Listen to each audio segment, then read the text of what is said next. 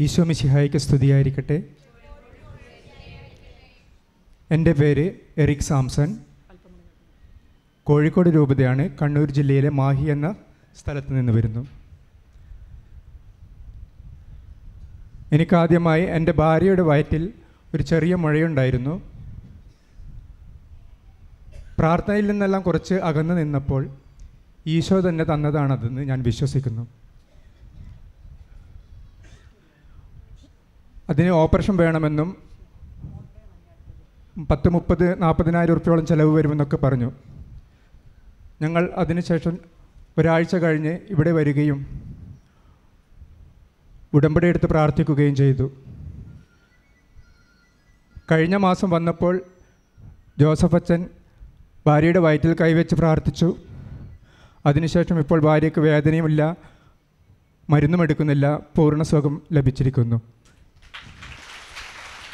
ഈശോയ്ക്കും മാതാവിനും ഒരായിരം നന്ദി പറയുന്നു. അതുകൂടാതെ ഞങ്ങളുടെ കുടുംബത്തിൽ ഒരു രണ്ട് വർഷത്തോളമായി സഹോദരങ്ങൾ തമ്മിൽ ചെറിയ ചെറിയ കാര്യങ്ങൾക്ക് പിണക്കവും വിദ്വേഷം വെച്ച് പുലർത്തിയിരുന്നു. ഇതിലൂടെയെല്ലാം ഞാൻ അതിനുശേഷം എല്ലാവരുമായി രമ്യതപ്പെട രമ്യതപ്പെട്ടുകൊണ്ടിരിക്കുമ്പോൾ കൃപാസനത്തിലെ കാര്യങ്ങൾ അവരെ ഓർമ്മിപ്പിച്ചിരുന്നു. കഴിഞ്ഞ മാസം ഏട്ടന്റെ ഭാര്യയ്ക്ക് ഒരു അപൂർവ രോഗം വരികയും അത് മൂന്ന് വർഷത്തോളം ട്രീറ്റ്മെന്റ് എടുത്തു കഴിഞ്ഞാൽ എന്തെങ്കിലും പറയാൻ പറ്റുകയുള്ളൂ എന്ന് പറ്റുകയുള്ളൂ എന്നൊക്കെ ഡോക്ടർ പറഞ്ഞിരുന്നു. വലിയ പൈസ ചിലവുള്ള ഒരു ട്രീറ്റ്മെന്റുമായിരുന്നു അത്. അവരും പിറ്റേ ആഴ്ച തന്നെ ട്രീറ്റ്മെന്റ് തുടങ്ങുന്നതിന് മുൻപ് ഡോക്ടർ പറഞ്ഞു അങ്ങനെ എവിടെയെങ്കിലും പോകാനുണ്ടെങ്കിൽ ഇത് തുടങ്ങിക്കഴിഞ്ഞാൽ എവിടെയും പോകാൻ പറ്റില്ല. എവിടെയെങ്കിലും പോകുവാനുള്ളവർക്ക് പോയി വരാമെന്ന് പറഞ്ഞു. അങ്ങനെ ഇവിടെ വന്ന് ഉടമ്പടി എടുത്ത് പ്രാർത്ഥിച്ചു. അന്നത്തെ ദിവസം തന്നെ ജോസഫ് അച്ഛനെ കാണുവാൻ ഞങ്ങൾക്ക് ഭാഗ്യം ലഭിച്ചു. ഞാനും ഏട്ടനും എന്റെ ഭാര്യയും ഏട്ടന്റെ ഭാര്യയും കൂടിയായിരുന്നു വന്നിരുന്നത്. ജോസഫ് അച്ഛൻ ഇവിടെ നിന്ന് കൈവച്ച് പ്രാർത്ഥിച്ച് നന്നായി പ്രാർത്ഥിക്കാൻ പറഞ്ഞ് തിരിച്ചയച്ച് പിന്നെയും വീണ്ടും തിരിച്ച് വിളിച്ചിട്ട് പറഞ്ഞു ഈശോ കാണിക്കുന്നുണ്ട്. രക്തത്തിലുള്ള എല്ലാ അണുബാധയും ഈശോ തുടച്ചു മാറ്റുന്നെന്നും അടുത്ത ഇരുപത്തെട്ടാം തീയതി ഇവിടെ വന്ന് സാക്ഷ്യം പറയുകയും ചെയ്യണമെന്ന് ഈശോ കാണിക്കുന്നെന്ന് പറഞ്ഞു. അന്ന് തന്നെ ഏട്ടനും ഭാര്യ ഭാര്യക്കും വളരെ സന്തോഷമായി. ഇപ്പോൾ റിസൾട്ട് വന്നു. വളരെ നല്ല റിസൾട്ടാണ് അതിൽ കാണാൻ കഴിഞ്ഞത്. അവർ കഴിഞ്ഞ ആഴ്ച വന്ന് അച്ഛനെ കാണുകയും അച്ഛന്റെ അടുത്ത് കൂടുതൽ പ്രാർത്ഥന സഹായം തേടുകയും ചെയ്തു. അച്ഛൻ പറഞ്ഞു ഈശോ പ്രവർത്തിച്ചു കൊണ്ടിരിക്കുന്നു. ഒന്നുകൊണ്ട് നിങ്ങൾ വിഷമിക്കേണ്ടതില്ല. ഉടമ്പടി നന്നായ രീതി നല്ല രീതിയിൽ തുടർന്നു കൊണ്ടുപോകാൻ പറഞ്ഞു. അതിനും ഈശോയ്ക്കും മാതാവിനും ഒരായിരം നന്ദി പറയുന്നു. കരങ്ങളടിച്ച് ശക്തമായിട്ട് നമുക്ക് ദൈവത്തെ കൊടുക്കാം. പിന്നെ ഞാൻ ഉടമ്പടി എടുക്കുന്നതിന് മുൻപ് എന്റെ മൂത്ത മകൻ ഇളയ മകൻ പ്ലസ് ടു കഴിഞ്ഞ് ഒരു കോളേജിലേക്ക് ഇവിടെ എറണാകുളത്തുള്ള കോളേജിലേക്ക് അഡ്മിഷൻ കൊടുത്തിരുന്നു. സിവിൽ സർവീസ് ഗ്രൂമിംഗ് പ്രോഗ്രാമിന്റെ ഭാഗമായിട്ട് അവൻ ഇന്റർവ്യൂ കഴിഞ്ഞെങ്കിൽ അവൻ മൂന്നാം സ്ഥാനത്തായിപ്പോയി. ഒന്നാം സ്ഥാനവും രണ്ടാം സ്ഥാനവും മാത്രമായിരുന്നു എടുത്തിരുന്നത്. ആ സമയത്ത് ഞാൻ ഉടമ്പടി എടുക്കുന്നതിന് മുൻപേ ആയിരുന്നു ഇത്. വൈഫ് സ്കൂളിലുള്ള ടീച്ചർമാർ പറഞ്ഞതനുസരിച്ചിട്ടാണ് ലൈറ്റ് കാൻഡിൽ പ്രയർ നടത്തിയത്. ഞാൻ അന്നേരം അതിനെപ്പറ്റി അറിഞ്ഞിരുന്നില്ല. ആ സമയത്ത് ഞങ്ങൾ ഇന്റർവ്യൂവിന് അവിടെയുള്ള ഫാദർ പറഞ്ഞു നിങ്ങൾ വന്നോളൂ. ചാൻസ് ഉണ്ടെങ്കിൽ നമുക്കൊന്ന് ശ്രമിച്ചു നോക്കാമെന്ന് പറഞ്ഞു. അന്ന് പ്രാർത്ഥന സമയത്ത് അവൾ മെഴുതി മെഴുകുതിരി കത്തിച്ച് പ്രാർത്ഥിച്ചു. ഒരിക്കലും വിചാരിക്കാതെ രണ്ടാം സ്ഥാനത്തുള്ള കുട്ടി ആ സ്ഥാനത്തിന് അർഹനല്ലാതെ ആകുകയും ഇവന് ആ സ്ഥാനം കിട്ടുകയും ചെയ്തിരുന്നു. അത് ഇത്ര കാലമായിട്ട് എനിക്ക് പറയാൻ പറ്റാത്തതിൽ മാതാവിനോട് മാപ്പ് ചോദിക്കുന്നു. പിന്നെ എന്റെ കുടുംബത്തിൽ നിരവധിയായ കാര്യങ്ങൾ മാതാവ് ചെയ്തു തന്നിട്ടുണ്ട്. ഞാൻ ഉടമ്പടിയിൽ ആരും വെക്കാത്തൊരു കാര്യം വെച്ചിരുന്നു. ഞാൻ അത്യാവശ്യം കീബോർഡൊക്കെ വായിക്കുന്ന ആളായിരുന്നു. സംഗീതത്തിൽ കൂടുതൽ ജ്ഞാനം നൽകണമെന്ന് ഞാൻ പ്രാർത്ഥിച്ചിരുന്നു. ഇപ്പോൾ എനിക്ക് എനിക്ക് തന്നെ അറിയുന്നില്ല ഞാൻ ചില സമയങ്ങളിൽ കീബോർഡ് വായിക്കുന്ന സമയത്ത് ആരാധന സമയങ്ങളിലെല്ലാം തന്നെ മാതാവ് എന്നോട് കൂടിയിരുന്ന് ഓരോ തരത്തിലുള്ള പുതിയ പുതിയ തരത്തിലുള്ള സ്വർഗീയ സംഗീതത്തിന്റെ ഓരോ ഈണങ്ങൾ എനിക്ക് നൽകാറുണ്ട്. അതിന് മാതാവിന് എത്ര നന്ദി പറഞ്ഞാലും എനിക്ക് മതിയാവുകയില്ല. മാതാവിന് ഒരായിരം നന്ദി. അതുപോലെ എന്റെ കയ്യിൽ കുറേ കാര്യങ്ങളുണ്ട് എനിക്ക് പറയാൻ പക്ഷേ സമയത്തിന്റെ കുറവ് മൂലം കുറേ കാര്യങ്ങൾ എനിക്ക് മാതാവ് ചെയ്തു തന്നിട്ടുണ്ട്. പ്രാർത്ഥിക്കുന്ന ഒന്നും മാതാവ് ഞങ്ങൾക്ക് നിരസിക്കുകയില്ല. എല്ലാവരോടും ഞാനൊരു അപേക്ഷയായിട്ട് പറയുകയാണ്. ആരും നിരാശപ്പെടാതെ മാതാവിനോട് നിലവിളിച്ച് പ്രാർത്ഥിച്ചാൽ മാതാവ് എന്ത് കാര്യങ്ങളും ഞങ്ങൾക്ക് സാധിച്ചു തരും. എല്ലാ കാര്യങ്ങളും ചെയ്തു തന്ന മാതാവിനും തിരുക്കുമാരനും സ്നേഹപിതാവിനും ഒരായിരം നന്ദി പറഞ്ഞുകൊണ്ട് നിർത്തുന്നു.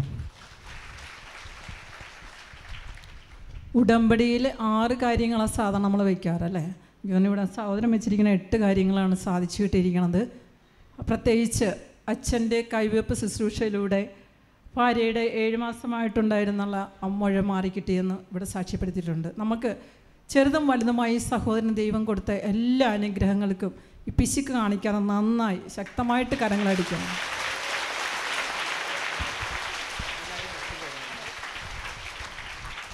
അതിലൊരു കാര്യം വിട്ടുപോയിട്ടുണ്ടായിരുന്നു. എന്റെ കൂടെ ജോലി ചെയ്തു വരുന്ന ഒരു ഹൈന്ദവ സഹോദരനുണ്ടായിരുന്നു. അവനിപ്പോൾ മുപ്പത്തിരണ്ട് വയസ്സായി. അവൻ ഇതുവരെ ഒരു പത്തൊന്നൂറ് പെണ്ണെങ്കിലും കണ്ടിട്ടുണ്ടാവും. ഇതുവരെ അവന് പെണ്ണ് ശരിയായിരുന്നില്ലായിരുന്നു. കാരണം അവന് ശാരീരികമായി ചെറിയൊരു വൈകല്യമുണ്ടായിരുന്നു. ഇവിടെ വന്ന് ഉടമ്പടി എടുക്കാനുള്ള ആഗ്രഹത്താലായിരുന്നു വന്നിരുന്നത്. പക്ഷേ ആ സമയത്ത് ഇവിടെ ചില പ്രശ്നങ്ങളുള്ളതുകൊണ്ട് ഹൈന്ദവർക്ക് ഉടമ്പടി കൊടുക്കുന്നില്ല എന്ന് പറഞ്ഞിരുന്നു. ആ സഹോദരന്റെ കാര്യം കൂടി അന്ന് ഞാൻ ഉടമ്പടിയിൽ വെച്ച് പ്രാർത്ഥിച്ചിരുന്നു. ഒരു നാല് മാസം കഴിയുമ്പോഴേക്കും അവൻ തന്നെ പ്രതീക്ഷിക്കാതെ ഒരു എഞ്ചിനീയറിംഗ് പഠിച്ചു കഴിഞ്ഞ ഒരു കുട്ടിയാണ് അവൻ അവന് കിട്ടിയത്. അവനിപ്പം എന്റെ അടുത്ത് പ്രത്യേകം പറഞ്ഞ് മാതാവിന്റെ അടുത്ത് എന്റെ അടുത്ത് നന്ദി പറയണമെന്നുള്ളത് ആ കാര്യം കൂടി മാതാവിന് നന്ദി അറിയിപ്പിക്കുന്നു. രോഷിനി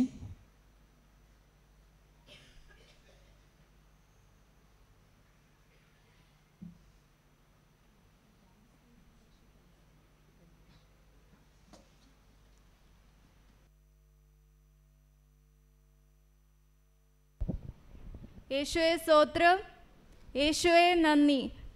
എന്റെ പേര് റോഷ്നി തോമസ്. ഞാൻ ആലപ്പുഴ ഡിസ്ട്രിക്ട് പൊങ്ങ ഇടവകയിൽ നിന്ന് വരുന്നു. എന്റെ പപ്പയാണ് ഇവിടെ വന്ന് ഉടമ്പടി എടുത്തത്. ഞങ്ങളുടെ അഞ്ച് നിയോഗങ്ങൾ സാധിച്ചതിന് ശേഷം എന്റെ പപ്പ ഇവിടെ വന്ന് സാക്ഷ്യം പറഞ്ഞ് പറയാനായിട്ട് വേണ്ടി വന്നിരുന്നു. പക്ഷേങ്കിൽ ബാക്കിയുള്ള ഒരു ഉടമ്പടി അത് പ്രാധാന്യമായതിനാൽ ഇവിടെ ഉള്ള ബ്രദർ പറഞ്ഞു അതും കൂടെ സാധിച്ചതിന് ശേഷം മാത്രം ഇവിടെ ഉടമ്പടി പറഞ്ഞ പറയാമെന്ന്. അതുകൊണ്ട് ആ ഉടമ്പടി എന്റെ ജോലി കാര്യമായിരുന്നു. എന്റെ ജോലി അയർലൻഡിലേക്കുള്ള എന്റെ ജോലി അതിനു വേണ്ടിയായിരുന്നു എന്റെ പ്രാധാന്യപ്പെട്ട ഉടമ്പടി. അത് ഈ കഴിഞ്ഞ മാസം വരെ ഡിസംബർ വരെ ഗവൺമെന്റ് അതിനുള്ള കാര്യങ്ങളെല്ലാം നിർത്തിവെച്ചേക്കുമായിരുന്നു പിന്നെ പപ്പ കുറേയേറെ പ്രാർത്ഥനയും ഉടമ്പടി വീണ്ടും എടുത്ത് എടുത്തതിനു ശേഷമാണ് അവിടുത്തെ ഗവൺമെന്റ് റിക്രൂട്ട്മെന്റ് സ്റ്റാർട്ടായതും ഈ കഴിഞ്ഞ ദിവസമാണ് എന്റെ ഇന്റർവ്യൂ നടന്നതും ഞാൻ അതിൽ സക്സസ് ആയതും. മാതാവിനും തിരുകുമാരനും ഞാൻ കോടി കോടി നന്ദിയിരിക്കുന്നു ആ ഉടമ്പടി ആ നിയോഗം സാധിച്ചതിന് ശേഷം ഞാൻ തീരുമാനിച്ചു. എനിക്ക് ഞാൻ പപ്പയുടെ ബിഹാഫിൽ ഇവിടെ വന്ന് നിങ്ങളുടെ മുമ്പിൽ സാക്ഷ്യം പറയുമെന്ന്. ഇതല്ലാതെ എന്റെ ബാക്കിയുള്ള അഞ്ച് നിയോഗങ്ങൾ ഇത് പ്രകാരമായിരുന്നു. എന്റെ ആദ്യത്തെ നിയോഗം ഞാൻ സൗദിയിലായിരുന്നു ഇതിന്റെ മുമ്പേ ജോലി ചെയ്തിരുന്നത്. അവിടെ രണ്ട് വർഷത്തെ കോൺട്രാക്റ്റ് ആയിരുന്നു. ആ രണ്ട് വർഷത്തെ കോൺട്രാക്റ്റ് കഴിഞ്ഞവരെ പോലും അവരവിടുന്ന് തിരിച്ചു വിടത്തില്ലായിരുന്നു. പക്ഷേ എനിക്ക് അയർലൻഡിൽ പോകുന്നുണ്ട് പോകുന്നായിരുന്നു. അവിടുത്തെ കാര്യങ്ങളും പ്രോസസ്സിങ്ങിന്റെ കാര്യങ്ങൾക്കും എനിക്ക് അവിടുന്ന് വരണമായിരുന്നു.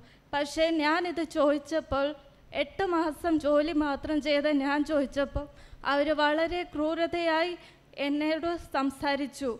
എന്നെ ക്യാബിന്റെ പുറത്ത് ഇറക്കി വിട്ടു. എന്നെ വളരെ ക്രൂരതയോടെ കൂടെ നോക്കി. അവിടെ ഉള്ളവരെല്ലാവരും എന്നെ ഏതോ ഒരു രീതി കാണുകയായിരുന്നു. പക്ഷേ എന്റെ പപ്പ എന്നോട് പറഞ്ഞു നീ പ്രാർത്ഥിക്കും മോളെ നീ കരഞ്ഞ് പ്രാർത്ഥിക്ക് മാതാവ് നിന്റെ പ്രാർത്ഥന കേൾക്കും. ആ പ്രകാരം ആ പ്രാർത്ഥനയോടെ ഒരാഴ്ചയോടെ കൂടി മാതാവ് വളരെ അനുഗ്രഹത്തോടു കൂടി എനിക്ക് അവിടുന്ന് റെസിഗ്നേഷൻ എന്റെ സാങ്ഷനായി കിട്ടി. ഞാൻ ഡിസംബർ മാസത്തിൽ ഇവിടെ വരികയും ചെയ്തു. ഇതെല്ലാം എന്റെ എന്റെ കുടുംബത്തിന്റെയും പ്രാർത്ഥനയും എന്നെ സ്നേഹിക്കുന്ന കുറേ പേരുടെ പ്രാർത്ഥന മൂലമാണ് ഞാൻ ഇപ്പോൾ ഇവിടെ വന്ന് നിൽക്കുന്നത്. പിന്നെ ഉള്ളത് എന്റെ അനിയത്തി. അവൾക്ക് മാസത്തിൽ വരുന്ന പീരിയഡ്സ് ശരിക്കായിട്ട് വരുന്നില്ലായിരുന്നു. എപ്പോഴും തടസ്സങ്ങളായിരുന്നു. അവൾക്ക് അമിതമായിട്ടുള്ള വണ്ണവും ഉണ്ട് ഇതെല്ലാം ഇവിടെ വന്ന് ഉടമ്പടി എടുത്തതിന് ശേഷം പ്രാർത്ഥിച്ച മൂലം മാതാവ് അവൾക്ക് ഇപ്പം എല്ലാം കൃത്യതയോടെ കൂടി വരുന്നുണ്ട്. അവൾക്ക് ഒരു കുഴപ്പവും ഇല്ല. അവൾ നല്ല എനർജിയോടെ കൂടി ഉണ്ട്. പിന്നെ എന്റെ പപ്പയ്ക്കും ഞങ്ങൾക്കും കുറേ കടബാധ്യതകളുണ്ടായിരുന്നു. അത് മാതാവ് മുഴുവനായി തീർത്തിട്ടില്ലെങ്കിലും ഞങ്ങൾക്കൊരു മാതിരി പിടിച്ചു നിൽക്കാൻ പിടിച്ചു നിൽക്കാൻ മൂലം അത് കുറേ ഏഴ് നികത്തിയിട്ടുണ്ട്. മാതാവിനും തിരുകുമാരനും ഞങ്ങൾ കോടാനുകോട് നന്ദി പറയുന്നു. പിന്നെ ഇവിടെ വന്ന് നിയോഗം എടുത്തപ്പോൾ എന്റെ പപ്പ ഒരു കാര്യം കൂടെ ആവശ്യപ്പെട്ടിരുന്നു. എന്റെ മകൾക്ക് ഒരു അനോ ഒരു ഒരു നല്ലൊരു വരനെ ലഭിക്കണമെന്ന്. അതിന് പഠിപ്പും നല്ല വിദ്യാഭ്യാസം ഉള്ള ഒരു മരുമോനെ ലഭിക്കണമെന്ന് എന്റെ പ്രാപ്പ പ്രാർത്ഥിച്ചിരുന്നു. ദൈവവും മാതാവും അതുപോലെ തന്നെ എനിക്ക് നല്ലൊരു ഹസ്ബൻഡിനെ തന്നെ തന്നിരിക്കുകയാണ്. കരങ്ങൾ അടിച്ച് ശക്തമായിട്ട് നമുക്ക് ദൈവത്തെ മഹത്വപ്പെടുത്താം. ഞാൻ ദൈവത്തിനെയും മാതാവിനെയും ഒരായിരം നന്ദി പറഞ്ഞാലും മതിയാവത്തില്ല. അത്രക്കേറെ എന്നെ അനുഗ്രഹിച്ചിട്ടുണ്ട്. എന്നെ എന്റെ കുടുംബത്തിന് ഒരായിരം നന്ദി ഞാൻ ദൈവത്തിനും മാതാവിനോടും അറിയിക്കുന്നു. ഈ മകൾക്കുണ്ടായ എല്ലാ വേദനകളും അമ്മ ഏറ്റെടുത്ത് അവൾക്കിപ്പോൾ സന്തോഷത്തിന്റെ ദിനങ്ങൾ നൽകിയിരിക്കുന്ന സമയമാണ്. കാര്യം ആറ് കാര്യങ്ങളാണ് ഇപ്പോൾ സാധിച്ചിരിക്കുന്നത്. നിങ്ങൾക്ക് മനസ്സിലായി കാണും. അനിയത്തിയുടെ ഇറഗുലർ ആയിട്ടുള്ള പീരീഡ്സിന്റെ കാര്യം. പിന്നെ കടങ്ങൾ കുറച്ച് കിട്ടി. പിന്നെ കല്യാണത്തിന് നല്ലൊരു ജീവിത പങ്കാളിയെ. അപ്പച്ചന്റെ ഡിമാൻഡ് ഭയങ്കരമായിരുന്നു. നല്ല ജോലിയുള്ള നല്ലൊരു പയ്യനെ കിട്ടണമെന്ന് വരുന്നു. അതിന്റെ ഫലമായി അത് ലഭിക്കുകയും ചെയ്തു. ഇത്രയും നൽകിയ പരിശുദ്ധ അമ്മയുടെ മധ്യസ്ഥതയിൽ ലഭിച്ച ഈ അനുഗ്രഹത്തിന് നമുക്ക് കരങ്ങളടിച്ച് കൈയടിക്കുമ്പോൾ പറയാം. നല്ല ശക്തിയോടുകൂടി അടിക്കുക കിട്ടിയ നന്മ എപ്പോഴും ഓർക്കുക.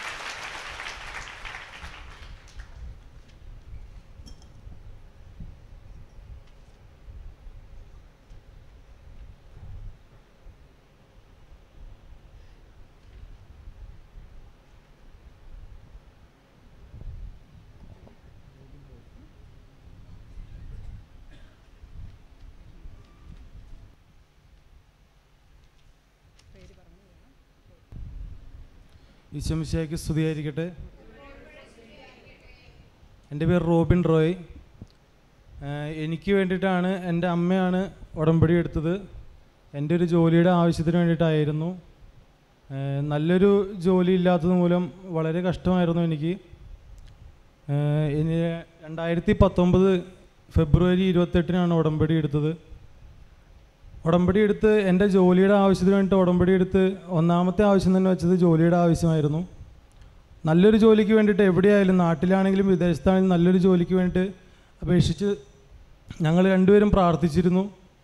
അതിന്റെ ഫലമായിട്ട് മാർച്ച് പതിനഞ്ചാം തീയതി ദുബായിൽ നിന്ന് തന്നെ വിളിക്കുകയും എനിക്ക് ജോലി അവിടെ റെഡി ആയിട്ടുണ്ട് വരാൻ പറ്റുമോ എന്ന് ചോദിക്കുകയും ചെയ്തു.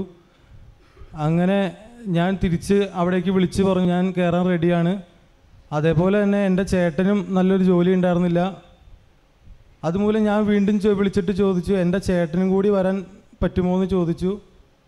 കുഴപ്പമില്ല എന്റെ ചേട്ടനെയും കൊണ്ടുവരാമെന്ന് പറഞ്ഞ് ചേട്ടനും എനിക്കുള്ള വിസ അയച്ചു തന്നു ടിക്കറ്റ് അയച്ചു തന്നു. എല്ലാ കാര്യങ്ങളും ദുബായിൽ നിന്ന് ചെയ്തു തന്ന് ഏപ്രിൽ ഒന്നാം തീയതി തന്നെ ഞങ്ങൾക്ക് അവിടെ ജോലിക്ക് ജോയിൻ ചെയ്യാൻ സാധിച്ചു. അതിന് മാതാവിന് ഒത്തിരിയേറെ നന്ദി. പിന്നെ പപ്പയുടെ നടുവേദന പപ്പ ഡ്രൈവറാണ് കെ എസ് ആർ ടി സിയിൽ പപ്പയുടെ നടുവേദന പത്തൊമ്പത് വർഷമായിട്ട് നല്ല നടുവേദന ഉണ്ടായിരുന്നു. മിക്ക ദിവസങ്ങളിലും വൈകിട്ട് ഞാൻ ചെല്ലുമ്പോൾ പപ്പ നടുവേദനയായിട്ട് കിടക്കുമായിരിക്കും എന്നോട് പറയുമെന്ന് തിരുമ്മി തരാൻ പറയും. ഞാൻ തിരുമ്മി കൊടുക്കും. വേദനയ്ക്ക് ആശ്വാസം വരും. എല്ലാ ദിവസവും ഇത് തന്നെ. ഉടമ്പടി എടുത്തതിന് ശേഷം മാതാവിന്റെ അടുത്ത് പറഞ്ഞ് കരഞ്ഞ് പ്രാർത്ഥിച്ചു കഴിഞ്ഞപ്പോൾ തൈലം പുരട്ടി പപ്പയ്ക്ക് തൈലം പുരട്ടി കൊടുത്തു. പത്തൊമ്പത് വർഷമായിട്ട് മാറാത്ത നടുവേദന മാറ്റിത്തന്നു മാതാവ്.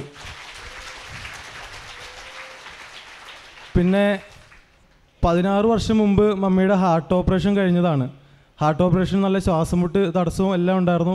പതിനാറ് വർഷം മുമ്പ് ഹാർട്ടിന്റെ ഓപ്പറേഷൻ കഴിഞ്ഞു. ഇപ്പോൾ വളരെ ആശ്വാസമായിട്ട് പോകുന്നതായിരുന്നു.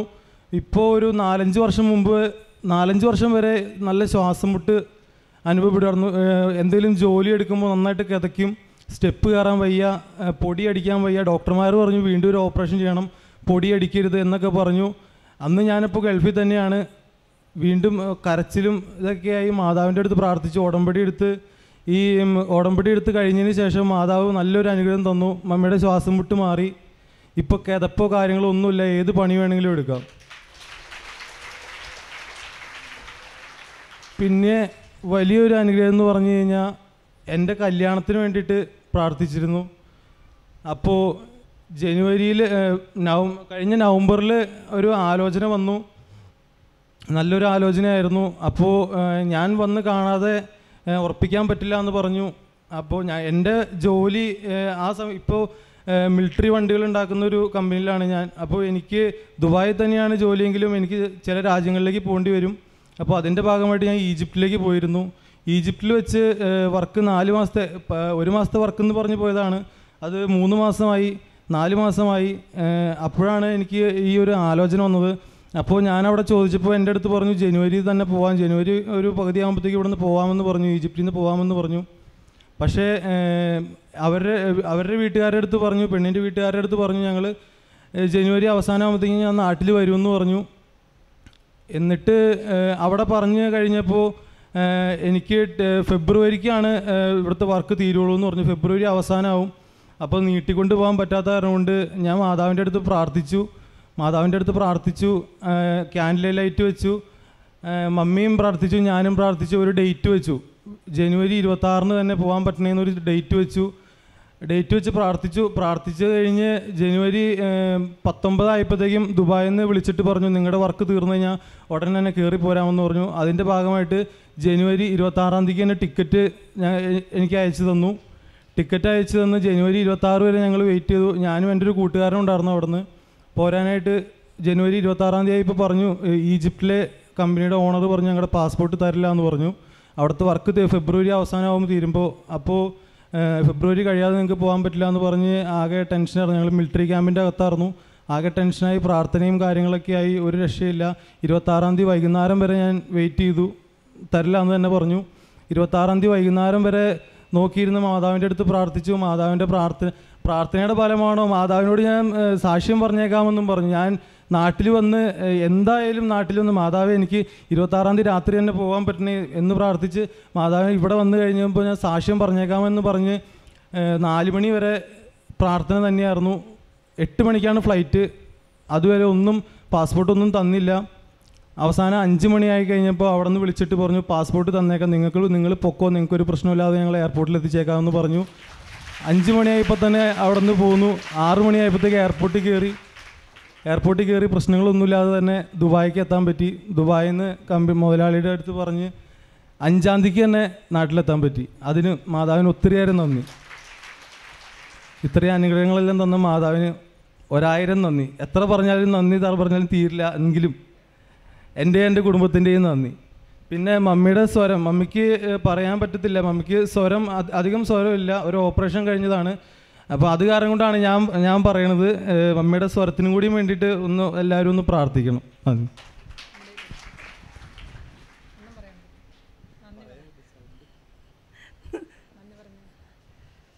എനിക്ക് ഒട്ടും സൗണ്ട് ഉണ്ടായില്ല.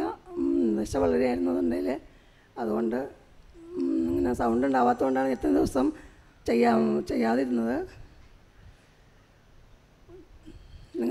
കരങ്ങൾ ഉയർത്തി കർത്താവിന് നന്ദി പറയുക. ഈ കുടുംബത്തിന് ലഭിച്ച എല്ലാ അനുഗ്രഹങ്ങൾക്കും പതിനഞ്ച് ദിവസത്തിനകം ജോലി ലഭിച്ചു. പത്തൊൻപത് വർഷമായി ഉണ്ടായ നടുവേദന മാറി. അമ്മ നേർച്ച വസ്തു ഉപയോഗിച്ച് ശ്വാസതടസ്സം മാറി കിട്ടി ഈ കുടുംബത്തിന് കിട്ടിയ അനുഗ്രഹത്തെ ഓർത്ത് കരങ്ങൾ അടിച്ച് ദൈവത്തെ മഹത്വപ്പെടുത്താം.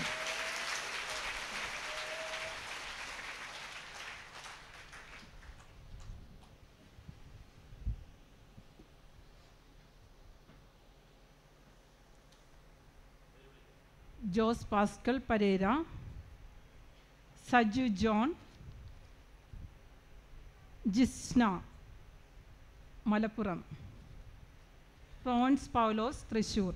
ദയവ് പേര് വിളിക്കുന്നവർ എത്രയും അടുത്ത് വന്ന് നിൽക്കാൻ ശ്രമിക്കുക.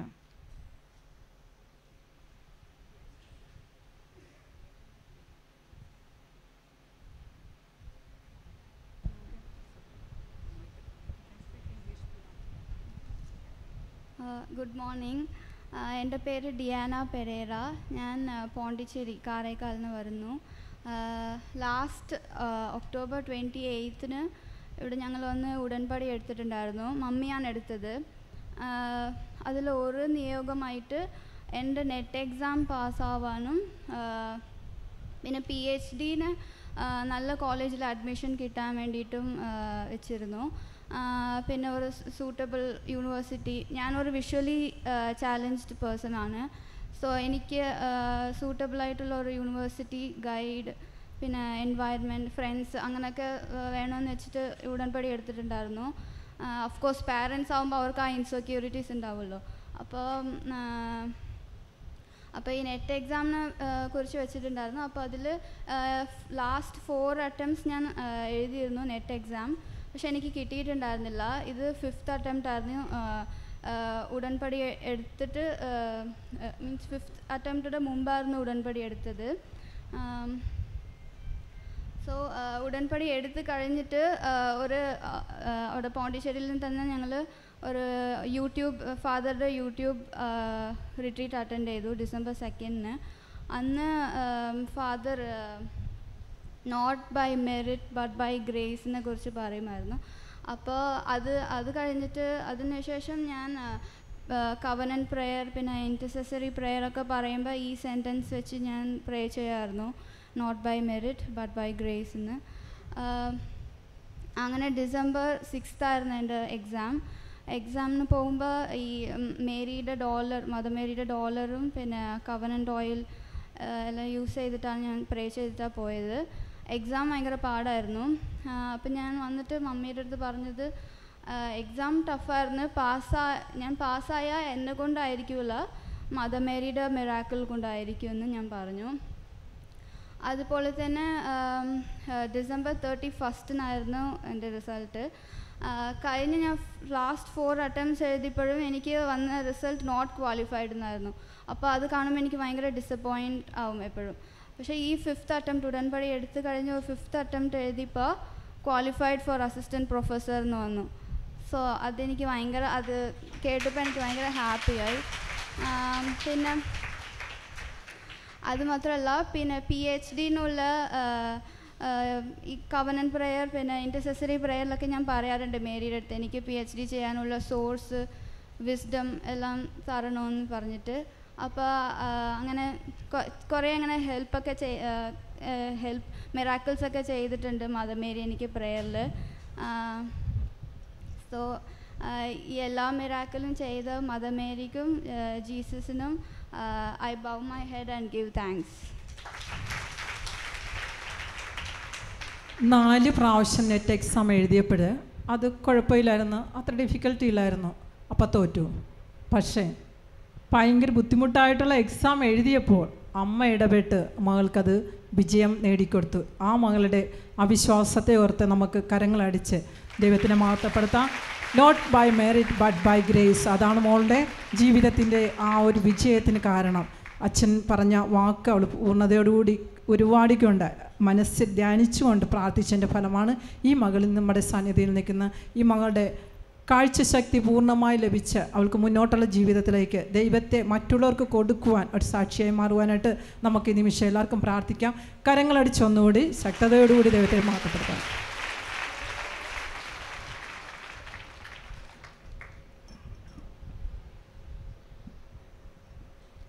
സജു ജോൺ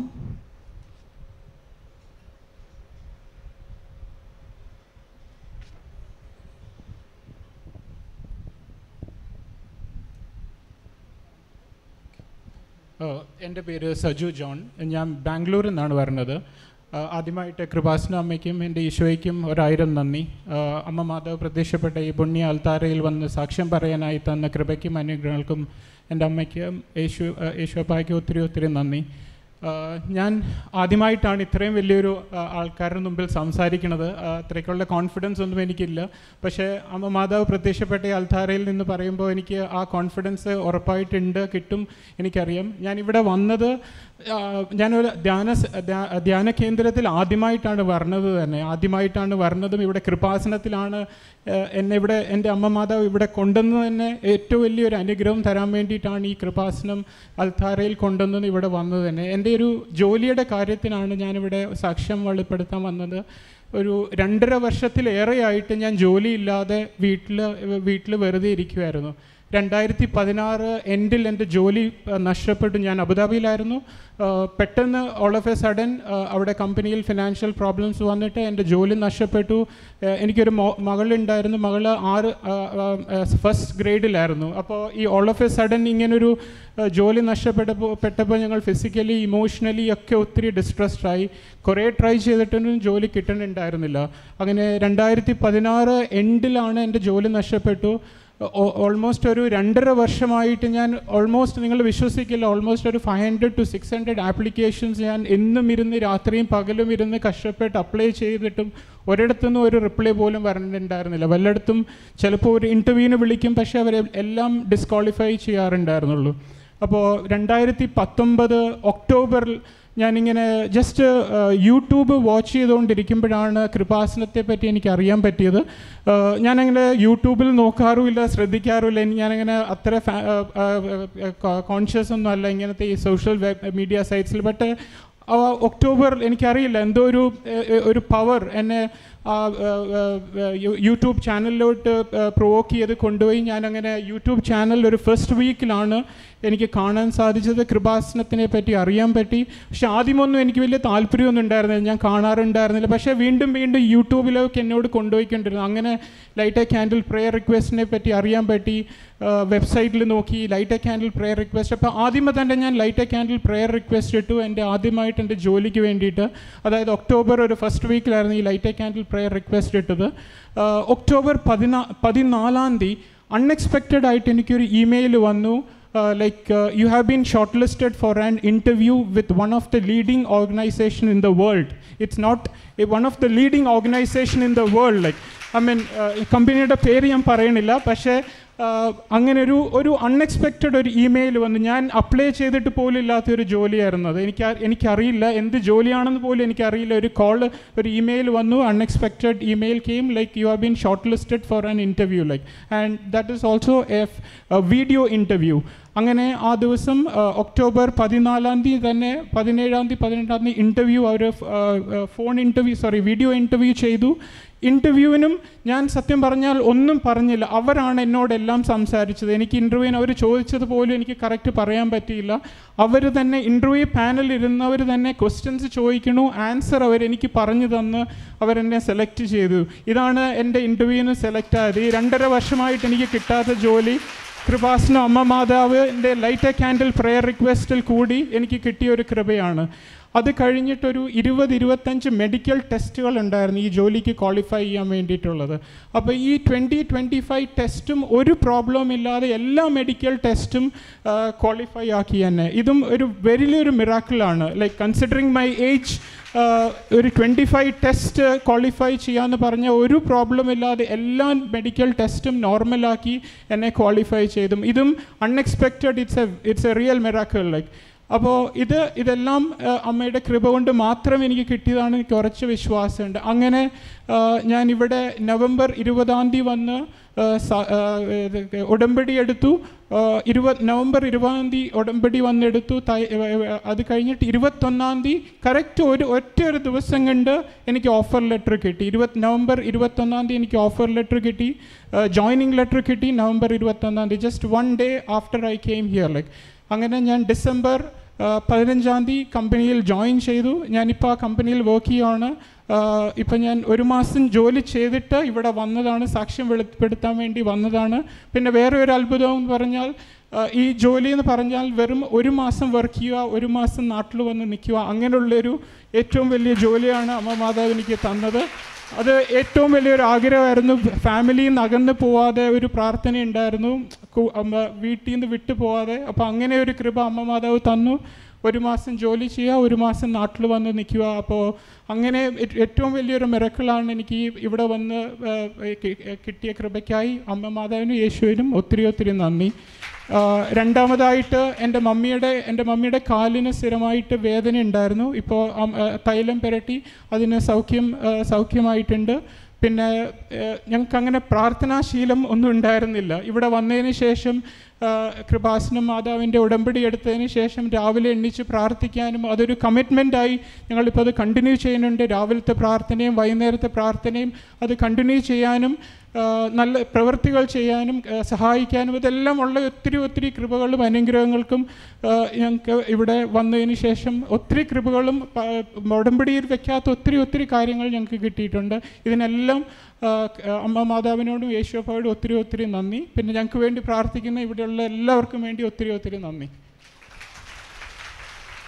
സജു ജോണിനെ വെച്ച് നോക്കുമ്പോഴത്തേക്കും ആദ്യത്തെ എൻട്രിയാണ്. കൃപാസനം എന്ന് പറയുന്ന പരിശുദ്ധ അമ്മയുടെ സന്നിധാനത്തിലേക്ക്. വേറെ ഒരു ധ്യാന കേന്ദ്രങ്ങളിലും പോയിട്ടില്ല എന്നാണ് മകൻ നിങ്ങളോട് പറഞ്ഞിരിക്കുന്നത്. ആണോ അല്ലേ? ഓക്കെ. പിന്നെ ഉടമ്പടി എടുത്തത്. അത് പ്രത്യേകം ശ്രദ്ധിക്കേണ്ട ഒരു കാര്യമാണ്. കാരണം എന്താ വെച്ചാൽ യങ് ജനറേഷൻ ഇപ്പോൾ സാക്ഷ്യപ്പെടുത്തുമ്പോൾ അവർക്ക് പെട്ടെന്ന് അമ്മ കൊടുക്കുന്ന മറുപടിയാണ് ഉടനടി മറുപടിയാണ് കിട്ടിയിരിക്കുന്നത് സജു ജോണിന്. കാരണം ഈ നവംബർ ഇരുപതിന് മരിയൻ കവനൻ പ്രയർ എടുക്കുന്നു. ഇരുപത്തൊന്നിന് വിസ അപ്രൂവ് ആകുന്നു ഇരു ഡിസംബർ പതിനഞ്ചിന് ജോയിൻ ചെയ്യുന്നു. അതൊക്കെ ഒരു വലിയ വലിയ മിറക്കളാണ് നമ്മൾ ദൈവകരങ്ങളിൽ ഏൽപ്പിക്കുമ്പോൾ ദൈവം അത് വേണ്ട വിധം കൈകാര്യം ചെയ്യും. ചില സമയത്ത് നമ്മൾ എടുത്തു ചാടും. അതിന്റെ ആവശ്യമില്ല. ദൈവത്തിനറിയാം എപ്പോഴാണ് ഏത് സമയത്താണ്. കാര്യം അമ്മ സഞ്ചാരി മാതാവാണ്. സമയത്തിന്റെ അമ്മയാണ്. അമ്മയ്ക്കറിയാം എപ്പോൾ എവിടെ ഏത് സമയത്ത് കാര്യങ്ങൾ നടത്തി കൊടുക്കണമെന്ന്. ഈ മകന് ലഭിച്ച എല്ലാ അനുഗ്രഹങ്ങൾക്കും കരങ്ങൾ അടിച്ച് നമുക്ക് മാറ്റപ്പെടുത്താം അതുപോലെ തന്നെ ഇത് വേദനയോടുകൂടി കാത്തിരിക്കുന്ന ജോലിയിൽ പ്രവേശിക്കാതെ വേദനയോടുകൂടി ഇരിക്കുന്ന എല്ലാ മക്കളെയും ഈ നിമിഷം നമുക്ക് സമർപ്പിക്കാം.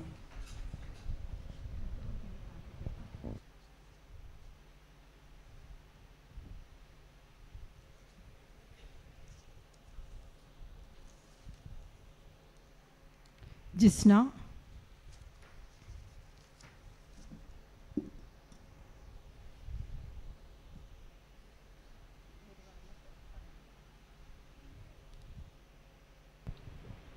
എന്റെ പേര് ജിസ്ന ഞാൻ നിലമ്പൂരിൽ നിന്ന് വരുന്നു. റൂബി നഗർ ഇടവക അംഗമാണ്. ഞാൻ കഴിഞ്ഞ മാസം കഴിഞ്ഞ വർഷം മെയ് ഇരുപത്തൊമ്പതാം തീയതി മെയ് ഇരുപത്തൊമ്പതാം തീയതി ഇവിടെ വന്ന് ഉടമ്പടി എടുത്തു. എന്റെ ആന്റി പറഞ്ഞ പ്രകാരമാണ് ഞാൻ ഇങ്ങോട്ട് വന്നത്. ടു തൗസൻഡ് എയ്റ്റീൻ ഞാൻ ബി ടെക് പാസ്ഡ് പാസ് ഔട്ടാണ് അപ്പോൾ എനിക്ക് ഞാൻ കോഴ്സ് ചെയ്തായിരുന്നു ഒരു മൂന്ന് മാസത്തേക്ക്. എന്നിട്ടും എനിക്ക് ജോലിയൊന്നും ആയില്ലായിരുന്നു. ഒരു എട്ടൊമ്പത് മാസം ഞാൻ വീട്ടിൽ തന്നെയായിരുന്നു. പിന്നെ വീട്ടിൽ ചേട്ടന്റെ കല്യാണം ഒന്നും ശരിയാവുന്നില്ലായിരുന്നു. ഒരു മാസമൊക്കെ ആയിട്ട്. അല്ല ഒരു വർഷമായിട്ട്. അപ്പം ഇതൊക്കെ ഇതായിട്ടാണ് ഞാൻ ഇങ്ങോട്ട് വന്ന് ഉടമ്പടി എടുത്തത്. കഴിഞ്ഞ ഡിസംബർ പതിനൊന്നാം തീയതി എനിക്കൊരു ജോലി ശരിയാവും. പിന്നെ ജനുവരി പതിനൊന്നിന് ചേട്ടന് കല്യാണം നടക്കുകയും ചെയ്തു. പിന്നെ പിന്നെ ഞങ്ങളുടെ വീട് പണി ഞങ്ങൾക്ക് പുതിയ വീട് കിട്ടുകയും ചെയ്തു. ചേട്ടന്റെ കല്യാണ തലേന്നായിരുന്നു അതിന്റെ കയറി താമസവും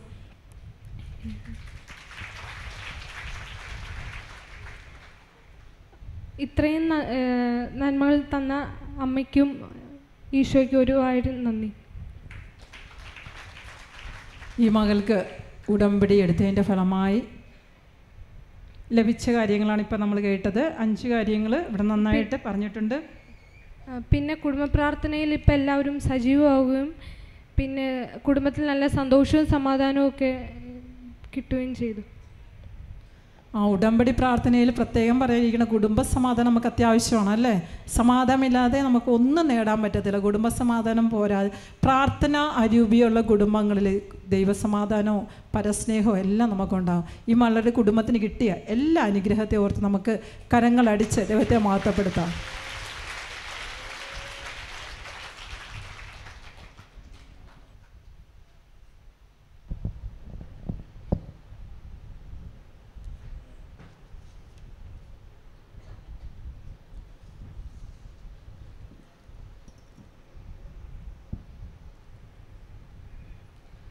അടുത്തതായി പേര് വിളിക്കുന്നവർ ദയവുചെയ്ത് അടുത്ത് വന്ന് നിൽക്കേണ്ടതാണ്. കുര്യൻ മഞ്ഞില ഇരിഞ്ഞാലക്കുട. ബിന്ദു സന്തോഷ് തൃപ്പൂണിത്തറ. ദിവ്യ സോബി തൃശ്ശൂർ. ഈ മൂന്ന് പേരും എത്രയും വേഗം സാക്ഷ്യപ്പെടുത്തുവാനായിട്ട് വരേണ്ടതാണ്. കുര്യൻ മഞ്ഞില.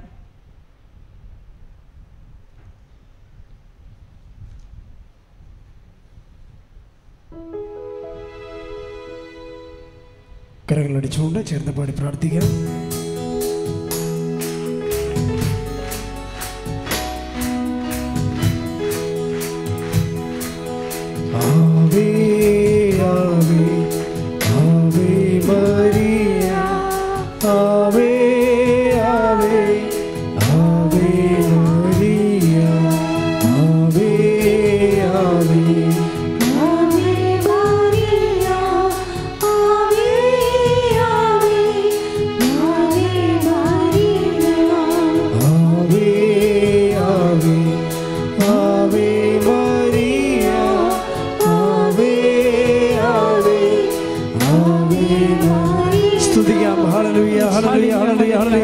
ശക്തിയോട് സ്തുതിക്കട്ടെ. ഹലലുയ യേശുവേ നന്ദി. ഹലലുയ ഹലലുയ ഹലലുയ ഹലലുയ ഹലലുയ ഹലലുയ ഹലലുയ എല്ലാവരും സ്തുതിക്കട്ടെ. ഹലലുയ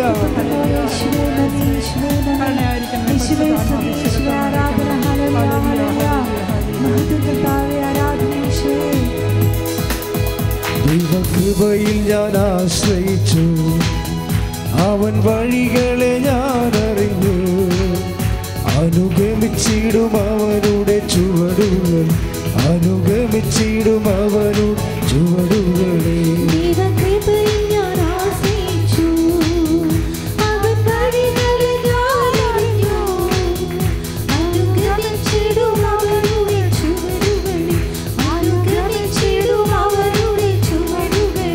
എത്ര നല്ലവൻ മതിയായവൻ എന്നെ കരുതുന്ന കർത്തനവൻ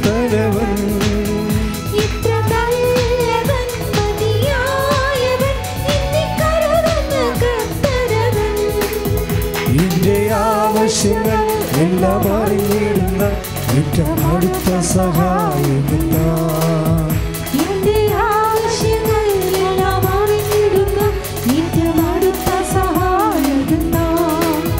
ദൈവകൃപയിൽ ഞാൻ ആശ്രയിച്ചു. അവൻ വഴികളെ ഞാൻ അറിഞ്ഞു അനുഗമിച്ചിടും അവരുടെ ചുവടുകൾ. അനുഗമിച്ചിടും അവരുടെ ചുവടുകളെ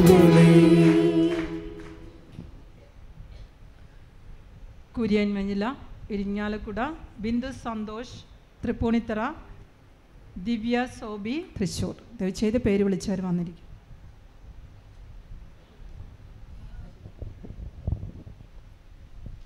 എന്റെ പേര് കുര്യൻ മഞ്ഞില. ഞാൻ ഇരിഞ്ഞാലക്കുട രൂപതയിൽ നിന്നാണ് വരുന്നത്.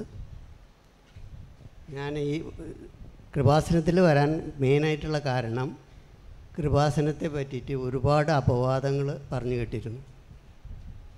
തന്നെയല്ല വളരെ മോശമായ രീതിയിലാണ് പറഞ്ഞിരുന്നത്. ഞാൻ യൂട്യൂബ് കാണാറുണ്ട് അച്ഛൻ പ്രസംഗിക്കുന്നത് കാണാറുണ്ട് ഡാനിയൽ അച്ഛൻ പ്രസംഗിക്കുന്നത് കണ്ടിട്ടുണ്ട്. പക്ഷേ അവിടെയൊക്കെ വരുന്നത് വളരെ നല്ല നല്ല കാര്യങ്ങളാണ്. അപ്പോൾ എനിക്കിത് വിശ്വസിക്കാൻ കഴിഞ്ഞില്ല. ഇത് മതത്തിനെതിരായിട്ടാണ് നമ്മുടെ ക്രിസ്തീയ വിശ്വാസങ്ങൾക്ക് എതിരായിട്ടാണ് എന്നുള്ളത് എനിക്ക് വിശ്വസിക്കാൻ കഴിഞ്ഞില്ല. ഞാൻ ഒരു പന്ത്രണ്ട് പതിനഞ്ച് കൊല്ലം ശുശ്രൂഷകനായിരുന്നു. ഞാൻ ഇംഗ്ലീഷിലും മലയാളത്തിലും വചനം പ്രസംഗിക്കാറുണ്ട്. ഗൾഫിലായിരുന്നു ഞാൻ. അത് കഴിഞ്ഞ് ഇവിടെ വന്ന് നാല് കൊല്ലം ഇരിഞ്ഞാലക്കുട രൂപതയുടെ കരിസ്മാറ്റിക് സെക്രട്ടറിയായി. അത് കഴിഞ്ഞിപ്പോൾ വയസ്സൊക്കെയായിട്ട് നോക്കിയപ്പോൾ ഞാൻ വെറുതെ ഇരിക്കുകയായിരുന്നു അപ്പോഴാണ് ഇതൊക്കെ കേൾക്കുന്നത്. അപ്പോൾ ഒരു ദിവസം ഇത് കാണണമെന്ന് വിചാരിച്ചിട്ട് ഞാൻ ഇവിടെ വന്നു. ഞാനിവിടെ വന്നപ്പോൾ മതത്തിനെതിരായോ അല്ലെങ്കിൽ മസഹീയമായോ ഒന്നും ഞാൻ ഇവിടെ കണ്ടില്ല. അപ്പോൾ തന്നെ ഞാൻ ഉടമ്പടി എടുത്തു. ഉടമ്പടിയിൽ ചില കാര്യങ്ങളൊക്കെ ഞാൻ പറഞ്ഞിരുന്നു. എനിക്ക് ഏറ്റവും വലിയ ആവശ്യം ഞാൻ ബന്ധനത്തിൽ നിന്ന് മോചനം കിട്ടണം എന്നുള്ളതായിരുന്നു.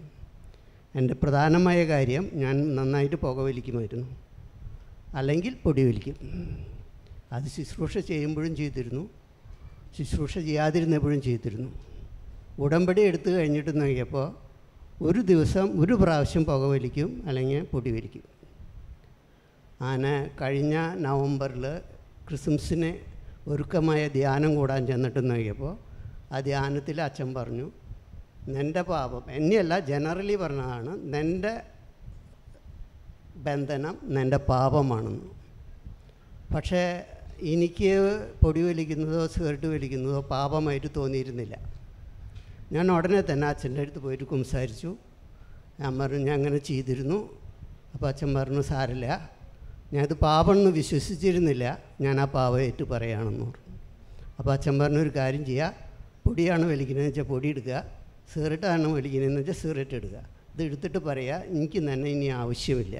നീ പിന്നെ വലിക്കരുത്. എനിക്ക് വലിക്കാൻ കഴിയില്ല എന്ന് പറഞ്ഞു. അങ്ങനെ ഞാൻ വീട്ടിൽ പോയി. അന്ന് തന്നെ വൈകുന്നേരം ഞാൻ പൊടി എടുത്തു. എന്നിട്ട് ഞാൻ എടുത്ത് ബാത്റൂമിൽ വെച്ചു. എന്നിട്ട് പറഞ്ഞു ഇനി എനിക്ക് എന്നെ ആവശ്യം എന്നെ എനിക്ക് ആവശ്യമില്ല എന്ന് പറഞ്ഞു. അപ്രകാരം തന്നെ രണ്ടാമത്തെ കാര്യം എനിക്ക് ദൈവം പരിശുദ്ധ അമ്മയുടെ മധ്യസ്ഥതയിൽ തന്നത് എന്റെ മൂക്കിനൊരു വളവുണ്ട്. ശ്വാസം വലിക്കാൻ വലിയ വിഷമമാണ്. അതുകൊണ്ടാണ് ഈ പൊടിവലിയോ അല്ലെങ്കിൽ സിഗരറ്റ് വലിയോ തുടർന്നിരുന്നത്. അതൊരു സത്യമാണ്. ഒരു പതിനേഴ് കൊല്ലം മുമ്പ് ഡോക്ടറെ കണ്ടപ്പോൾ ഡോക്ടർ പറഞ്ഞു അത് ഉടനെ തന്നെ ഓപ്പറേറ്റ് ചെയ്യണം.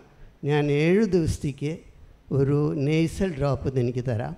ഏഴ് ദിവസം മാത്രമേ ഉപയോഗിക്കാവുള്ളൂ. അത് കഴിഞ്ഞിട്ട് ഓപ്പറേഷൻ വിധേയനാകണമെന്ന് പറഞ്ഞു. പതിനേഴ് കൊല്ലമായിട്ടും ഞാൻ ഓപ്പറേഷന് പോയില്ല. ഈ നെയ്സൽ ഡ്രോപ്പ് ഉപയോഗിച്ചുകൊണ്ടിരുന്നു. പക്ഷേ ഈ ഉടമ്പടിക്ക് ശേഷം ഇന്ന് വരെ നേഴ്സൽ ഡ്രോപ്പും ഉപയോഗിച്ചിട്ടില്ല. അതുപോലെ തന്നെ നേഴ്സൽ ഡ്രോപ്പ് ഒരെണ്ണം പുതിയത് വാങ്ങിച്ചിട്ട് ഷെൽഫിൽ വച്ചിട്ട് പറഞ്ഞു "ഇന്ന് നിന്നെ എനിക്ക് ആവശ്യമില്ല എന്ന്. അതിപ്പോഴും അവിടെ ഇരിക്കുന്നുണ്ട്. ഞാൻ പ്രാർത്ഥനയിൽ പറഞ്ഞിരുന്നു ഈ സാക്ഷ്യം തന്നതിന് ശേഷം ഞാൻ ഇത് രണ്ടും എടുത്ത് കളയുന്നു. ഞാൻ ഇന്ന് സാക്ഷ്യത്തിന് ദൈവം വിളിച്ചു. ഞാൻ ദൈവത്തിന് ആയിരം നന്ദി പറയുന്നു. ഒരു അമ്പത്തിമൂന്ന് കൊല്ലമായിട്ടുള്ള ബന്ധനമായിരുന്നു ഈ പുകയിലയുടെ ഉപയോഗം. അത് നീ കിട്ടിയതിന് വളരെയധികം നന്ദിയുണ്ട്. താങ്ക് യു ഒരു ശ്രദ്ധ കാരണം നമുക്ക് ശ്രദ്ധിക്കാവുന്നതായിരുന്നു. പഴയം ദൈവീകതയിൽ വളർന്നൊരു വ്യക്തിയാണല്ലേ? ഇപ്പോൾ പോയി നമ്മുടെ കുര്യൻ ചേട്ടൻ അമ്പത്തിമൂന്ന് വർഷമായിട്ടുണ്ടായ പുകവലിയാണ് മാറിയിരിക്കുന്നത്. ആ സമയങ്ങളിലൊന്നും അറിയില്ല ഇവിടെ എന്താണ് സംഭവിക്കണമെന്ന് നോക്കാൻ വന്നപ്പോഴാണ് ഉടമ്പടി എടുത്തു പ്രാർത്ഥിച്ചു. ഫലമായിട്ട് ഇതെല്ലാം മാറി കിട്ടിയത് സമയത്തിന്റെ പൂർത്തീകരണത്തിൽ പരിശുദ്ധ അമ്മ ഇടപെട്ട് ആ മകനെ ഇതിൽ നിന്നെല്ലാം വിടുതൽ നൽകിയിരിക്കുന്ന നിമിഷമാണ് നമ്മളിപ്പോൾ കേട്ടത്. അതുപോലെ ഇങ്ങനെയുള്ള ദുർശീലങ്ങളുള്ള എല്ലാ സഹോദരങ്ങളെ ഈ സമയം നമുക്ക് സമർപ്പിച്ചുകൊണ്ട് കരങ്ങൾ നല്ലപോലെ അടിച്ച് സഖ്യം നന്ദി പറയേണ്ടിയിരിക്കുന്നു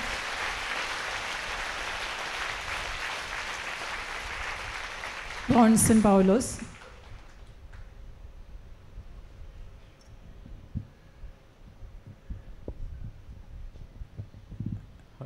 എന്റെ പേര് റോൺസ്. ഞാൻ തൃശ്ശൂർ ചെമ്പുകാട് എന്നാണ് വരുന്നത്.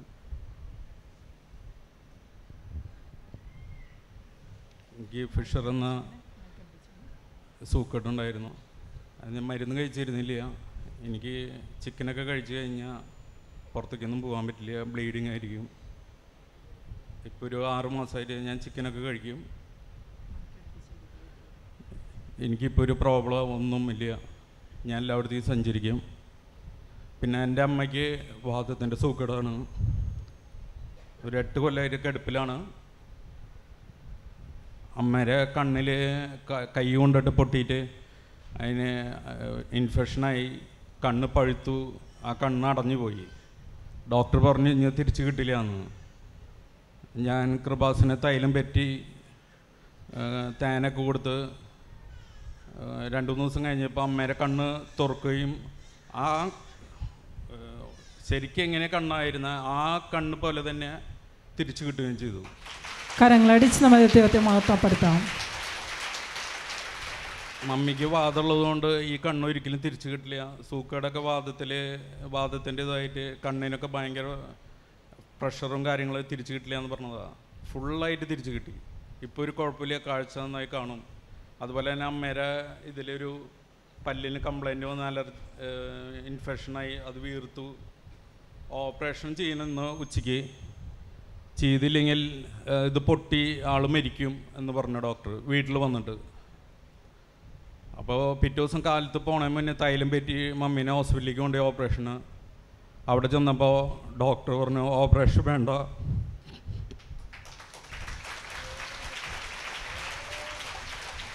അത് ഫുൾ ആ രണ്ട് പല്ലെടുത്ത് കളഞ്ഞാൽ മതി. ഫുള്ളായിട്ട് മാറിപ്പോയിന്റെ. എന്താണെന്ന് അറിഞ്ഞുകൂടത് പറഞ്ഞു. അതുപോലെ അപ്പന്റെ രണ്ട് കാലിന്റെയും കാലും അലർജി ആയിട്ട് പൊട്ടി ഒലിക്കുകയായിരുന്നു രണ്ട് കാലും. ചില പോലെ ഇങ്ങനെ ഒലിച്ച് നിലത്ത് മുഴുവനേ ആവും. ഒരു ദിവസം കാലത്ത് വൈകുന്നേരം ആയപ്പോൾ ഞാൻ ഉപ്പും തൈലും കൂടി ഡാഡിയുടെ കാലും പെറ്റി കൊടുത്തു. പെറ്റി കൊടുത്ത ശേഷം ഡാഡി പറഞ്ഞു ഇതെനിക്ക് സഹിക്കാൻ പറ്റണില്ല. ഈ ഇതെന്റെ മേത്ത് നിന്ന് എടുത്ത് കളയണം വെള്ളമൊഴിച്ച് കളയണം എന്ന് പറഞ്ഞു. അപ്പോൾ ഡാഡി കരച്ചിലും പിഴിച്ചിലായപ്പോൾ അത് ഞാൻ രണ്ട് ബക്കറ്റിൽ വെള്ളം എടുത്ത് കാലയിൽ കയറ്റി വെച്ചു.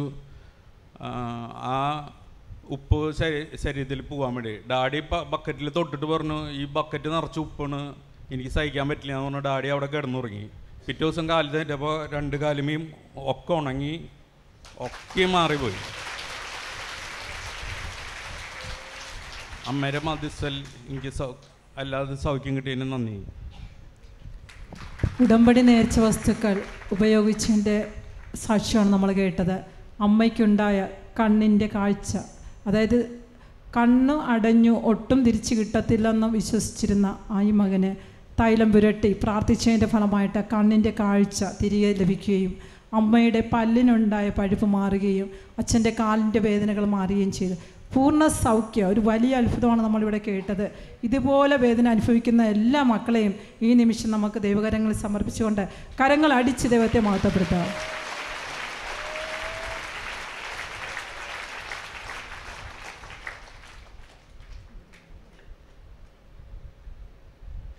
അമ്മയുടെ വീഡിയോയും മോൻ കൊണ്ടുവന്നിട്ടുണ്ട് ആ അമ്മയ്ക്കുണ്ട് അപ്പോഴത്തെ അവസ്ഥ ഇവിടെ കാണിക്കുന്നുണ്ട്.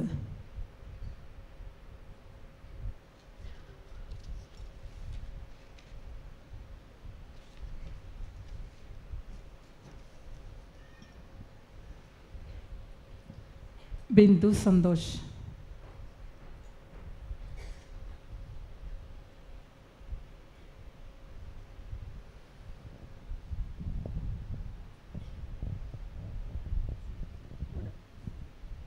എന്റെ പേര് ബിന്ദു.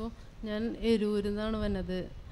എനിക്ക് ആദ്യമായിട്ട് ഇവിടെ വന്ന് നിന്ന് സാക്ഷ്യം പറയാൻ സാധിച്ചതിൽ ഞാൻ അമ്മയോടും ഈശോയോടും ഒരായിരം നന്ദി പറയുന്നു. എനിക്ക് നടുവേദന മൂലമാണ് ഞാൻ ഇവിടെ വന്നത്. നട്ടെല്ല് തേയ്മാനമുള്ള നടുവേദനയായിരുന്നു. കാലുവേദനയായിട്ടാണ് ആദ്യം തുടങ്ങിയത്. എനിക്ക് തയ്യലാണ് ജോലി. അപ്പോൾ കുറേ സമയം പോലും നിന്നിങ്ങനെ തുണികളൊക്കെ കട്ട് ചെയ്യുമ്പോൾ ഭയങ്കര വേദനയായിട്ടാണ് തുടങ്ങിയത്. പിന്നെ ഞാൻ ഇരുന്നാണ് തുണിയൊക്കെ കട്ട് ചെയ്യണ്ടായിരുന്നത്. പിന്നെ നടുവിലേക്ക് വേദന വന്നതിന് ശേഷം എനിക്ക് ഇരുന്ന് തയ്ക്കാനൊന്നും പറ്റില്ലായിരുന്നു. പത്ത് മിനിറ്റ് കൂടുതൽ ഇരിക്കാൻ പറ്റില്ല. ഭയങ്കര വേദനയായിരുന്നു. അതിനു മുമ്പ് എനിക്ക് ഈ പത്രം കിട്ടിയിട്ടുണ്ടായിരുന്നു. പക്ഷേ ഇതിലെ സാക്ഷ്യങ്ങളൊക്കെ വായിച്ചു കഴിഞ്ഞപ്പോൾ ഇത്രയ്ക്ക് അത്ഭുതങ്ങളൊക്കെ നടക്കുമോ എന്നൊരു ഭയങ്കര ഇതായിരുന്നു എനിക്ക്. പിന്നെ ഇവിടെ വരണമെന്ന് തോന്നി. ഇവിടെ വന്ന് ഉടമ്പടി എടുത്തു കഴിഞ്ഞ് ഒരു മാസം കഴിഞ്ഞപ്പോൾ എന്റെ നടുവേദന കുറഞ്ഞു. പിന്നെ കുറച്ച് കുറച്ച് ഞാൻ പോലും അറിയാതെയാണ് അത് കുറഞ്ഞു വന്നത്. പിന്നെ കുറച്ച് നാൾ കഴിഞ്ഞപ്പോൾ എനിക്ക് മുറ്റടിക്കാനൊക്കെ പറ്റണുണ്ട്. ആദ്യം അതൊന്നും പറ്റണ്ടായിരുന്നില്ല. ഇപ്പം ഞാൻ നല്ലപോലെ തയ്ക്കും എല്ലാ ജോലിയും ചെയ്യണു. ഉടമ്പടിയിൽ വെച്ച എല്ലാ കാര്യങ്ങളും എന്ന് പറഞ്ഞ പോലെ എനിക്ക് നടന്നു കിട്ടിയിട്ടുണ്ട്. എന്റെ മോൻ ഡിഗ്രി പഠിക്കുമ്പോൾ നല്ല മാർക്ക് കിട്ടി ജയിക്കാൻ വേണ്ടി ഞാൻ ഉടമ്പടിയിൽ എഴുതിയിട്ടുണ്ടായിരുന്നു. അവൻ ഉടമ്പടി കാശുരൂപം കൊണ്ടാണ് പരീക്ഷ എഴുതാൻ പോയത് അത് എല്ലാ പരീക്ഷയ്ക്കും നല്ല മാർക്ക്. അവന്റെ കോളേജിൽ ഫസ്റ്റ് ആയിട്ട് നാനൂറ്റി തൊണ്ണൂറ് മാർക്കോടുകൂടി അവൻ ജയിച്ചു. അത് അമ്മ തന്ന ഭയങ്കര അത്ഭുതമാണെന്ന് ഞാൻ വിശ്വസിക്കണം പിന്നെ പരീക്ഷ കഴിഞ്ഞ് അവനൊരു ചെറിയ ജോലിയും കിട്ടി. അതും ഉടമ്പടിയിൽ എഴുതിയിട്ടുണ്ടായിരുന്നു. അവൻ ജോലിക്കൊന്നും ഇപ്പോൾ പോവില്ല എന്ന് പറഞ്ഞ ആളാണ്. പെട്ടെന്ന് തന്നെ ഇന്റർവ്യൂവിന് വിളിച്ചപ്പോൾ പോയി അറ്റൻഡ് ചെയ്തു അവനെ എടുത്തു. ജോലി കിട്ടി. മൂന്ന് മാസം കഴിഞ്ഞതിന് മുമ്പ് അവനവിടെ ഏറ്റവും നല്ല പെർഫോമറായിട്ടുള്ള ന്യൂ കമ്മർ എന്ന് പറഞ്ഞുള്ള അവാർഡൊക്കെ കിട്ടി. അതും അമ്മയുടെ അനുഗ്രഹമായിട്ട് കരുതണു അത് കഴിഞ്ഞ് കുറച്ച് നാൾ മുമ്പ് എനിക്ക് ഒരു പിരീഡ് സംബന്ധമായിട്ട് ഭയങ്കര വേദന ഒരു സൈഡിലിരുന്ന് ഭയങ്കര വേദനയായിരുന്നു. പിരീഡ്സ് കഴിഞ്ഞാലും ഇടയ്ക്ക് ഇടയ്ക്ക് ഇങ്ങനെ ബ്ലഡിന്റേതായ ഒരു അംശങ്ങൾ ഇങ്ങനെ യൂറിൻ പോകുമ്പോൾ പോകുമായിരുന്നു. അപ്പോൾ ഡോക്ടർ കണ്ടപ്പോൾ ഡോക്ടർ പറഞ്ഞു സ്കാൻ ചെയ്ത് നോക്കണം ചിലപ്പോൾ ക്യാൻസറൊക്കെ ഉള്ളവർക്കാണ് ഇങ്ങനെയൊക്കെ വരണമെന്ന് പറഞ്ഞപ്പോൾ എനിക്ക് പോകാൻ പേടിയായി. ഞാൻ സ്കാനൊന്നും ചെയ്യാൻ പോയില്ല. വീട്ടിലിരുന്ന് അച്ഛന്റെ യൂട്യൂബിൽ ധ്യാനം കൂടി പ്രാർത്ഥിച്ചപ്പോൾ ഞാൻ അച്ഛൻ പറഞ്ഞായിരുന്നു യൂട്രസ് സംബന്ധമായുള്ള അസുഖമുള്ളവരൊക്കെ വയറിൽ കൈവച്ച് പ്രാർത്ഥിക്കാൻ പറഞ്ഞപ്പോൾ ഞാൻ അങ്ങനെ പ്രാർത്ഥിച്ചു. പിന്നെ ഈ കൃപാസനം പത്രം എന്റെ വയറ്റിൽ ഞാൻ കെട്ടി വെച്ചിട്ടുണ്ടായിരുന്നു. അത് കഴിഞ്ഞ് പിറ്റേ ദിവസം ഞാൻ രാവിലെ അച്ഛന്റെ പ്രസംഗമൊക്കെ കേട്ടിട്ടാണ് അടുക്കളയിലൊക്കെ ജോലി ചെയ്യണത്. അന്നേരം അച്ഛൻ ഇങ്ങനെ വയറിൽ കൈവച്ച് പ്രാർത്ഥിക്കാൻ പറഞ്ഞപ്പോൾ ഞാനും പ്രാർത്ഥിച്ചു. അത് കഴിഞ്ഞ് കുറച്ച് സമയം കഴിഞ്ഞപ്പോഴേ എനിക്ക് ഭയങ്കരമായിട്ട് വയറുവേദന വയറുവേദന സഹിക്കാൻ പറ്റണില്ല. വയറുവേദന വന്നപ്പോൾ ഞാൻ ദൈവം ആരുമില്ല വീട്ടിൽ. എനിക്ക് പേടിയായി. ഞാനിപ്പോൾ മരിച്ചു പോകുന്നുള്ള വേദനയായിരുന്നു. ഞാൻ ആരോടും പറയാതെ വേഗം വാതിലൊക്കെ കുറ്റിയിട്ട് കട്ടിലിൽ പോയി കമിഴ്ന്ന് കിടന്നു.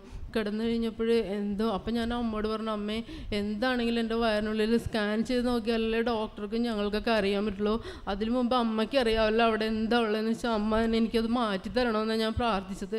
അത് കഴിഞ്ഞ് എനിക്ക് വയറ് ഭയങ്കര വേദന എടുത്ത് കുറച്ച് നേരം കഴിഞ്ഞപ്പോൾ എന്തോ ആശ്വാസം തോന്നി. അപ്പോൾ എന്തോ ഇങ്ങനെ താഴോട്ട് ഇറങ്ങി വരുന്നത് പോലെ തോന്നി. ഇപ്പം ഞാൻ വേഗം ബാത്റൂം പോയപ്പോൾ എന്തോ ഒരു വലിയ ബ്ലഡിന്റെ കട്ട പോലെയുള്ള എന്തോ ഇങ്ങനെ പുറത്തേക്ക് വന്നു. ഞാനും അത്ഭുതപ്പെട്ട് ഇത്രയും വലിയ ഒരു കട്ടയൊക്കെ ഇങ്ങനെയാണ് വന്നതെന്നുള്ള അതിനുശേഷം എനിക്ക് ഇതുവരെ ആ പ്രശ്നം ഉണ്ടായിട്ടില്ല.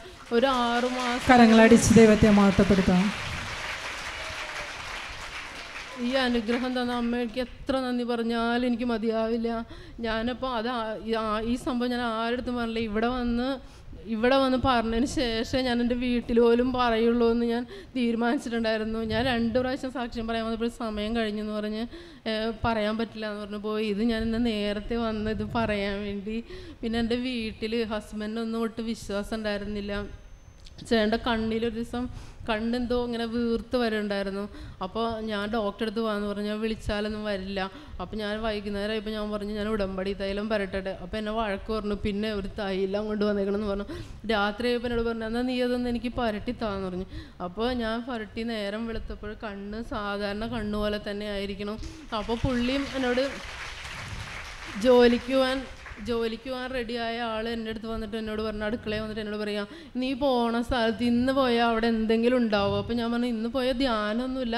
എന്നാലും നമുക്ക് പോയി പ്രാർത്ഥിച്ചിട്ട് വരാം. ഞാൻ ഇപ്പോൾ പോകുമ്പോഴേ എന്നെ വഴക്ക് പറയുന്ന ആൾ എന്റെ കൂടെ വന്നു. രണ്ട് പ്രാവശ്യം ഇവിടെ വന്നിട്ടുണ്ട് എന്റെ കൂടെ. അതെനിക്ക് ഭയങ്കര ഒരു അനുഗ്രഹമാണ്. പിന്നെ ഒരുപാട് ഒരുപാട് അനുഗ്രഹങ്ങൾ അമ്മ അമ്മയടുത്ത് ചോദിക്കണേലും മുമ്പായിട്ട് അമ്മ തന്നുകൊണ്ടിരിക്കണ.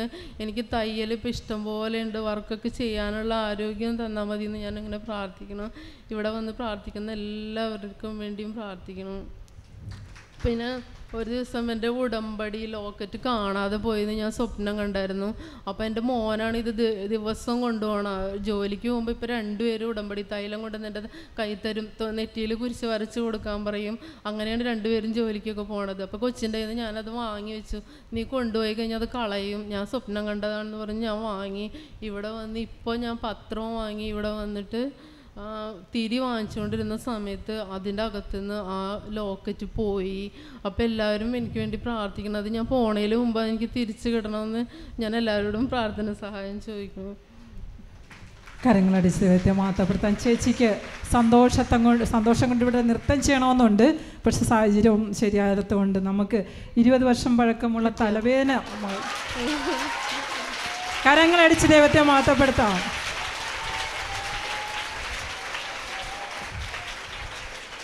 അമ്മ എന്റെ എന്റെ പൊന്നമ്മയ്ക്കും ഈശോയ്ക്കും ആയിരം നന്ദി. എനിക്ക് എത്ര നന്ദി പറഞ്ഞു. വിശ്വസിച്ചാൽ നീ ദൈവത്തിന്റെ മഹത്വം ദർശിക്കും. ചേച്ചിയുടെ തന്നെയാണ് ഇതിന് നമ്മൾ കുഴയില്ല. പൂർണമായിട്ടും ചേച്ചി അംഗീകരിച്ചു കിട്ടിയപ്പോൾ പോ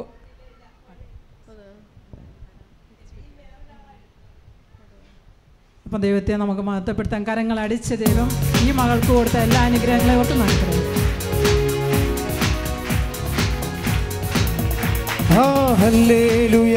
ജയം ഹല്ലേലൂയ. യേശു കർത്താവ് ജീവിക്കുന്നു. ആ ഹല്ലേലൂയ ജയം ഹല്ലേലൂയ. യേശു കർത്താവ് ജീവിക്കുന്നു.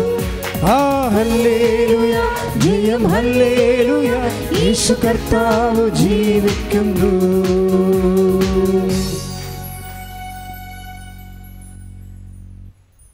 ദിവ്യ സോബി.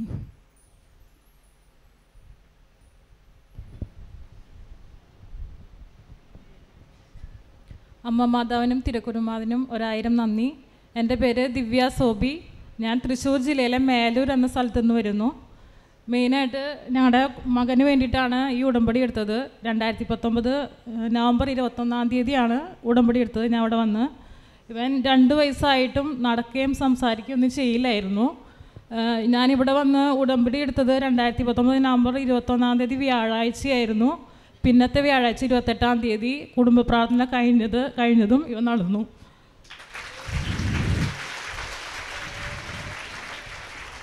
ഇപ്പോൾ രണ്ട് ദിവസമായിട്ട് സംസാരിക്കാനും തുടങ്ങിയിട്ടുണ്ട്.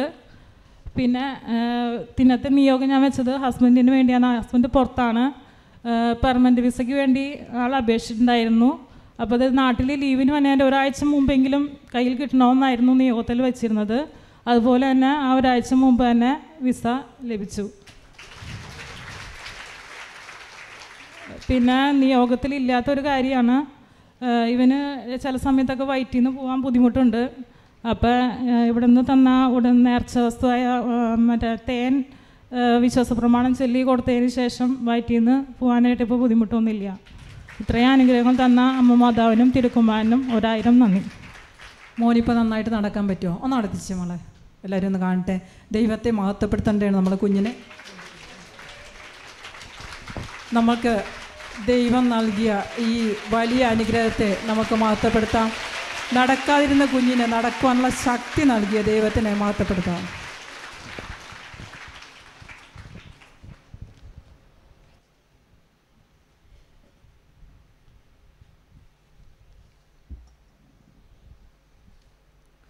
ഞാൻ അടുത്ത പേര് വിളിക്കുന്നവർ ദയവ് അമ്മയുടെ സന്നിധിയിൽ വന്ന് നിൽക്കേണ്ടതാണ്. Niya Stephen Aluva Lali Raju Arattupuzha Mariyamma Joseph Kottayam Reji Varghese Ernakulam. പേര് വിളിച്ചവർ എത്രയും വേഗം വരേണ്ടതാണ്. നിയ സ്റ്റീഫൻ.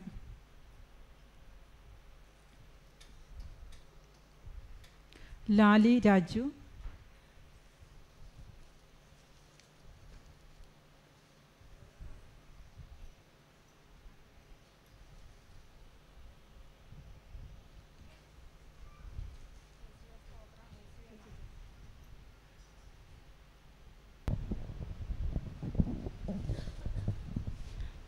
ഞാൻ ലാലി രാജു ആറാട്ടുപുഴയിൽ നിന്നും വരുന്നു. ഞാൻ രണ്ടായിരത്തി പത്തൊമ്പത് ഏപ്രിൽ ഇരുപത്തഞ്ചിനാണ് ഉടമ്പടി എടുക്കുന്നത്. എനിക്ക് ഭയങ്കരമായ പെടലി വേദനയായിരുന്നു. പെടലി വേദന മൂലം പല മരുന്നുകളും കഴിച്ചിട്ട് ഒരു കുറവുമില്ലായിരുന്നു. ഞാൻ പിന്നെ ഹോസ്പിറ്റലിൽ പോയപ്പോൾ ബെൽറ്റ് ഇടണമെന്ന് പറഞ്ഞ് ബെൽറ്റ് ഇട്ടുകൊണ്ടിരിക്കുന്ന സമയത്താണ് ഞാനിവിടെ വന്ന് ഉടമ്പടി എടുക്കുന്നത്. ഉടമ്പടി എടുത്തപ്പോൾ ആ നിയോഗം വെച്ചിരുന്നു. ഞാൻ വീട്ടിൽ പോയി വിശ്വാസപ്രമാണം ചൊല്ലി തൈലം പുരട്ടിയത് മൂലം എന്റെ പെടലി വേദന പൂർണമായും മാറി. പിന്നെ തൈറോയിഡ് മുഴയും ഉണ്ട് എനിക്ക്. അതിന് ഞാൻ ചെക്ക് ചെയ്ത് നോക്കിയിട്ടില്ല. എങ്കിലും അത് മാറ്റി തരും. അമ്മ മാതാവ് എനിക്ക് മാറ്റി തരും എന്നുള്ള നല്ല വിശ്വാസത്തോടു കൂടി ഞാൻ മുന്നോട്ട് പോകുന്നു. പിന്നെ എന്റെ മൂത്ത മകൻ ബിടെക് കഴിഞ്ഞ് വിശാഖപട്ടണത്തെ ഒരു കമ്പനിയിൽ വർക്ക് ചെയ്യും എക്സ്പീരിയൻസിന് വേണ്ടി വർക്ക് ചെയ്യുമായിരുന്നു അങ്ങനെ ഇരിക്കുന്ന സമയത്ത് അവന് വിദേശത്ത് പോകണമെന്ന് വലിയ ആഗ്രഹമായിരുന്നു. ഞാൻ ആ നിയോഗവും മാതാവിന്റെ മുന്നിൽ സമർപ്പിച്ചിരുന്നു. ഞാൻ സെപ്റ്റംബർ മാസത്തിൽ ഇവിടെ ആരാധന കൂടിക്കൊണ്ടിരുന്നപ്പോൾ അച്ഛൻ പറയുന്നു റാലിയിൽ അടുത്ത മാസം റാലിയുണ്ട് അതിനകത്ത് നിയോഗം വെച്ച് പ്രാർത്ഥിക്കാമെന്ന് പറഞ്ഞു. അപ്പം ഞാൻ ഇവിടെ വന്നപ്പോൾ എനിക്ക് ഭയങ്കര പേടിയായിരുന്നു. ഞാൻ ഇത്രയും ദൂരം എങ്ങനെയാണ് നടക്കുന്നത്? അമ്മ മാതാവേ എങ്ങനെ ഞാൻ ഇത്രയും ദൂരം നടക്കും എന്നുള്ള ഒരു ടെൻഷൻ ഉണ്ടായിരുന്നു.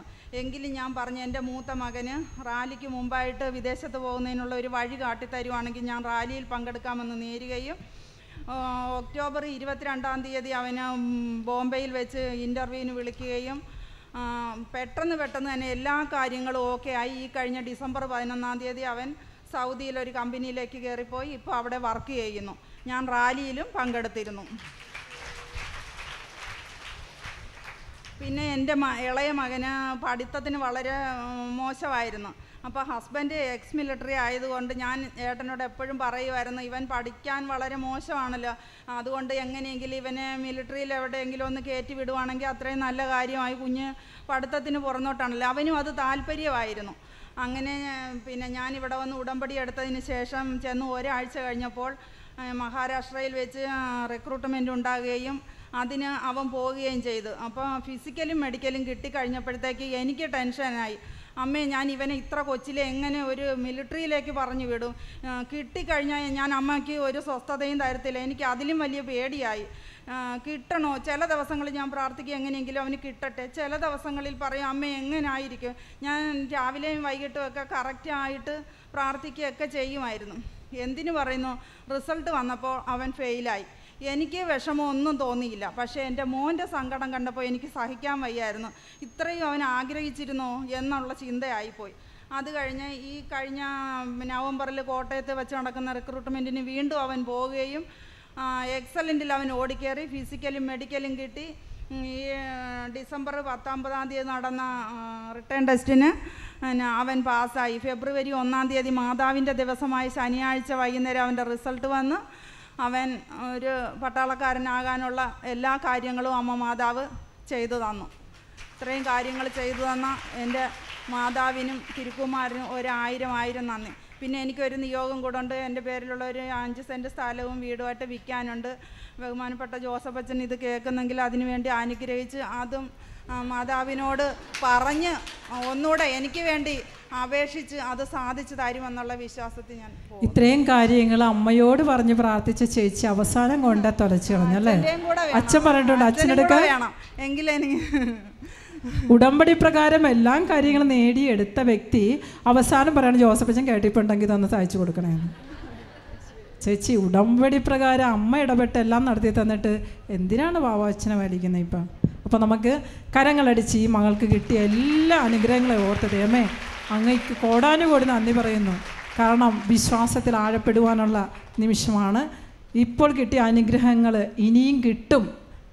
കാര്യങ്ങൾ നേടാൻ മാത്രമല്ല നമ്മളിവിടെ വരുന്നത് അല്ലേ? വിശ്വാസത്തിൽ ആഴപ്പെട്ട് ആ വിശ്വാസം വിശ്വാസം ഇല്ലാത്തവരിലേക്ക് എത്തിക്കുകയാണ് നമ്മുടെ ദൗത്യം. കരങ്ങളടിച്ച്. ഒന്നുകൂടി കരങ്ങളൊന്ന് ശക്തമായി അടിച്ചതെന്ന് കുറച്ചൊരുന്ന് ഉറങ്ങുന്നുണ്ട് ഇടയ്ക്കൊക്കെ. എനിക്ക് കാണാൻ ഉറങ്ങുന്നത്. അതുകൊണ്ടാ ഉറക്കത്തിൽ നിന്ന് എണീക്കുക.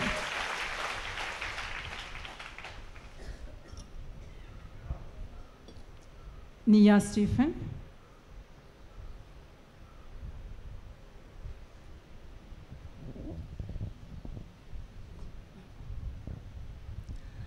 എന്റെ പേര് നിയ സ്റ്റീഫൻ. ഞാൻ ആലുവയിൽ നിന്ന് വരുന്നു. ഇതെന്റെ അമ്മച്ചി അതെന്റെ ഹസ്ബൻഡ്. അമ്മേ പരിശുദ്ധ അമ്മേ അമ്മ എനിക്കും എന്റെ കുടുംബത്തിനും തിരുക്കുമാരൻ വഴി നൽകിക്കൊണ്ടിരിക്കുന്ന എല്ലാ അനുഗ്രഹങ്ങൾക്കും ഞാനും എന്റെ കുടുംബവും നന്ദി പറയും. പറയുന്നു. ഞാൻ ഇവിടെ രണ്ടാമത്തെ പ്രാവശ്യമാണ് സാക്ഷ്യം പറയാൻ നിൽക്കുന്നത്. ആദ്യത്തെ പ്രാവശ്യം എനിക്ക് ഒ ഇ ടി എക്സാം പാസ്സായതിന് നന്ദി പറയാനാണ് ഞാൻ വന്നത്. അതിനുശേഷം വീണ്ടുള്ള വീണ്ടുമുള്ള തുടർന്നുള്ള പ്രോസസ്സിങ്ങിന് വേണ്ടിയിട്ട് ഞങ്ങൾ അയർലൻഡിലാണ് ഒരു ഓപ്ഷൻ കൊടുത്തത്. കൊടുത്ത് അതിന്റെ പ്രോസസ്സിങ് സ്റ്റാർട്ട് ചെയ്തപ്പോൾ തൊട്ട് കുറേ തടസ്സങ്ങളായിരുന്നു. ഏകദേശം ഒന്നര രണ്ടാഴ്ച കൊണ്ട് കിട്ടിയിരുന്ന പേപ്പറുകൾ എനിക്ക് കിട്ടിയപ്പോൾ അത് മൂന്ന് മാസം എടുത്തു. പക്ഷേ എല്ലാം മാതാവിനൊരു പദ്ധതി ഉണ്ടാവുമെന്ന് പ്രതീക്ഷിച്ച് തന്നെ മുന്നോട്ട് നീങ്ങി. അതിനുശേഷം അതിന് വേണ്ടിയിട്ടുള്ള പേപ്പറുകളെല്ലാം ഞങ്ങൾ തിരിച്ചയച്ചു. യാതൊരുവിധ കുഴപ്പങ്ങളും കൂടാതെ എനിക്ക് ഡി എൽ അവിടെ നിന്ന് കിട്ടി. തുടർന്ന് ഇന്നിപ്പോൾ ഒരു കുട്ടി സാക്ഷ്യപ്പെടുത്തിയപ്പോഴാണ് ഞാൻ അറിഞ്ഞത്. ഡിസംബർ വരെ അയർലൻഡിലെ ഗവൺമെന്റിന്റെ റിക്രൂട്ട്മെന്റ് ഫ്രീസ് ചെയ്തേക്കുമായിരുന്നു എന്ന് പക്ഷേ ഇതൊരു അത്ഭുതമായി ഞാൻ പറയുന്നു. എനിക്ക് അയർലൻഡിലെ എച്ച് എസ് സി അതായത് അവിടുത്തെ ഗവൺമെന്റിലേക്കുള്ള റിക്രൂട്ട്മെന്റിൽ സെലക്ട് ആയത് സെപ്റ്റംബർ ഇരുപത്തി ഏഴാം തീയതിയാണ്. എനിക്ക് ഇപ്പോൾ ആ കുട്ടി പറഞ്ഞപ്പോഴാണ് എനിക്കത് മനസ്സിലായത്. എനിക്കത് അറിയത്തില്ലായിരുന്നു. ഞാൻ ഇന്റർവ്യൂവിന് കൊടുത്തിരുന്നു. കൊടുത്തിട്ട് കുറേ പ്രൈവറ്റ് ഹോസ്പിറ്റലുകളിൽ നിന്ന് വിളിച്ചെങ്കിലും അവരെ വിളിക്കുക വിളിക്കാമെന്ന് പറഞ്ഞിട്ട് റിപ്ലൈ ഒന്നും അങ്ങനെ കിട്ടിയിരുന്നില്ല. അത് അപ്പോഴാണ് എനിക്ക് അവിടുത്തെ ഒരു ഏജൻസി ഗവൺമെന്റിൽ നാട്ടിലൊരു ഇന്റർവ്യൂ വരുന്നുണ്ടെന്നും അവിടേക്ക് സെലക്ട് ഷോർട്ട് ലിസ്റ്റഡ് ആയിട്ടുണ്ടെന്നും പറഞ്ഞത്. ഇവിടെ ക്രൗൺ പാസ് ക്രൗൺ പ്ലാസയിൽ വെച്ചിട്ടായിരുന്നു ഇന്റർവ്യൂ ഞാൻ അവിടെ പോയി ഇന്റർവ്യൂ അറ്റൻഡ് ചെയ്തു. എനിക്ക് ഇന്റർവ്യൂ കിട്ടി. അത് കഴിഞ്ഞിട്ടും വളരെയധികം തടസ്സങ്ങളായിരുന്നു. പേപ്പർ വർക്കുകളെല്ലാം തടസ്സങ്ങളായിരുന്നു. മെഡിക്കൽ വന്നു കഴിഞ്ഞപ്പോൾ റുബല്ല എന്ന് പറഞ്ഞിട്ടൊരു ടെസ്റ്റ് ഉണ്ടായിരുന്നു. എന്റെ അത് വാല്യൂ നോക്കിയപ്പോൾ ഡോക്ടേഴ്സൊക്കെ പറഞ്ഞു ഓക്കെയാണ് പക്ഷേ റെഫറൻസ് റേഞ്ച് വെച്ച് നോക്കുമ്പോൾ അത് പോസിറ്റീവായിട്ടാണ് കാണിക്കുന്നത്. എനിക്ക് വളരെ സങ്കടമായി. കാരണം പ്രഗ്നൻസിക്കൊക്കെ വളരെ ബുദ്ധിമുട്ടുള്ളൊരു സംഭവമാണ് ഈ റുബെല്ല പോസിറ്റീവ് ആയിട്ടുണ്ടെങ്കിൽ. അപ്പോൾ ഞാൻ ഡോക്ടറുടെ അടുത്ത് പോയപ്പോഴും എല്ലാം ഞങ്ങൾ പ്രാർത്ഥിച്ചുകൊണ്ടിരുന്നു. അമ്മിച്ചി യൂട്യൂബിൽ ഉടമ്പടി ധ്യാനം കണ്ടുകൊണ്ട് പ്രാർത്ഥിക്കുമായിരുന്നു സമയം വെച്ച് പ്രാർത്ഥിച്ചു. ഞങ്ങൾ തിരിച്ചു വരുന്ന അതായത് ആ ഒരു മണിക്കൂറിനുള്ളിൽ ഇതിനൊരു റിസൾട്ടിന്റെ കാര്യത്തിലൊരു ഇതാവുകയാണെങ്കിൽ ഇവിടെ വന്ന് സാക്ഷ്യപ്പെടുത്താമെന്ന് നേർന്നിട്ടുണ്ടായിരുന്നു നേർന്നിട്ടുണ്ടായിരുന്നു. ഞാൻ ഹോസ്പിറ്റലിൽ കാണിച്ചപ്പോൾ ഡോക്ടർ പറഞ്ഞു ഇതിലെന്തോ മിസ്റ്റേക്ക് പറ്റിയിട്ടുണ്ട്. നിങ്ങൾ ലാബിൽ വിളിച്ച് ചോദിക്കാൻ പറഞ്ഞു. ഞാൻ ലാബിൽ വിളിച്ച് ചോദിച്ചു ഞാൻ വീട്ടിൽ വന്ന ഒരു രണ്ട് സെക്കൻഡ് സമയം എടുത്തില്ല അവർ വിളിച്ചിട്ട് പറഞ്ഞു ഞങ്ങളുടെ മിസ്റ്റേക്കാണ് അവർ റെഫറൻസ് റേഞ്ച് ഇട്ടത് മാറിപ്പോയതാണെന്ന് പറഞ്ഞു. അതുപോലെ തന്നെ എനിക്കവിടെ ഗ്രാഡ വെയിറ്റിംഗ് എന്ന് പറഞ്ഞിട്ടൊരു ഫോം എത്തേണ്ടതുണ്ടായിരുന്നു. എത്രയും പെട്ടെന്ന് അയക്കാൻ പറഞ്ഞതാണ്. ഞാൻ ഇവിടെ നിന്ന് വളരെ നേരത്തെ തന്നെ അത് അയച്ചു. പക്ഷെ ഒരു ഏഴ് ദിവസം കഴിഞ്ഞിട്ടും പേപ്പർ അവിടെ കിട്ടിയിട്ടില്ല എന്ന് പറഞ്ഞിട്ട് എനിക്ക് മെയിൽ വന്നു. അപ്പോൾ അവർ പറഞ്ഞു we are happy to having an another candidate എന്നാണ് എന്റെ അടുത്ത് പറഞ്ഞത്. അവർ ഇത് കിട്ടിയില്ലെങ്കിൽ അവർക്ക് വേറൊരു കാൻഡിഡേറ്റിനെ എടുക്കാനായിട്ട് അവർ ഹാപ്പിയാണെന്ന് പറഞ്ഞു.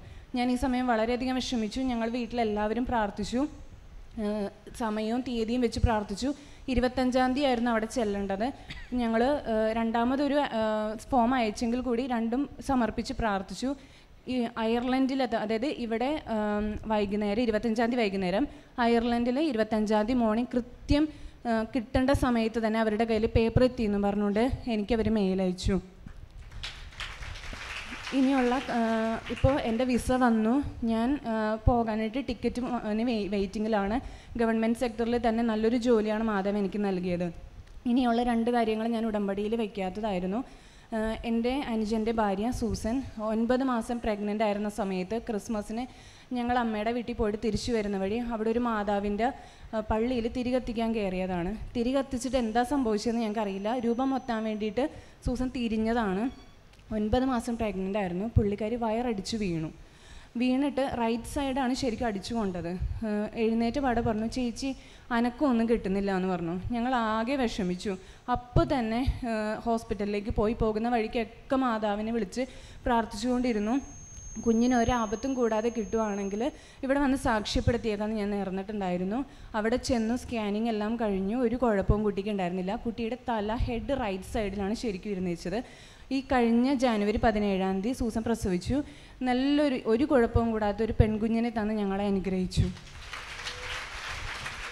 അതുപോലെ തന്നെ ഞങ്ങളുടെ വീടിന്റെ അടുത്ത് എന്റെ വീടിന്റെ അടുത്തൊരു വീട്ടിൽ അവർ വീട് പണിയുമായിരുന്നു അപ്പോൾ എന്തോ സ്ഥലത്തിന്റെ കുറേ കാര്യങ്ങളൊക്കെ പറഞ്ഞ് സ്റ്റേ വന്നു അവർക്ക്. വീട് പണി ഒരുവിധം പൂർത്തിയാകാൻ നിൽക്കുന്ന സമയത്താണ് സ്റ്റേ വന്നത്. ആ ചേട്ടനാണെങ്കിൽ ഗൾഫിലാണ് ജോലി ചെയ്യുന്നത്. അവർക്ക് രണ്ട് പെൺമക്കളാണുള്ളത്. അപ്പോൾ ഈ സമയത്ത് ആ, ചേച്ചി പറഞ്ഞ പോലെ ഓരോ കാര്യത്തിന് വേണ്ടി ഓടി ഓടി നടക്കുമായിരുന്നു അപ്പോൾ എന്റെ മനസ്സിൽ തോന്നി മാതാവിനോട് പ്രാർത്ഥിച്ച് നടക്കാത്തതായിട്ട് ഒന്നുമില്ല. ഞാനപ്പോൾ അതും ഒരു നിയോഗം വെച്ച് പ്രാർത്ഥിച്ചു. അവരുടെ സ്റ്റേ ഒക്കെ മാറി പെരപണി പൂർത്തിയാകുവാണെങ്കിൽ ഇവിടെ വന്ന് സാക്ഷ്യപ്പെടുത്താമെന്ന് നേർന്നു. ഇന്നലെ അവരുടെ പെരതാമസമായിരുന്നു. എല്ലാ തടസ്സങ്ങളും മാറി അവർക്ക് നല്ലൊരു ഭവനം പൂർത്തിയാക്കാനായിട്ടും സാധിച്ചു. ഇത്രയും വലിയ അനുഗ്രഹം നേടിത്തന്ന അമ്മയ്ക്കും തിരുക്കുമാരനും കോടാനുകോടി നന്ദി അർപ്പിക്കുന്നു. വിശ്വാസത്തോടുള്ള പ്രാർത്ഥന ദൈവം നിരസ്കരിക്കുകയില്ല ഒരിക്കലും. കാരണം വിശ്വാസത്തോടെ മോൾ ഡേറ്റ് ഇട്ട് പ്രാർത്ഥിച്ച് ഇവിടെ ഉടമ്പടി എടുത്തിട്ട് നിയോഗങ്ങൾ സമർപ്പിച്ചിട്ട് നമ്മൾ പ്രാർത്ഥിക്കാതെ ഉഴപ്പി നടന്നു കഴിഞ്ഞാൽ ഒന്നും നടക്കത്തില്ല. എന്നിട്ട് പുതുക്കലിന്റെ സമയമാകുമ്പോഴത്തേക്കും ഓഫീസിലും മറ്റു പ്രേക്ഷിതരോടൊക്കെ കയർത്തി സംസാരിക്കുന്നവർക്ക് വേണ്ടിയിട്ടുള്ള ഒരു തെളിവ് കൂടിയാണ്. കാരണം നമ്മൾ ഉടമ്പടി എടുത്തിരിക്കുന്ന അമ്മയുടെ മധ്യസ്ഥതയിൽ തിരുക്കുമാരനോടാണ്. അല്ലാതെ ഇവിടെയുള്ള ആരോടും അല്ല നമ്മൾ ഉടമ്പടി എടുത്തിരിക്കണം. ചെയ്യേണ്ട കാര്യങ്ങൾ കൃത്യതയോടുകൂടി ദൈവത്തോട് ചേർന്ന് നിന്ന് ചെയ്യുമ്പോൾ അപ്പോൾ നമുക്ക് കിട്ടുന്ന അനുഭവ സാക്ഷ്യങ്ങളാണ് നമ്മൾ ഈ പൾത്താരെ കേട്ടുകൊണ്ടിരിക്കുന്നത്. ദൈവം ചെയ്ത് ഉടമ്പടി എടുത്തിട്ടുള്ള എല്ലാവരും വിശ്വസ്തരോടെ മുന്നോട്ട് പോകാനുള്ള കൃപയ്ക്ക് വേണ്ടി നമുക്ക് ഈ നിമിഷം പ്രാർത്ഥിക്കുകയും ഇപ്പോൾ നമ്മൾ കേട്ട സാക്ഷ്യത്തിന് ദൈവത്തിന് നല്ലൊരു കൈയടി കൊടുത്ത് മാത്തപ്പെടുത്തുകയും ചെയ്യാം.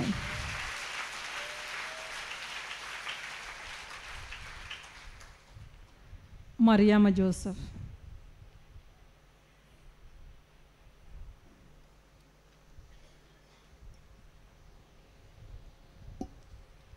മറിയാമ ജോസഫും റെജി വർഗീസും എത്രയും വേഗം വരേണ്ടതാണ് റെജി ജോസ് റെജി വർഗീസ്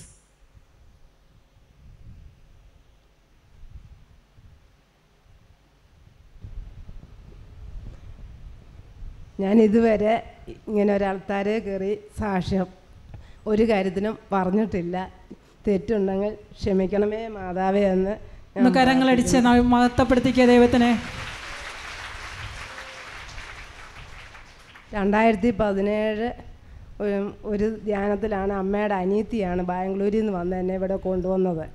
ഞാൻ അവിടുന്ന് വഴിക്കൂന്ന് കാലെടുത്ത് വെച്ചപ്പോഴേ പറഞ്ഞു മാതാവേ എനിക്കൊരു വീട് തരണം.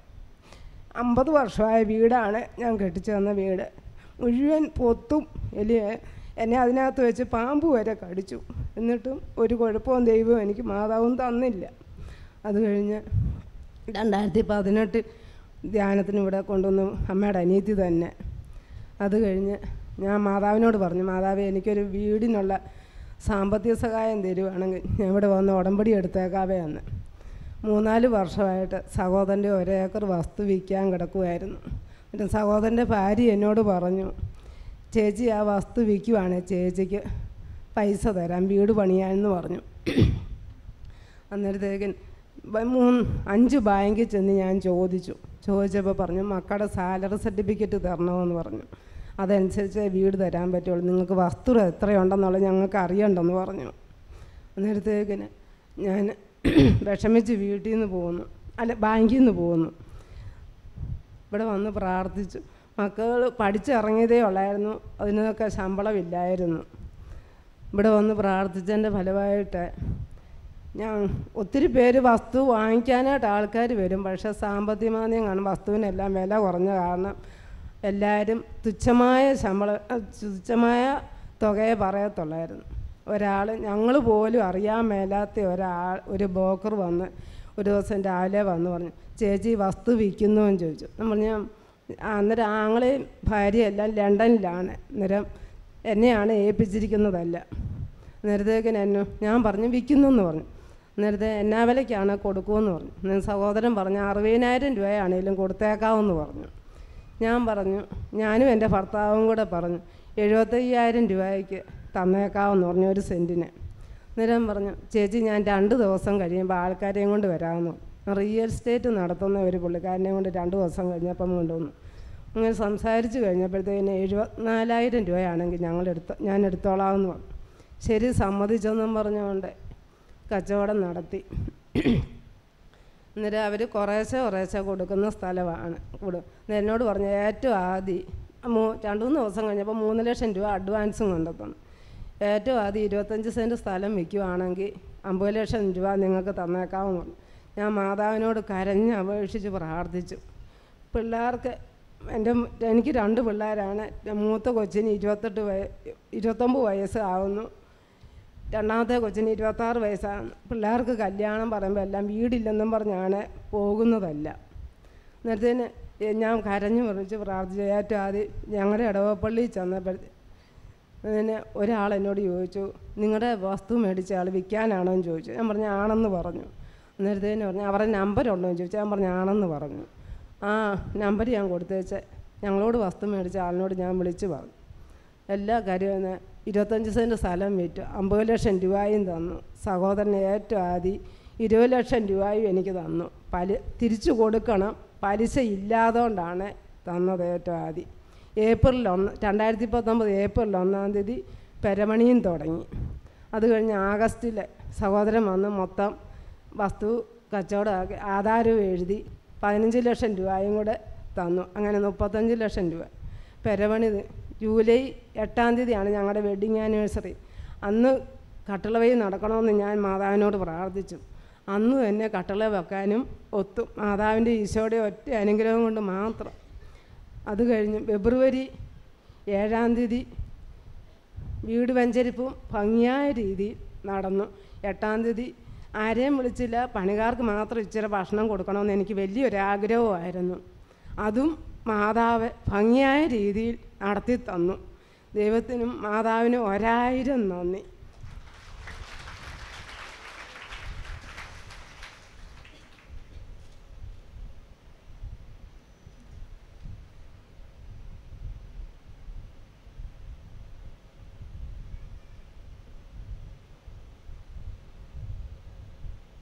എന്റെ ഭവനമാണ് ഭവനമാണ് ഇത്. വന്നേ അച്ഛൻ പറ വെഞ്ചരിക്കാൻ വന്നേ എന്റെ അടവുകാരി അച്ഛൻ പറഞ്ഞു ഞാൻ ഇതുവരെ ഒത്തിരി വീടുകൾ വെഞ്ചരിക്കാൻ പോയിട്ടുണ്ട്. ഇതൊരു പ്രത്യേക വെറൈറ്റിയായ ഒരു വീടാണ്. എല്ലാത്തിനും ദൈവത്തിനും നന്ദി എന്ന് പറഞ്ഞു.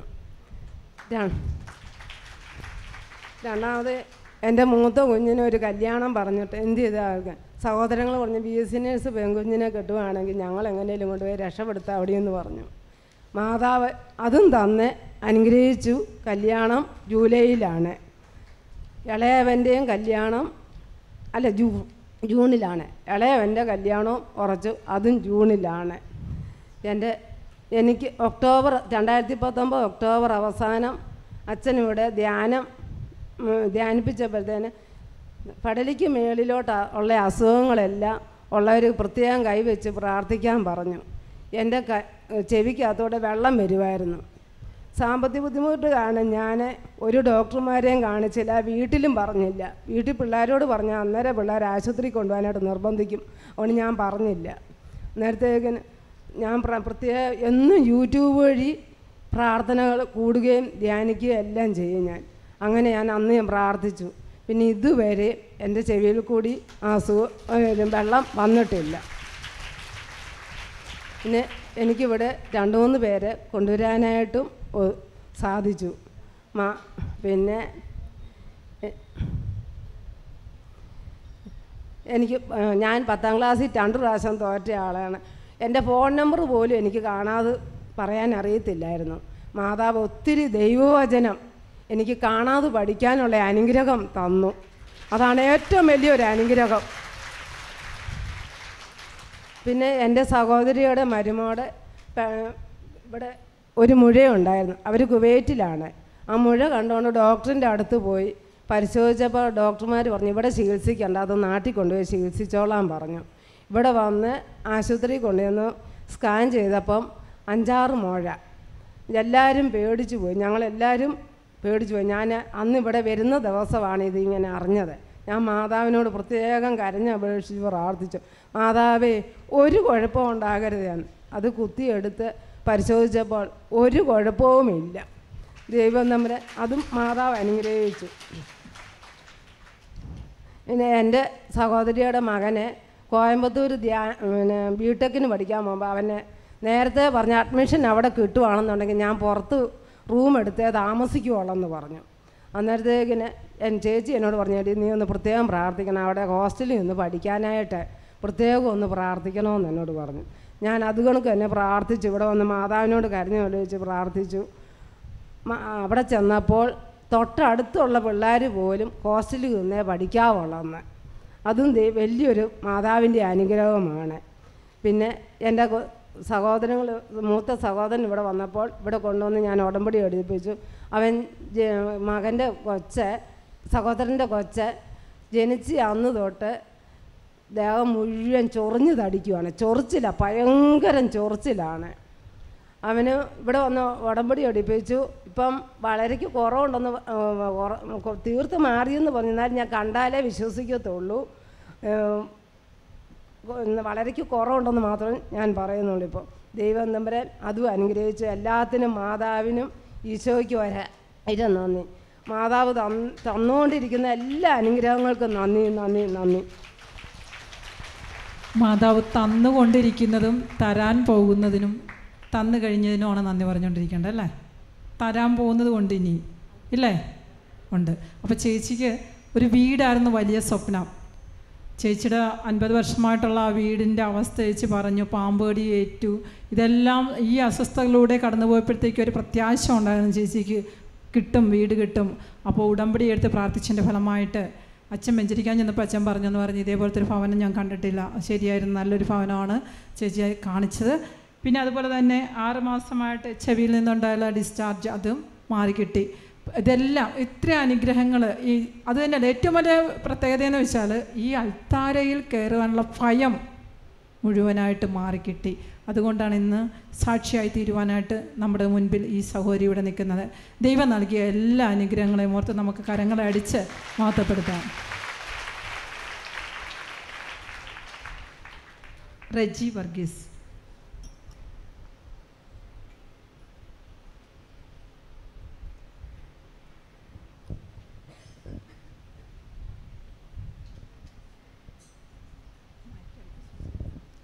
യേശുവെ സ്വസ്ത്രം യേശുവെ നന്ദി. രണ്ടായിരത്തി ഞാൻ കിഴക്കം കിഴക്കമ്പലം സെന്റ് ആന്റണീസ് ഫൊറോനെ പള്ളി ഇടവകയെന്നാണ് വരുന്നത്. എനിക്ക്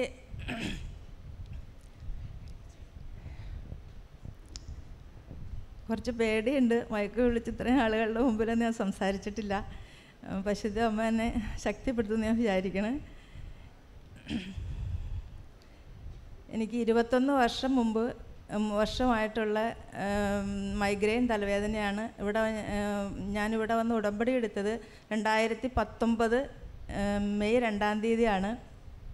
അന്ന് മുതൽ ഞാൻ ഉടമ്പടി തൈലം ഉപ്പും തേനും ഒക്കെ ഉപയോഗിച്ച് പ്രാർത്ഥിക്കുമായിരുന്നു ഉടമ്പടി തല ഉപയോഗിച്ച് പ്രാർത്ഥിച്ചതിന്റെ ഫലമായിട്ടാണ് എന്റെ ഇരുപത്തൊന്ന് വർഷം പഴക്കമുള്ള മൈഗ്രെയിൻ തലവേദന മാറിയത്. അതുകൂടാതെ ഞാൻ ഇരുപത്തഞ്ച് വർഷമായിട്ട് ഷുഗർ രോഗിയാണ്. അതിന്റെ ഫലമായിട്ട് എന്റെ രണ്ട് കൈയുടെയും ഷോൾഡറിന്റെ ഫ്ലൂയിഡ് പറ്റിയിട്ട് ഫിസിയോതെറാപ്പി പല പ്രാവശ്യം ചെയ്തു എന്നിട്ട് സുഖമായില്ല. ഞാൻ ഉടമ്പടി തൈലം ഉപയോഗിച്ച് പ്രാർത്ഥിച്ചതിന്റെ ഫലമായിട്ട് എന്റെ രണ്ട് കൈയും നന്നായിട്ട് കരങ്ങളടിച്ച് ദൈവത്തെ മാതപ്പെടുത്താം അത് എന്റെ കരങ്ങൾ രണ്ട് കൈകളും കൈകളും ഇപ്പോൾ സുഖമായിട്ട് പൊക്കാൻ സാധിക്കുന്നു. എന്നെ കൈ നന്നായി പൊക്കി ഞാൻ പ്രാർത്ഥനയൊക്കെ ചെല്ലാറുണ്ട്. അതുപോലെ തന്നെ എന്റെ കാലിന്റെ ലിഗ്മെന്റ് പൊട്ടിയിരുന്നു ഒരു മൂന്ന് വർഷം മുമ്പ്. അപ്പം ഞാൻ ഓപ്പറേഷൻ ചെയ്തു. ഓപ്പറേഷൻ ചെയ്ത് കഴിഞ്ഞപ്പോൾ എനിക്ക് മുട്ടുകുത്താനോ പള്ളിയിലൊന്നും മുട്ടുകുത്താൻ പറ്റില്ല. അതുപോലെ നന്നായിട്ട് നടക്കാൻ പറ്റില്ല. ഞൊണ്ടിയാണ് നടന്നുകൊണ്ടിരുന്നത്.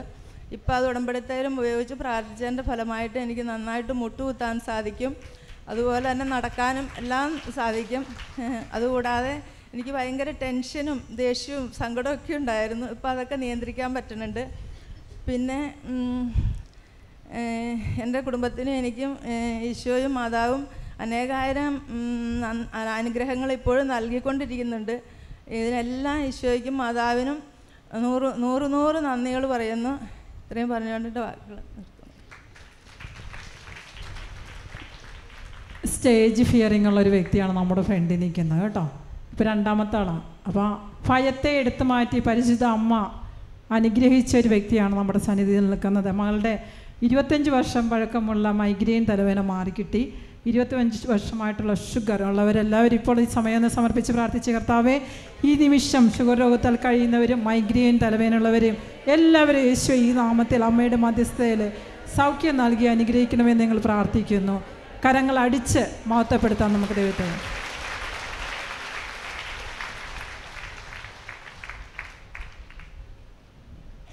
നമുക്ക് അല്പസമയം എല്ലാവരും ഒന്ന് എണീറ്റ് നിന്നേ. എല്ലാവരും ഇരുന്ന് ടയേർഡാണ് ഉറക്കമൊക്കെ ഉണ്ട്. ക്ഷീണമൊക്കെ മാറ്റി നല്ല എനർജിയോടുകൂടി വീണ്ടും സാക്ഷ്യം കേൾക്കുവാനായിട്ട് നമുക്ക് എണീറ്റ് നിൽക്കാം.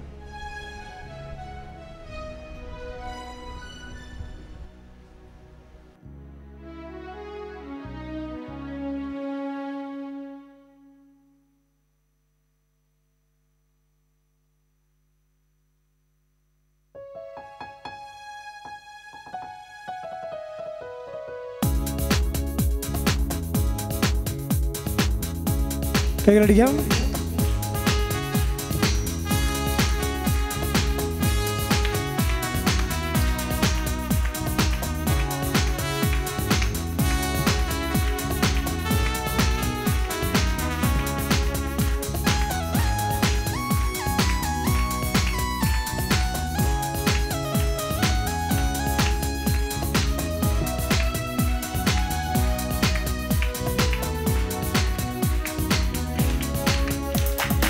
പുകഴ്ത്തിയിടാം യേശുവിനെ ക്രൂശിലെ ജയാളിയെ സ്തുതിച്ചിടാം യേശുവിനെ സ്തുതിക്കവൻ യോഗ്യനല്ലോ.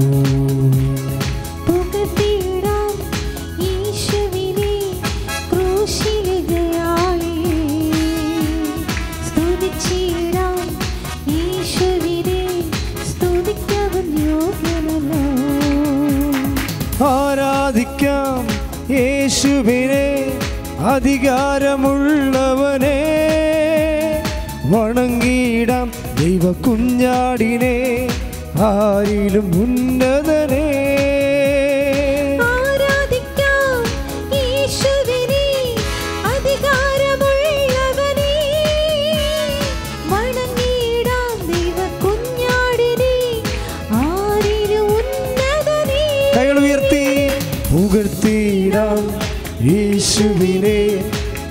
ക്രൂശിലെ ജയാളിയെ സ്തുതിച്ചിടാം യേശുവിനെ.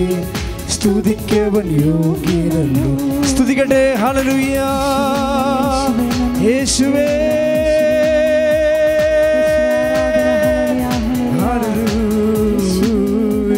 ശക്തിയോട് വിളിക്കട്ടെ യേശുവേ.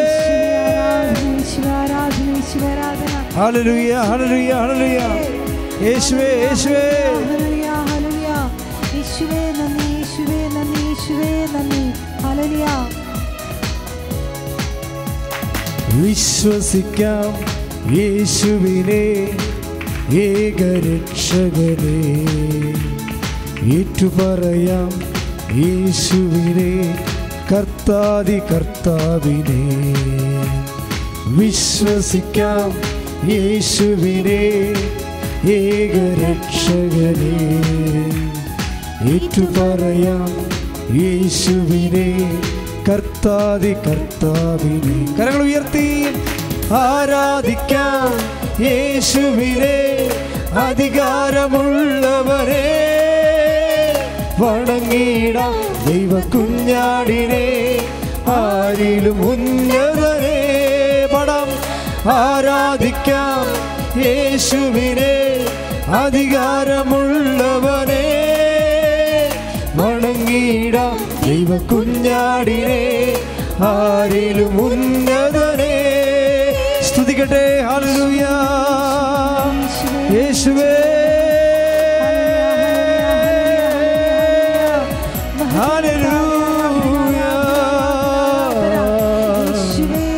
യേശുവേ.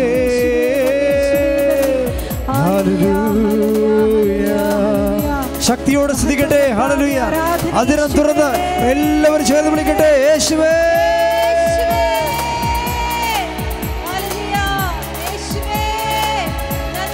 യേശുവേ. യേശുവേ.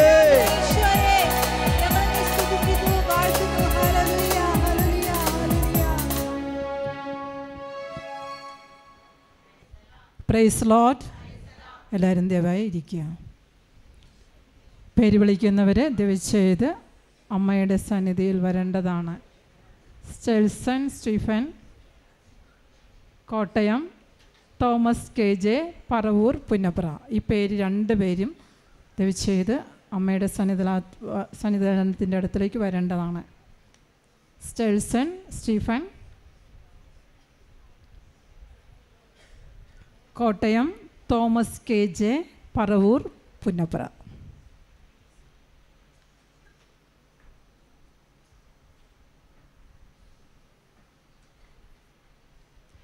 ദയവായ സാക്ഷ്യത്തിന് പേര് കൊടുത്തിട്ടുള്ളവർ ദയവ് ചെയ്ത് പേര് വിളിക്കുമ്പോൾ വിളിക്കുന്ന സ്ഥലത്തുണ്ടായിരിക്കേണ്ടതാണ്. പ്രത്യേകം ശ്രദ്ധിക്കുക സമയത്തിന്റെ വില ഏറിയ സമയമാണ് നമ്മൾ ദൈവം ജീവിച്ചത് അത് പാഴാക്കി കളയരുത്.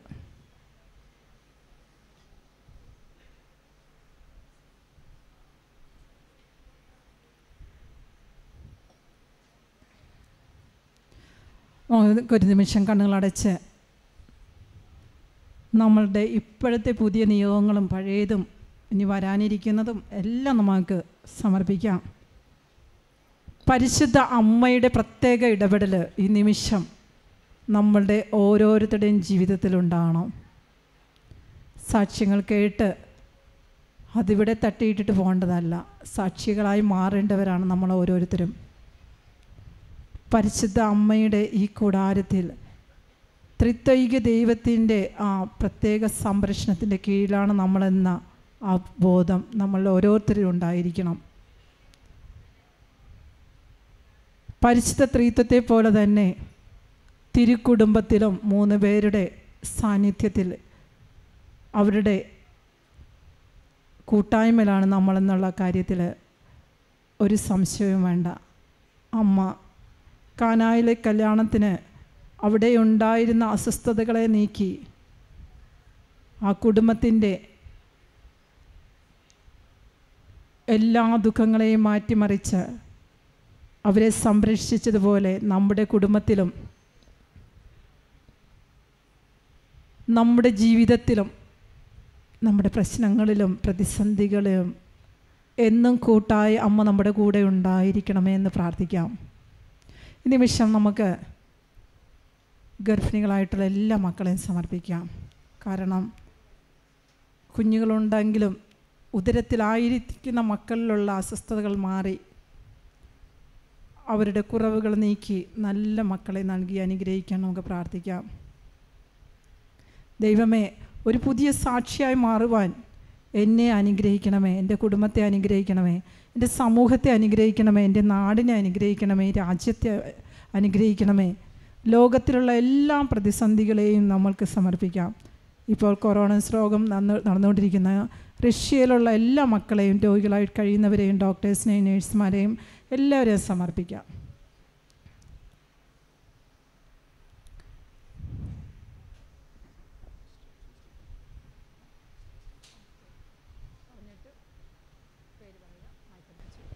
എന്റെ പേര് സ്റ്റെൽസൺ സ്റ്റീഫൻ.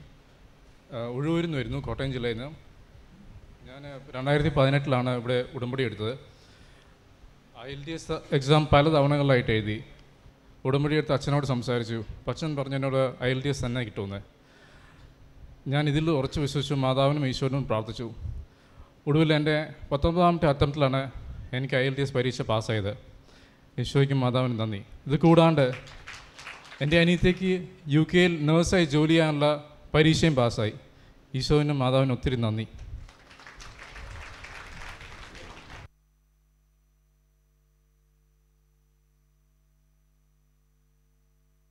ദൈവം കൊടുത്ത ആ അനുഗ്രഹത്തെ ഓർത്ത് നമുക്ക് കരങ്ങളടിച്ച് മഹത്വപ്പെടുത്താം. ഇതുപോലെ എക്സാം എഴുതുന്ന എല്ലാ മക്കളെയും ഈ നിമിഷം നമുക്ക് ദൈവകരങ്ങളിൽ സമർപ്പിക്കാം.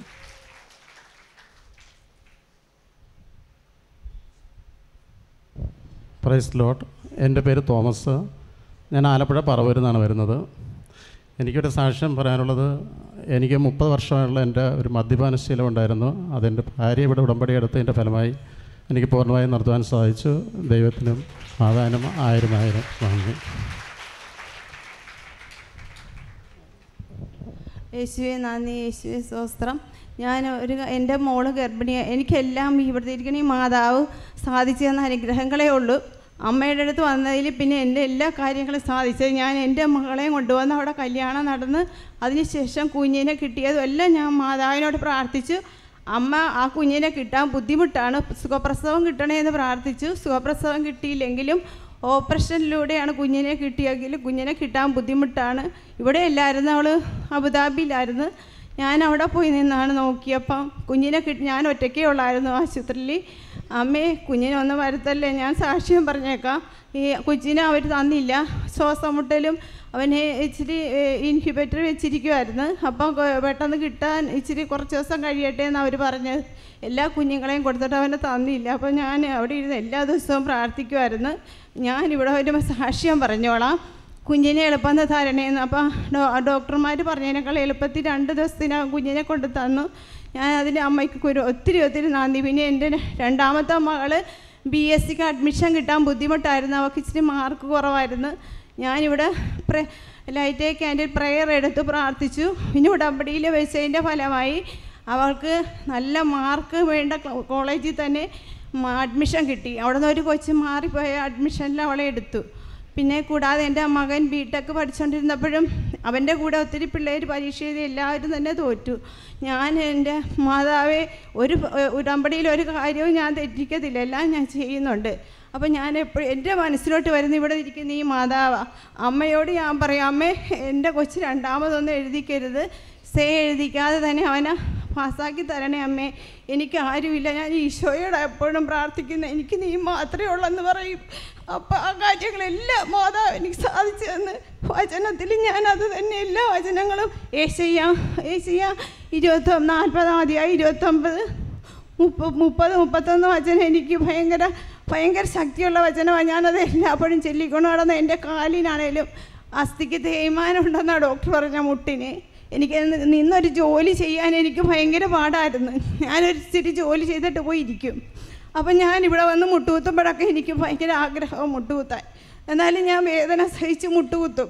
അപ്പോഴൊക്കെ ഞാൻ ഈ അമ്മേനോട് ഇരുന്ന് പ്രാർത്ഥിക്കും ഉടമ്പടി തൈലം ഉപ്പൊക്കെ ഈ എന്റെ ഭർത്താവിന് ഈ മദ്യപാനത്ത് ഞാൻ ഉപ്പൊക്കെ കൊടുക്കുമായിരുന്നു. എന്റെ മകൾ എന്നോട് ചോദിക്കും അമ്മ എന്തിനാ പള്ളിയിൽ പോന്നേ? അപ്പ കുടിയൊന്നും നിർത്തുന്നില്ലല്ലോ എന്ന് ഇവളെ എന്നോട് പറയും. അപ്പോഴൊക്കെ ഞാൻ പറയും ഞാൻ പള്ളിയിൽ പോവും. അപ്പ എനിക്ക് കൂടി നിർത്തിയില്ലെങ്കിലും ഞാൻ ഈശോനെ ഉപേക്ഷിക്കത്തില്ല. ഈശോ എനിക്ക് മതി. എന്നും പറഞ്ഞാൽ ഞാൻ വീട്ടിൽ നിന്ന് ഇറങ്ങിപ്പോരുന്നത് ഒത്തിരി ഉപവാസമൊക്കെ എടുത്തിട്ട് എന്റെ വയറിൽ. എപ്പോഴും ഗ്യാസും വേദനയൊക്കെയാണ് ഇവിടുത്തെ തേനൊക്കെ കഴിച്ചും ഉപ്പ് ഒക്കെ കഴിച്ചാൽ എനിക്ക് ആശ്വാസം കിട്ടി ഞാൻ ജീവിച്ചു പോകുന്നത്. അതിനെല്ലാം എനിക്ക് അമ്മ തന്ന അനുഗ്രഹത്തെ എന്റെ കാലിനിപ്പോൾ പരിശോധിച്ചപ്പോൾ ഡോക്ടർ പറഞ്ഞ് അസ്ഥിക്കൊന്നും ഒരു തേയ്മാനവും ഇല്ലല്ലോ.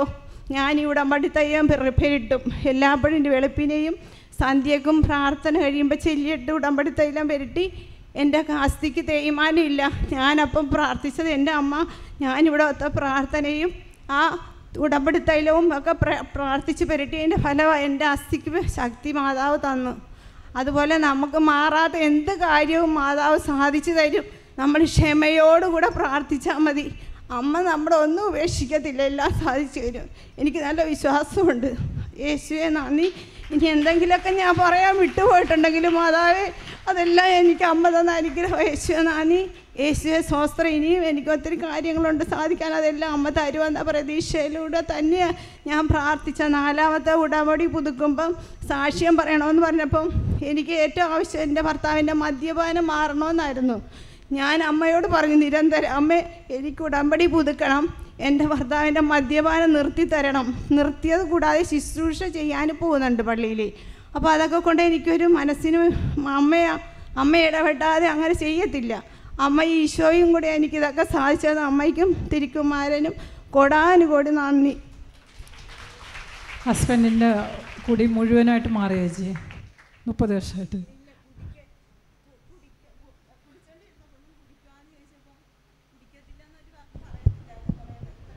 ആ ചേച്ചി എപ്പോഴും ചോദിക്കുമായിരുന്നു കുടിക്കുമോയെന്ന് ചോദിച്ചാൽ പറയാറുന്നില്ലെന്ന്. ഒന്നും മിണ്ടത്തിലായിരുന്നു പുള്ളിക്കാരൻ.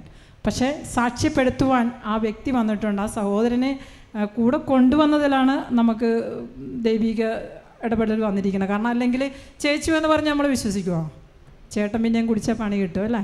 അപ്പോൾ ചേട്ടന്റെ മുപ്പത് വർഷമായിട്ടുള്ള എന്താ മാറിയിരിക്കണേ?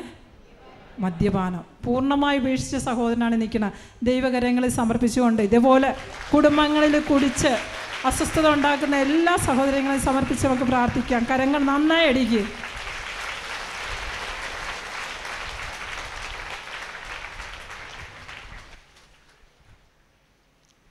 അടുത്തായി പേര് വിളിക്കുന്നവർ ദയവ് ചെയ്ത് അമ്മയുടെ അടുത്തോട്ട് മാറി നിൽക്കേണ്ടതാണ്.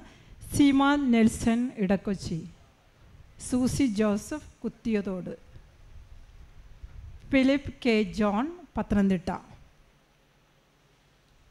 പേര് വിളിച്ചവർ ദയച്ചെയ്ത് വോളണ്ടിയേഴ്സ് പറയുന്ന സ്ഥലത്ത് നിൽക്കേണ്ടതാണ്.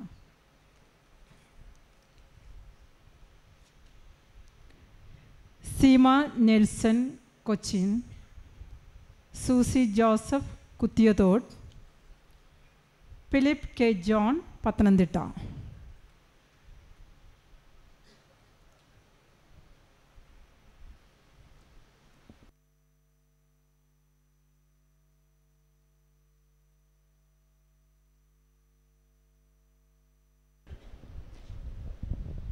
എന്റെ പേര് ഫിലിപ്പ് കെ ജോൺ എന്നാണ്. ഞാൻ പത്തനംതിട്ടയിൽ വരുന്നു. ഇവിടെ കഴിഞ്ഞ വർഷം ഇതേ ദിവസം പത്ത് രണ്ട് പത്തൊമ്പതിൽ ഞാനിവിടെ വന്ന് ആദ്യമായിട്ട് എടുത്തതിന്റെ സാക്ഷി എന്റെ അടുത്തുണ്ട്.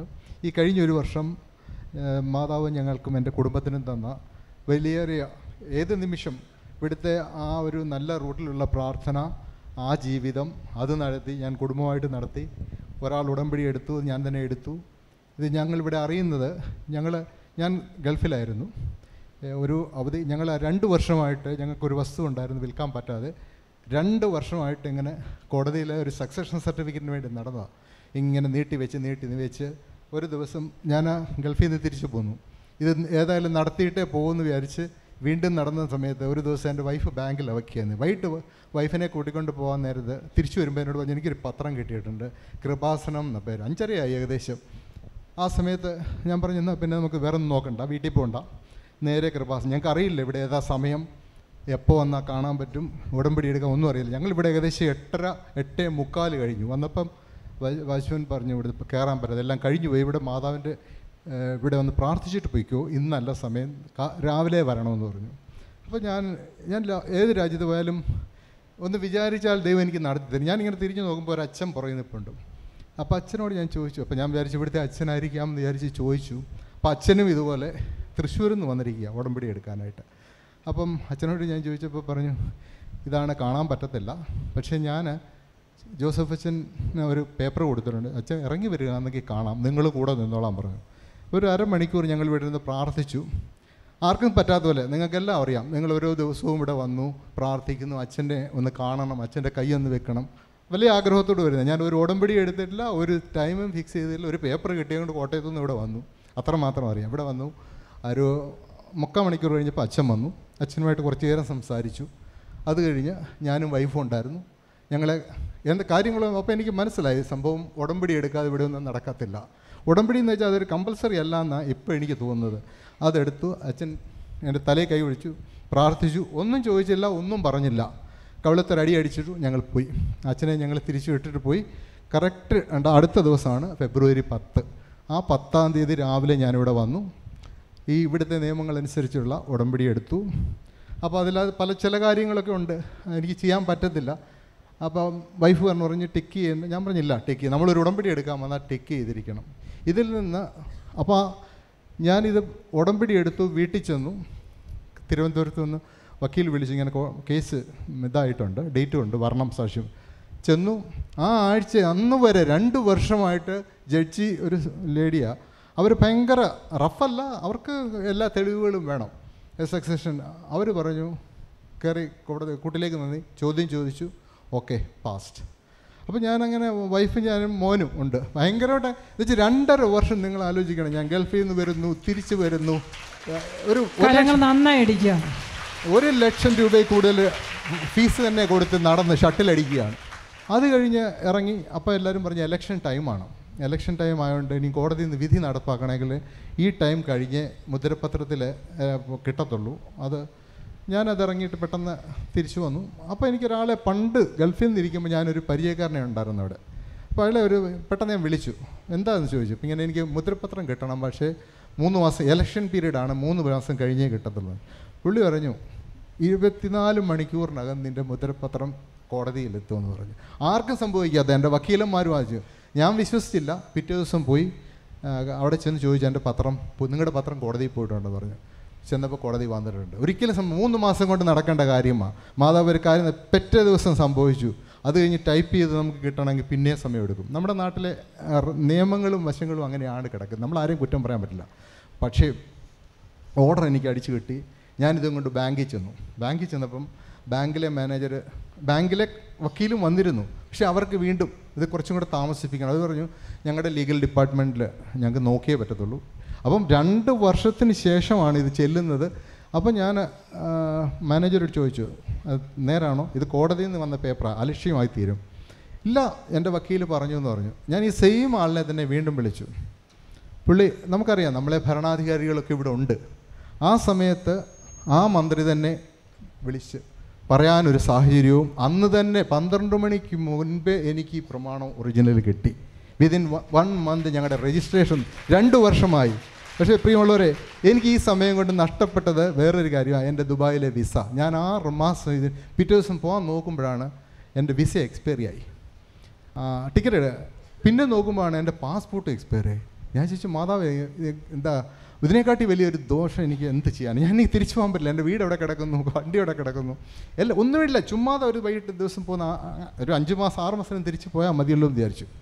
പക്ഷേ എല്ലാം പിന്നെ ഇനി എനിക്കൊരു വിസ എനിക്ക് അറുപത്തി അറുപത്തി ഒന്ന് വയസ്സുണ്ട്. അറുപത് കഴിഞ്ഞാൽ ഇച്ചിരി പാടാ വിസ കിട്ടാൻ. അല്ലെങ്കിൽ ഞാൻ അവിടെ ഉണ്ടെങ്കിൽ പിന്നെ ഏതായാലും തീരുമാനിച്ചു ഇനി പോകുന്നില്ല. ദൈവം മാതാവ് എന്നെ തടഞ്ഞു നിർത്തി വേറെ എന്തോ ആവശ്യത്തിന് വേണ്ടിയാണ് അപ്പം ഞങ്ങളിങ്ങനെ ആലോചിച്ച് എന്ത് ചെയ്യും? കുടുംബ വൈഫിന് ജോലിയുണ്ട് ദൈവം സഹായിച്ച് പെൺകുട്ടികളെ രണ്ടിനെയും കല്യാണം കഴിച്ചതൊക്കെയാണ് പക്ഷേ എന്നാലും നമ്മുടെ ആരോഗ്യം സമയത്ത് വെറുതെ ഇരിക്കരുത്. അത് ദുഷ്ടൻ ആയിത്തീരും. അതുകൊണ്ട് ഞങ്ങളിങ്ങനെ ആലോചിച്ചു ഒരു ദിവസം അച്ഛനോട് ഞാൻ പള്ളി വെച്ച് പറഞ്ഞു ഇങ്ങനെ. ഞങ്ങളൊരു രണ്ട് പ്രസ്ഥാനം തുടങ്ങാൻ ആഗ്രഹിക്കുന്നു. ആ തുടങ്ങിക്കാട്ടെ കുഴപ്പമൊന്നുമില്ല. ഞാൻ ഇന്നും എനിക്കൊരു പെയിന്റ് ഉണ്ട് പിന്നെ കുറച്ച് പേർക്ക് ജോലി കിട്ടണമെന്നൊരു വാശിയുണ്ടായിരുന്നു. ഞങ്ങൾക്ക് ഇത്രയും വസ്തു കിട്ടിയപ്പോൾ ഒരു പത്ത് പേർക്ക് തൊഴിൽ കൊടുക്കണം. ഒരു ദോശമാവ് ഏറ്റവും ചെറിയ ദോശമാവ് പ്രൊഡ്യൂസ് ചെയ്ത് പാക്കറ്റിലാക്കി മാർക്കറ്റിൽ വിടുന്ന. അതിനൊരു പത്ത് പേര് ജോലിക്കാരെ ഇപ്പം കിട്ടുകയും ചെയ്തു. പക്ഷേ ഇതിന്റെ എല്ലാം മതിലും നീലയും പച്ചത്തിരിയും ദിവസവും വൈകിട്ട് കത്തിക്കുന്ന തിരിയുടെ കളറാണ് ഞങ്ങളെ കൊടുത്തിരിക്കുന്നത്. അങ്ങനെ ഞങ്ങൾക്ക് ഈ മൂന്ന് കാര്യങ്ങൾ അടുപ്പിച്ച് ഞാൻ ഗൾഫിൽ പോകാതെ തന്നെ അപ്പോഴത്തേക്ക് എന്റെ ക്യാൻസലായി എല്ലാം സെറ്റിലായി. ഇപ്പോൾ ഇവിടെ ഞാൻ ജീവിക്കുന്നു. ഈ സമയത്ത് നിങ്ങൾക്കറിയാം നമ്മൾ ഗൾഫിലായിരിക്കുന്ന സമയത്ത് നമ്മുടെ മക്കളൊക്കെ നമ്മൾ വലിയ മുന്തിയതായിട്ട് പഠിക്കണമെന്ന്. എനിക്ക് രണ്ട് മൂന്ന് പിള്ളേർ അതിൽ രണ്ട് പെൺകുട്ടികൾ നന്നായിട്ട് പഠിക്കും. ആദ്യത്തെ കുട്ടിക്ക് റാങ്കൊക്കെ ഉണ്ടായിരുന്നു. പിന്നെ പുറത്ത് വന്ന് പഠിക്കുകയൊക്കെ ചെയ്തു. കല്യാണം കഴിച്ചു കുഞ്ഞുങ്ങളുമായി. പയ്യൻ ബാംഗ്ലൂരിൽ കോയമ്പത്തൂർ പോയി വേണ്ടാത്ത ഒരു കൂട്ടുകെട്ടിൽ പോയി പെട്ടു. ഒരിക്കലും ഊരി വരാൻ പറ്റാത്ത പോലെ. നിങ്ങൾക്കറിയാം ഇന്നത്തെ കാലത്തെ ഡ്രഗ്സിന് ആ- ഒരു കൂട്ടുകെട്ടായിരുന്നു. തിരിച്ച് വീട്ടിൽ വന്നു. ഒരു മാസം ട്രീറ്റ് ചെയ്തു. ആ ഒരു വർഷം കോളേജ് വിട്ടില്ല. പിന്നെ ഡിഗ്രിക്ക് ചേർത്തു ബസീലിയസിൽ അവൻ ഡിഗ്രി പാസ്സായി. പക്ഷേ ഇപ്പോഴും പ്രശ്നമെന്ന് വെച്ചാൽ ഒരു ആറ് മൂന്നാൽ മാസം മുമ്പ് വരെ പ്രശ്നം. പുള്ളി ഇപ്പോൾ എല്ലാത്തിലും പോവും ടെസ്റ്റ് ചെയ്തും പാസ്സാവും. പക്ഷേ മുറിക്ക് മുറി വിട്ട് പുറത്ത് വരത്തില്ല. ചുമ്മാ അവനെ ഒരു കുഴപ്പമില്ല അപ്പോൾ ഞങ്ങൾ അച്ഛനോടൊന്ന് പ്രാർത്ഥിച്ചു. അച്ഛൻ എനിക്കൊരു പിന്നെ പ്രാർത്ഥിച്ച് മാതാവിന്റെ രൂപം തന്നെ. അവന്റെ കെട്ടലിൽ കീഴ് അപ്പോൾ ഞങ്ങൾ ഈ ദോശമാവ് ചെയ്യുന്ന പിറ്റേ ദിവസം അവന് മുതൽ ഇന്നിപ്പം അവനാണ് അതിന്റെ പ്രൊഡക്ഷനും മാർക്കറ്റിങ്ങും എല്ലാമായിട്ട് നടക്കുന്നത്. മറ്റു പഠിത്തം ഒന്നും വേണ്ട. ആ നിങ്ങൾ ആലോചിക്കണം. നമുക്ക് ജീവിതത്തിൽ എല്ലാവരും കുഞ്ഞുങ്ങൾക്ക് വേണ്ടി പ്രാർത്ഥിക്കുന്നു. കിട്ടി. കിട്ടിയ താലന്ത് എങ്കിലും നഷ്ടപ്പെടാൻ സമയത്തുള്ള മാതാ പ്രത്യേകിച്ച് എനിക്ക് വിഷമമില്ലെന്ന് പറഞ്ഞാൽ എന്റെ വൈഫ് കരയാത്ത രാത്രികളില്ല. അത്രയ്ക്കാന്ന് വെച്ചാൽ നമുക്ക് ഒരു പയ്യനെ രണ്ട് പെൺകുട്ടികളുണ്ട് കിട്ടി നശിച്ചു പോയി കഴിഞ്ഞാൽ എന്ത് ചെയ്യാൻ പറ്റും? നമ്മുടെ പണമൊന്നും നമ്മളെ നമ്മളെല്ലാം വിചാരിക്കുന്നത് എനിക്ക് കുറേ പണം കിട്ടിയ ഒന്നും പണമൊന്നും നമ്മളെ സെർവ് ചെയ്യും നമുക്ക് സമ കുടുംബസമ അതാണ് ദൈവത്തിന്റെ ഹിതം. നമുക്ക് ആ ഹിതം അനുസരിച്ച് അപ്പോൾ ഞങ്ങൾ എന്നും പ്രാർത്ഥിക്കുന്നത് ഞാൻ എന്റെ വൈഫുമായിട്ട് കല്യാണം കഴിച്ചിട്ട് മുപ്പത്തിരണ്ട് വർഷമായി. പള്ളിയിൽ പോവും വരും. ഇതാണ് ദൈവികമായ പ്രാർത്ഥന. ഇത്രയും ചെയ്താൽ മതി. സ്വർഗത്തിൽ പോകാം എന്നുള്ള ധാരണയിലുള്ള ഒരു യഥാർത്ഥ ക്രിസ്ത്യാനി അല്ലാതാണ് ജീവിച്ചത്. ഞാൻ ഏത് സഭ ആയിക്കോട്ടെ പക്ഷേ ഇപ്പം ഞങ്ങൾക്ക് മനസ്സിലായി രാവിലെയും വൈകിട്ടും ഭാര്യയും ഭർത്താവും കൈയോട് കൈയോട് പേടിച്ചിരുന്ന് പ്രാർത്ഥിക്കുന്നതിന്റെ വില. പക്ഷേ അതിവിടാ പഠിച്ചത്. ഈ ഉടമ്പടി ഞങ്ങൾ അന്ന് പറഞ്ഞ ഓരോന്നും നമ്മൾ പാലിച്ചു വന്ന് ഇന്നും സന്ധ്യാസമയം. ഇതുപോലെ ഞങ്ങൾക്ക് പലയിടത്ത് വീട് കൊല്ലത്തൊരു വീടുണ്ടായിരുന്നു. അതും ഈ സമയത്ത് ഞങ്ങൾ എഴുതിയിരുന്നു. അടുത്ത പത്ത് വർഷം ഞങ്ങളവിടെ പോയിട്ടില്ല. വന്നു ഗൾഫിൽ നിന്ന് വന്ന ഈ സമയത്ത് നോക്കാം അത് നോക്കാൻ ചെന്നപ്പോൾ തേക്കൊക്കെ കയറി അടുത്ത വീടുകാർ മുഴുവൻ അത് വെട്ടാൻ പറഞ്ഞപ്പോൾ അവർ വെട്ടത്തില്ല. അത് വളർന്നോട്ടെ എന്ന് പറഞ്ഞു. കളക്ടർക്ക് പരാതി കൊടുത്തു. കളക്ടർക്ക് പെറ്റീഷൻ വന്നു. അല്ല ഇത് വന്നു. കോതിച്ച് നിർത്തി. പിന്നെയും വീടിടിയുകയാണ് ഇപ്പോൾ കഴിഞ്ഞ ആഴ്ച ഞാൻ ചെന്നപ്പം ആ മരം അവിടെ ഇല്ല. അങ്ങനെ ഒരു മരമേ കാണാനില്ല. നിന്ന് കളക്ടർ പറഞ്ഞിട്ട് കേൾക്കാതിരുന്ന സംഭവം ആര് വെട്ടിമാറ്റി? ആ വീട്ടുകാർ ജസ്റ്റ് കേസിന് റെഡിയാണ് കോടതി വെച്ച് കാണാമെന്നുള്ള മട്ടിൽ ഞങ്ങൾ വെട്ടാൻ പറ്റത്തില്ല എന്നുള്ളത്. പക്ഷേ ഇന്നലെ ഇപ്പം എന്റെ അടുത്ത് ഫോട്ടോ ഇരിപ്പുണ്ട്. ആ മരം അങ്ങനെ ഒരു മരം അവിടെ ഉണ്ടായിരുന്നേ ഇല്ല എന്നുള്ള തെളിവ്.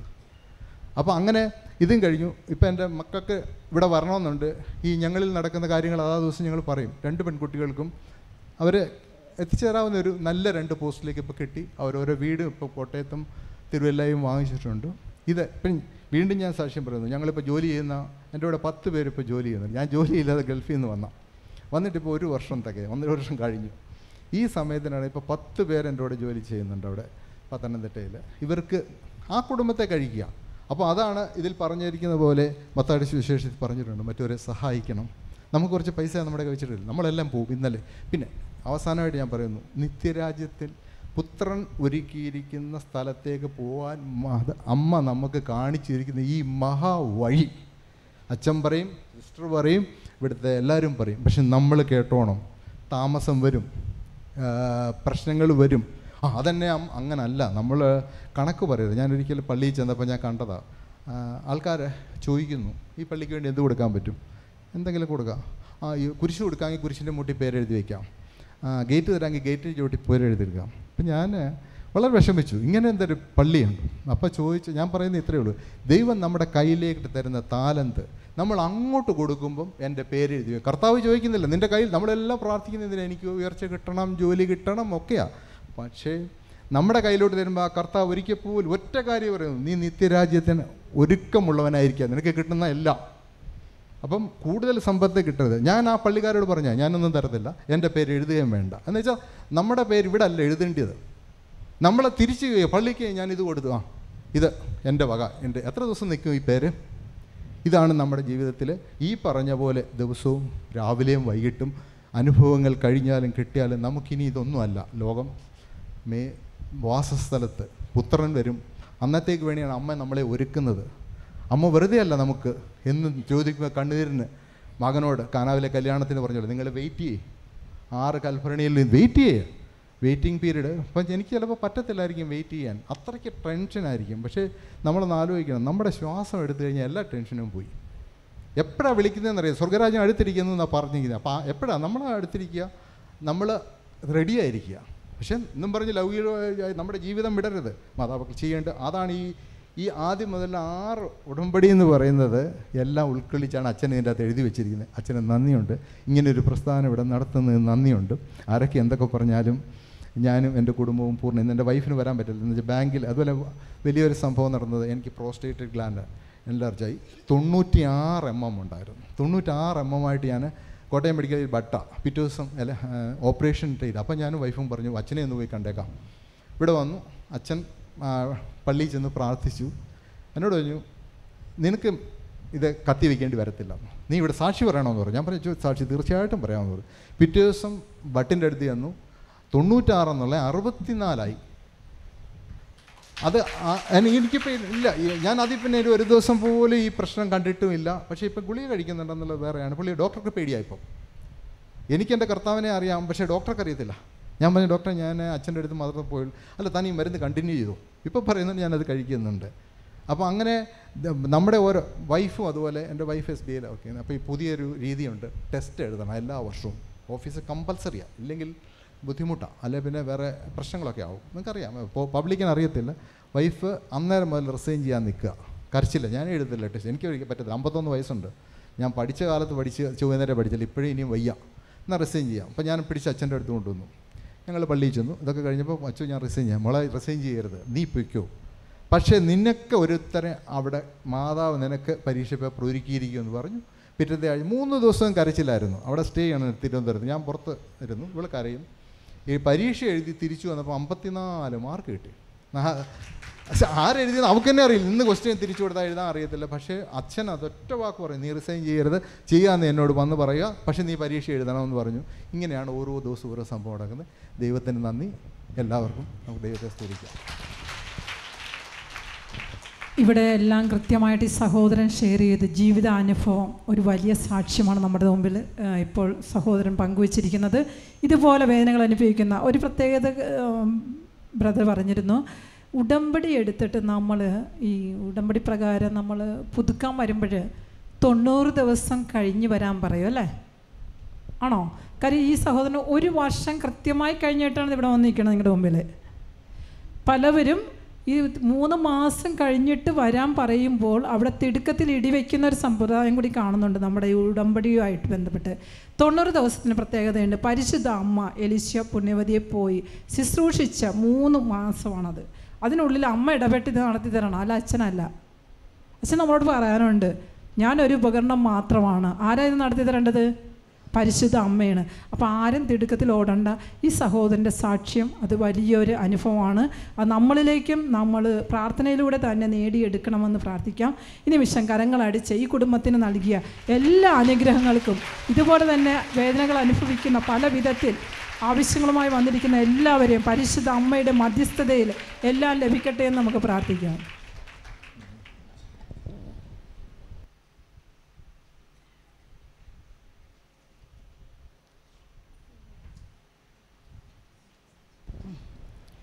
എന്റെ പേര് സീമ നെൽസൺ.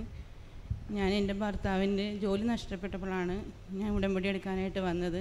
അഞ്ച് വർഷമായിട്ട് ചെയ്തിരുന്ന ജോലി പെട്ടെന്ന് നഷ്ടപ്പെട്ടു. ഞങ്ങൾ ആ കമ്പനിയോട് ചോദിച്ചപ്പോൾ അവർ പറഞ്ഞത് പണി വർക്ക് കുറവായത് കൊണ്ടാണെന്നാണ് പറഞ്ഞത്. പക്ഷേ പിന്നീട് അറിഞ്ഞു അത് അവർ വേറൊരു പാർട്ടിക്ക് കൊട്ടേഷൻ കൊടുത്തു. ഞങ്ങൾക്ക് നഷ്ടമായെന്ന്. എന്തോരം സംസാരിച്ചിട്ടും അവരത് തരാനായിട്ട് കൂട്ടാക്കിയില്ല. ആ സമയത്ത് ഞാൻ ഇവിടെ വന്ന് ഉടമ്പടി എടുത്ത് പ്രാർത്ഥിച്ചു. ഭർത്താവ് പിന്നെ സംസാരിക്കാനായിട്ട് പോയപ്പോൾ ഞാൻ കാശ് രൂപം കയ്യിൽ കൊടുത്തു വിട്ടു. ഇതുമായിട്ട് ചെന്ന് സംസാരിക്കാൻ പറഞ്ഞു. മാനേജറെ കണ്ട് സംസാരിച്ചപ്പോൾ മാനേജർ അത് തരാൻ കൂട്ടാക്കിയില്ല. പക്ഷെ ഭർത്താവ് അവിടെ ഇരുന്ന സമയത്ത് ആ കമ്പനിയുടെ ഓണർ വരികയും ഒന്നും ചോദിക്കാതെ തന്നെ അടുത്ത മാസം മുതൽ വർക്ക് തനിക്കാണെന്ന് പറയുകയും അന്ന് മുതൽ ഞങ്ങൾക്ക് ജോലി തിരിച്ചു കിട്ടുകയും ചെയ്തു. അതുപോലെ തന്നെ എന്റെ അമ്മച്ചിക്ക് കണ്ണിന് ഓപ്പറേഷൻ ചെയ്ത് കഴിഞ്ഞിട്ട് രണ്ടര വർഷമായിട്ട് കണ്ണിന് കംപ്ലൈന്റ് ആയിരുന്നു. പേടിയായിരുന്നു ഓപ്പറേഷൻ ചെയ്യാതിരുന്നതാണ്. ഓപ്പറേഷൻ ചെയ്ത് കഴിഞ്ഞപ്പോൾ ഉറക്കമില്ലാതെയും ടെൻഷനായിട്ടും ഭയങ്കര അസ്വസ്ഥതയായിരുന്നു. മാസങ്ങളോളം ഉറക്കമില്ലാതിരുന്നു. അങ്ങനെ കുറേ ഡോക്ടർമാരെയും സൈക്കാട്ടിസ്റ്റിനെയും കൗൺസിലിങ്ങും എല്ലാം നൽകിയെങ്കിലും ഉറക്കം കിട്ടുന്നുണ്ടായിരുന്നില്ല. ഉറക്കത്തിന്റെ ഗുളിക കഴിച്ചിട്ടുള്ള ഉറക്കം കിട്ടുന്നുണ്ടായിരുന്നില്ല. അങ്ങനെ ഞങ്ങൾ ജോസഫ് അച്ഛനെ ചെന്ന് കാണുകയും അച്ഛൻ തലയിൽ കൈവച്ച് പ്രാർത്ഥിച്ചിട്ട് പറഞ്ഞു ഉടനെ തന്നെ സാക്ഷ്യം പറയാൻ പറ്റുമെന്ന്. ഇപ്പോൾ ഒരു ഗുളിക പോലും ഇല്ലാണ്ട് അമ്മച്ചിക്ക് ഉറങ്ങാൻ സാധിക്കുന്നു. അതുപോലെ എന്റെ മകൻ പഠിക്കാനായിട്ട് ഭയങ്കര പുറകിലായിരുന്നു. എന്ത് നമ്മൾ എങ്ങനെയെല്ലാം പഠിപ്പിച്ച് വിട്ടാലും പരീക്ഷ പേപ്പറിൽ ഒന്നും എഴുതാണ്ട് തിരിച്ചു പോരും. ഇവിടെ വന്ന് ചോദിക്കുമ്പോൾ ആൻസർ എല്ലാം മോൻ കറക്റ്റായിട്ട് പറയുമെങ്കിലും പേപ്പറിൽ ഒന്നും എഴുതൂല.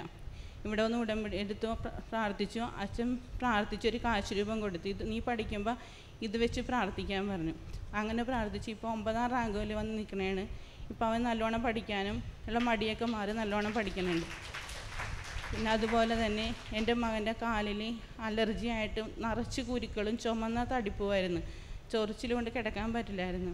അങ്ങനെ മരുന്ന് വാങ്ങിയിട്ട് ഭേദമാകാനുണ്ടായിരുന്നില്ല അങ്ങനെ ഞങ്ങളിവിടെ ഈ തൈലം പുരട്ടി വിശ്വാസ പ്രമാണം ചൊല്ലി ഉള്ളിലും കൊടുത്ത് കാലിലൊക്കെ പുരട്ടി പ്രാർത്ഥിച്ചപ്പോൾ ഭയങ്കര കടി കൊണ്ട് സഹിക്കാൻ പറ്റാണ്ട് ഞാനും എന്റെ മകളും കൂടി അവന്റെ കൈയൊക്കെ വലിച്ചു പിടിച്ച്.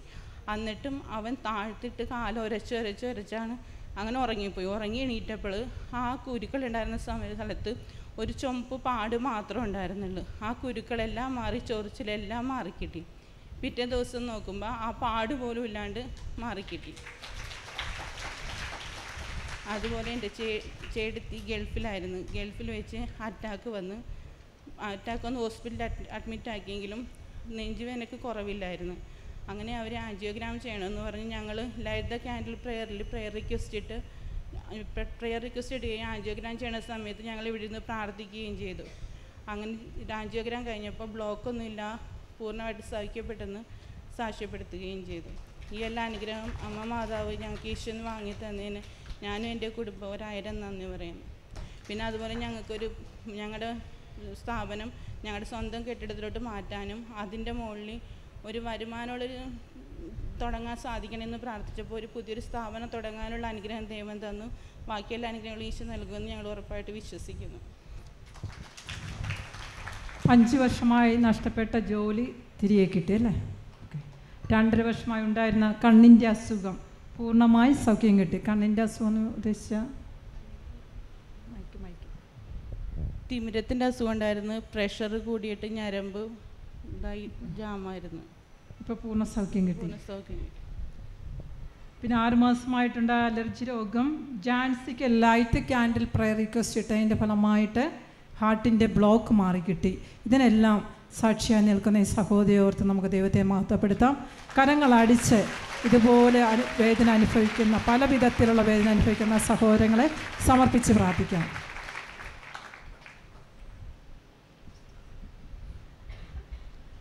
സൂസി ജോസഫ്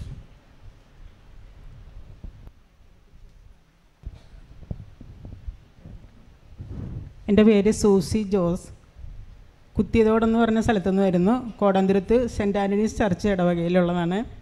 ഞാൻ രണ്ടായിരത്തി പതിനെട്ട് ഫെബ്രുവരിയിലാണ് ഉടമ്പടി എടുത്തത്. ഉടമ്പടിയിൽ ഒരു ആറ് നിയോഗങ്ങൾ ഞാൻ വെച്ചിട്ടുണ്ടായിരുന്നു.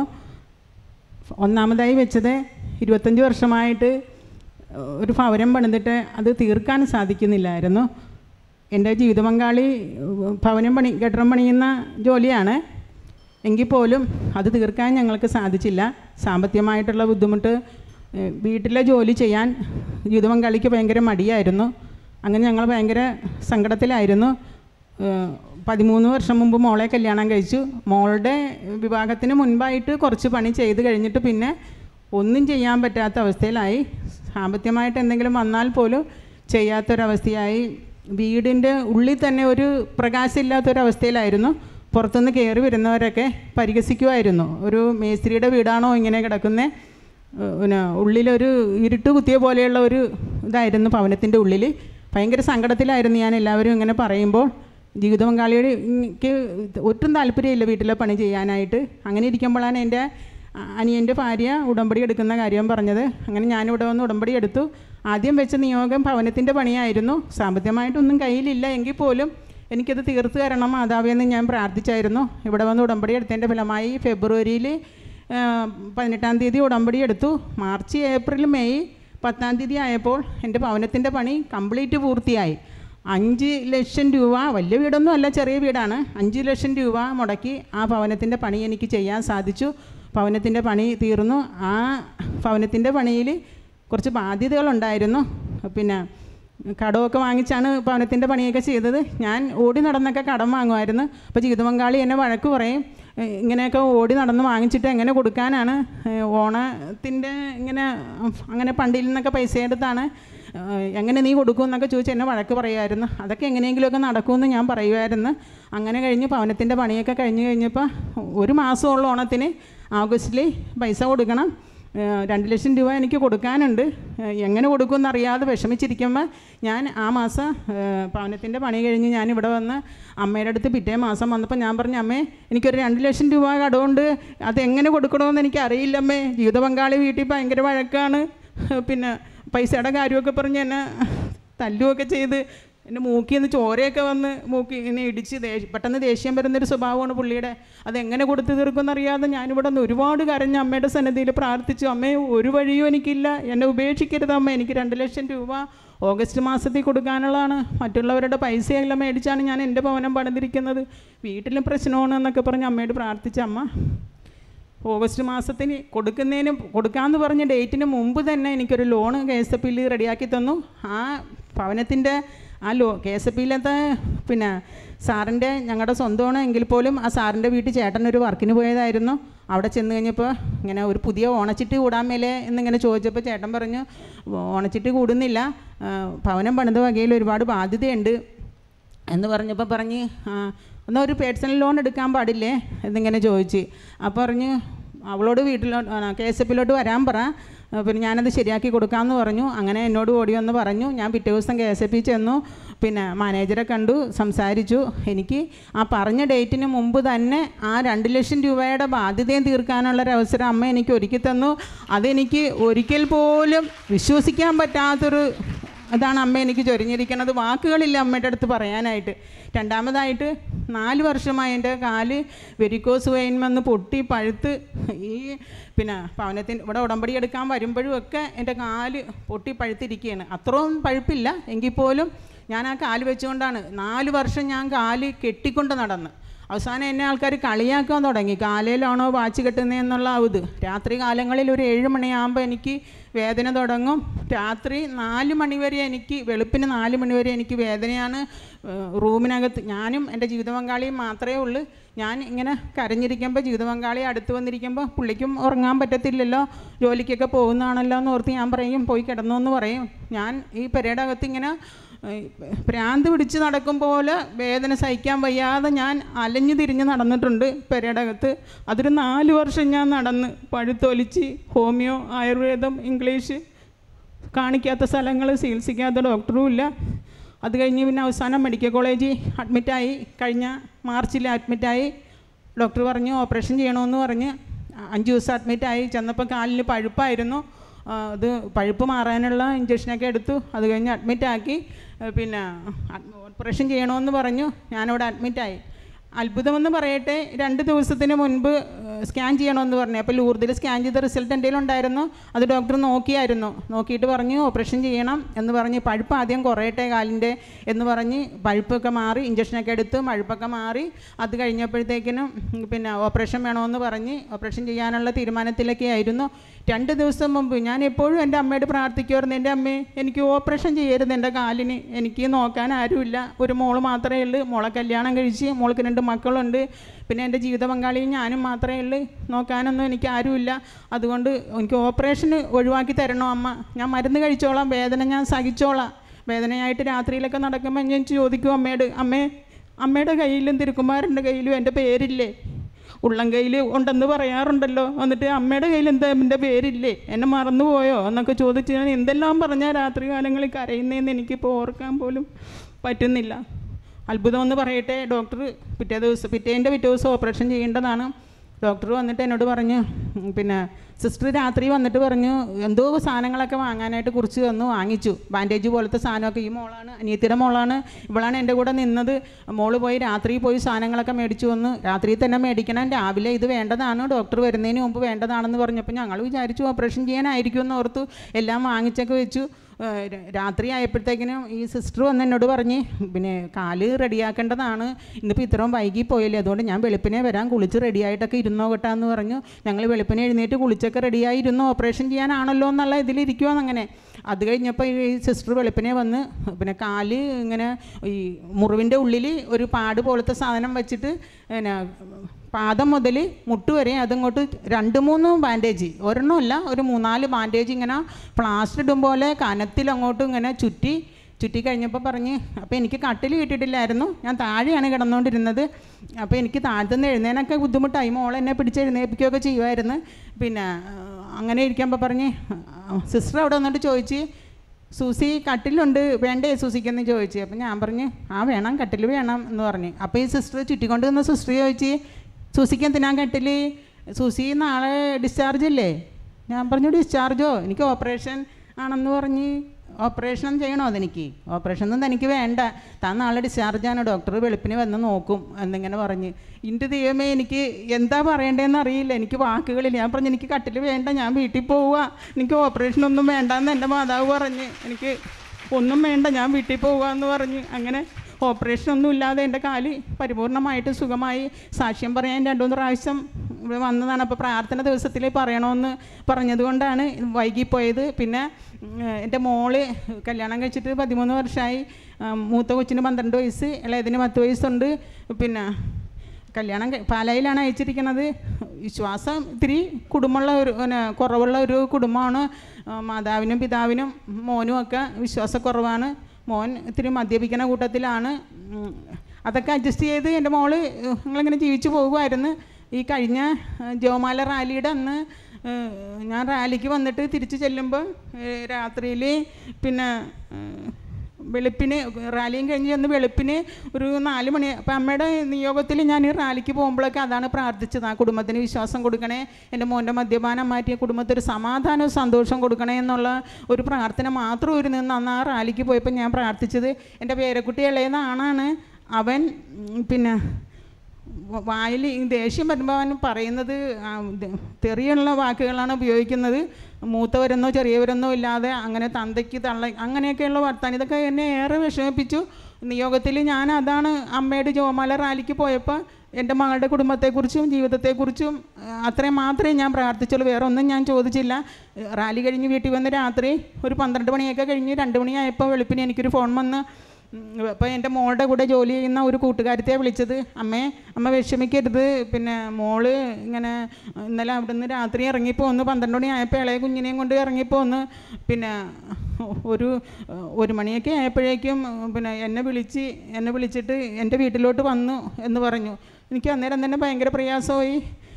പാലായിൽ ചെറുപ്പങ്കലെ ആണ് എന്റെ മോളെ കെട്ടിച്ചേക്കണത്. അവിടുന്ന് ഈ കുഞ്ഞിനെയും കൊണ്ട് സന്ധ്യ ആയപ്പോൾ ഇറങ്ങി പോന്നിട്ട് ഈ മാതാവോ പിതാവോ പിന്നെ ജീവിത പങ്കാളിയോ പുറകെ ചെല്ലിയോ ഒന്നും ചെയ്തില്ല. മോളെ ഇളയ കുഞ്ഞിനെയായിട്ട് പോയി ചേർപ്പങ്ക പള്ളിയിൽ പോയി ഇരുന്നു ഏഴ് മണിക്ക് പോയി ചേർപ്പങ്ക പള്ളിയിൽ പോയി ഇരിക്കണതാണ് പന്ത്രണ്ട് മണി വരെ അവിടെ അവിടെ ഇരുന്നു. അവിടെ ധാരണ ജീവിതപങ്കാളി ജീവിത പങ്കാളി ചെല്ലും ഓട്ടോയായിട്ട് ചെല്ലും കൂട്ടിക്കൊണ്ട് വരുമെന്നാണ് വിചാരിച്ചിരുന്നത്. ചെന്നില്ല. എട്ട് ഒമ്പത് മണിയൊക്കെ ആയപ്പോൾ മൂത്ത മോൾ മൂത്ത കൊച്ച് ഫോൺ വിളിച്ചു. അമ്മേ അമ്മ എവിടെയാ? ഇങ്ങോട്ട് വാ. അവിടെ കണ്ട് റബ്ബർ തോട്ടത്തിൽ വിളിച്ചിരിക്കുമെന്നാണ് വിചാരിച്ച മോൾ. അന്നേരം അമ്മ ഇങ്ങോട്ട് വാന്ന് പറഞ്ഞ്. അപ്പം മോൾ പിന്നെ അവൾ പറഞ്ഞ് ഞാൻ ചേർപ്പുങ്കപ്പള്ളിയിലുണ്ട് എന്ന് പറഞ്ഞ്. അപ്പോൾ ഈ ചേർപ്പുങ്കപ്പള്ളിയിലുണ്ടെന്ന് കേൾക്കുമ്പോഴെങ്കിലും ചെന്ന് കൂട്ടിക്കൊണ്ട് വരുമല്ലോ എന്നാണ് വിചാരിച്ചേ. ചെന്നില്ല കൂട്ടിക്കൊണ്ട് വന്നില്ല. മോൾ അവിടെ ഇരുന്നു. പിന്നെ പന്ത്രണ്ട് മണിയൊക്കെ ആയപ്പോൾ പള്ളി അടച്ചു. പള്ളി അടച്ചു കഴിഞ്ഞപ്പോൾ പിന്നെ എന്റെ മോൾക്ക് എവിടെ പോകണമെന്നറിയില്ല അവിടുന്ന് ഇറങ്ങി അവിടുന്ന് ഇറങ്ങി കുഞ്ഞുമായിട്ട് ഹൈവേ കൂടി. എത്ര കിലോമീറ്റർ ദൂരം ഉണ്ടെന്ന് അറിയില്ല ഈ കൂട്ടുകാരത്തിയുടെ വീട്. എനിക്കത് പറയാൻ അറിയില്ല ഒത്തിരി ദൂരമാണ്. പിന്നെ ചേർപ്പങ്കയെന്ന് വേറൊരു സ്ഥലത്താണ് കിടങ്ങൂർ എന്ന് പറഞ്ഞൊരു സ്ഥലത്താണ് ഈ കൂട്ടുകാരത്തിയുടെ വീട്. ഹൈവേ കൂടി കുഞ്ഞിനെയും കൊണ്ട് രാത്രി കാലത്ത് ഈ മോൾ ഒറ്റയ്ക്ക് നടന്ന് ആ വീട്ടിൽ ചെന്ന് ഒരു മണിയൊക്കെ ആയപ്പോഴാണ് അവിടെ ചെന്നത്. അവർ അഭയം കൊടുത്തു. പിറ്റേ ദിവസം വെളുപ്പിന് അവിടുന്ന് ഞങ്ങളുടെ വീട്ടിലോട്ട് പോന്നു പോന്നു കഴിഞ്ഞപ്പോഴാണ് വിളിച്ച് പറയുന്നത് ഇങ്ങനെ മോൾ പോന്നിട്ടുണ്ട്. എത്തിയോ അമ്മേ? എന്നിങ്ങനെ ചോദിച്ചു. അപ്പോൾ ഫോൺ വിളിച്ച് ചോദിച്ചപ്പോൾ പറഞ്ഞു അമ്മേ ഞാൻ വണ്ടി കയറാൻ നിൽക്കുവാൻ ബസ് സ്റ്റോപ്പിലെന്ന് പറഞ്ഞു. ഞാൻ പറഞ്ഞു എങ്ങോട്ടും പോകരുത് എന്റെ മോൾ ഇങ്ങോട്ട് പോകുന്നേക്കണം വേറെ എങ്ങും പോകും രാത്രി മുഴുവനും ഞാൻ പ്രാർത്ഥിക്കുകയായിരുന്നു അമ്മേ അമ്മേ വേറെ ഒന്നും തോന്നിക്കരുത്. എന്റെ മോൾ തിരിച്ച് എന്റെ ഭവനത്തിലെത്തണേ എന്ന് പ്രാർത്ഥിക്കുമായിരുന്നു അതുപോലെ എന്റെ മോൾ തിരിച്ച് വീട്ടിൽ വന്നു. വീട്ടിൽ വന്നു കഴിഞ്ഞപ്പോൾ ഞാൻ എന്റെ സഹോദരനെയൊക്കെ വിളിച്ച് പറഞ്ഞു എന്നെ പോലെ ഒരു പ്രശ്നമുണ്ട്. അനിയത്തിനെ അനിയത്തിയും മോളും ഒക്കെ വീട്ടിലുണ്ടായിരുന്നു. അവരോടൊക്കെ പറഞ്ഞ് കഴിഞ്ഞപ്പോഴത്തേക്കിന് എന്റെ സഹോദരൻ പറഞ്ഞ് നമുക്ക് അവരെ ഒന്ന് വിളിക്കാം വിളിച്ച് ചോദിക്കാം. ഇത്രയും നേരമായിട്ടും അന്വേഷിച്ചില്ലല്ലോ. ഒരു കുഞ്ഞിനെയും കൊണ്ട് ഇറങ്ങി പോന്നിട്ട് ചെറുപ്പെങ്കിലുണ്ടെന്ന് പറഞ്ഞിട്ട് പോലും ഒന്ന് ചെല്ലുകയോ കൊണ്ടുവരികയോ ഒന്നും ചെയ്തില്ലല്ലോ. വിളിച്ച് ചോദിക്കാമെന്ന് പറഞ്ഞു. അങ്ങനെ വിളിച്ച് ചോദിച്ചപ്പോൾ അവൻ പറഞ്ഞ് അതൊന്നും എനിക്ക് തിരക്കേണ്ട കാര്യമില്ല. അത് എന്നെ ബാധിക്കുന്ന കാര്യമില്ല എന്നൊക്കെയുള്ള രീതിയിൽ കൂടിയൊക്കെ പറഞ്ഞ് അപ്പോൾ വീട്ടിൽ പ്രശ്നമായി കേസ് കൊടുത്തു.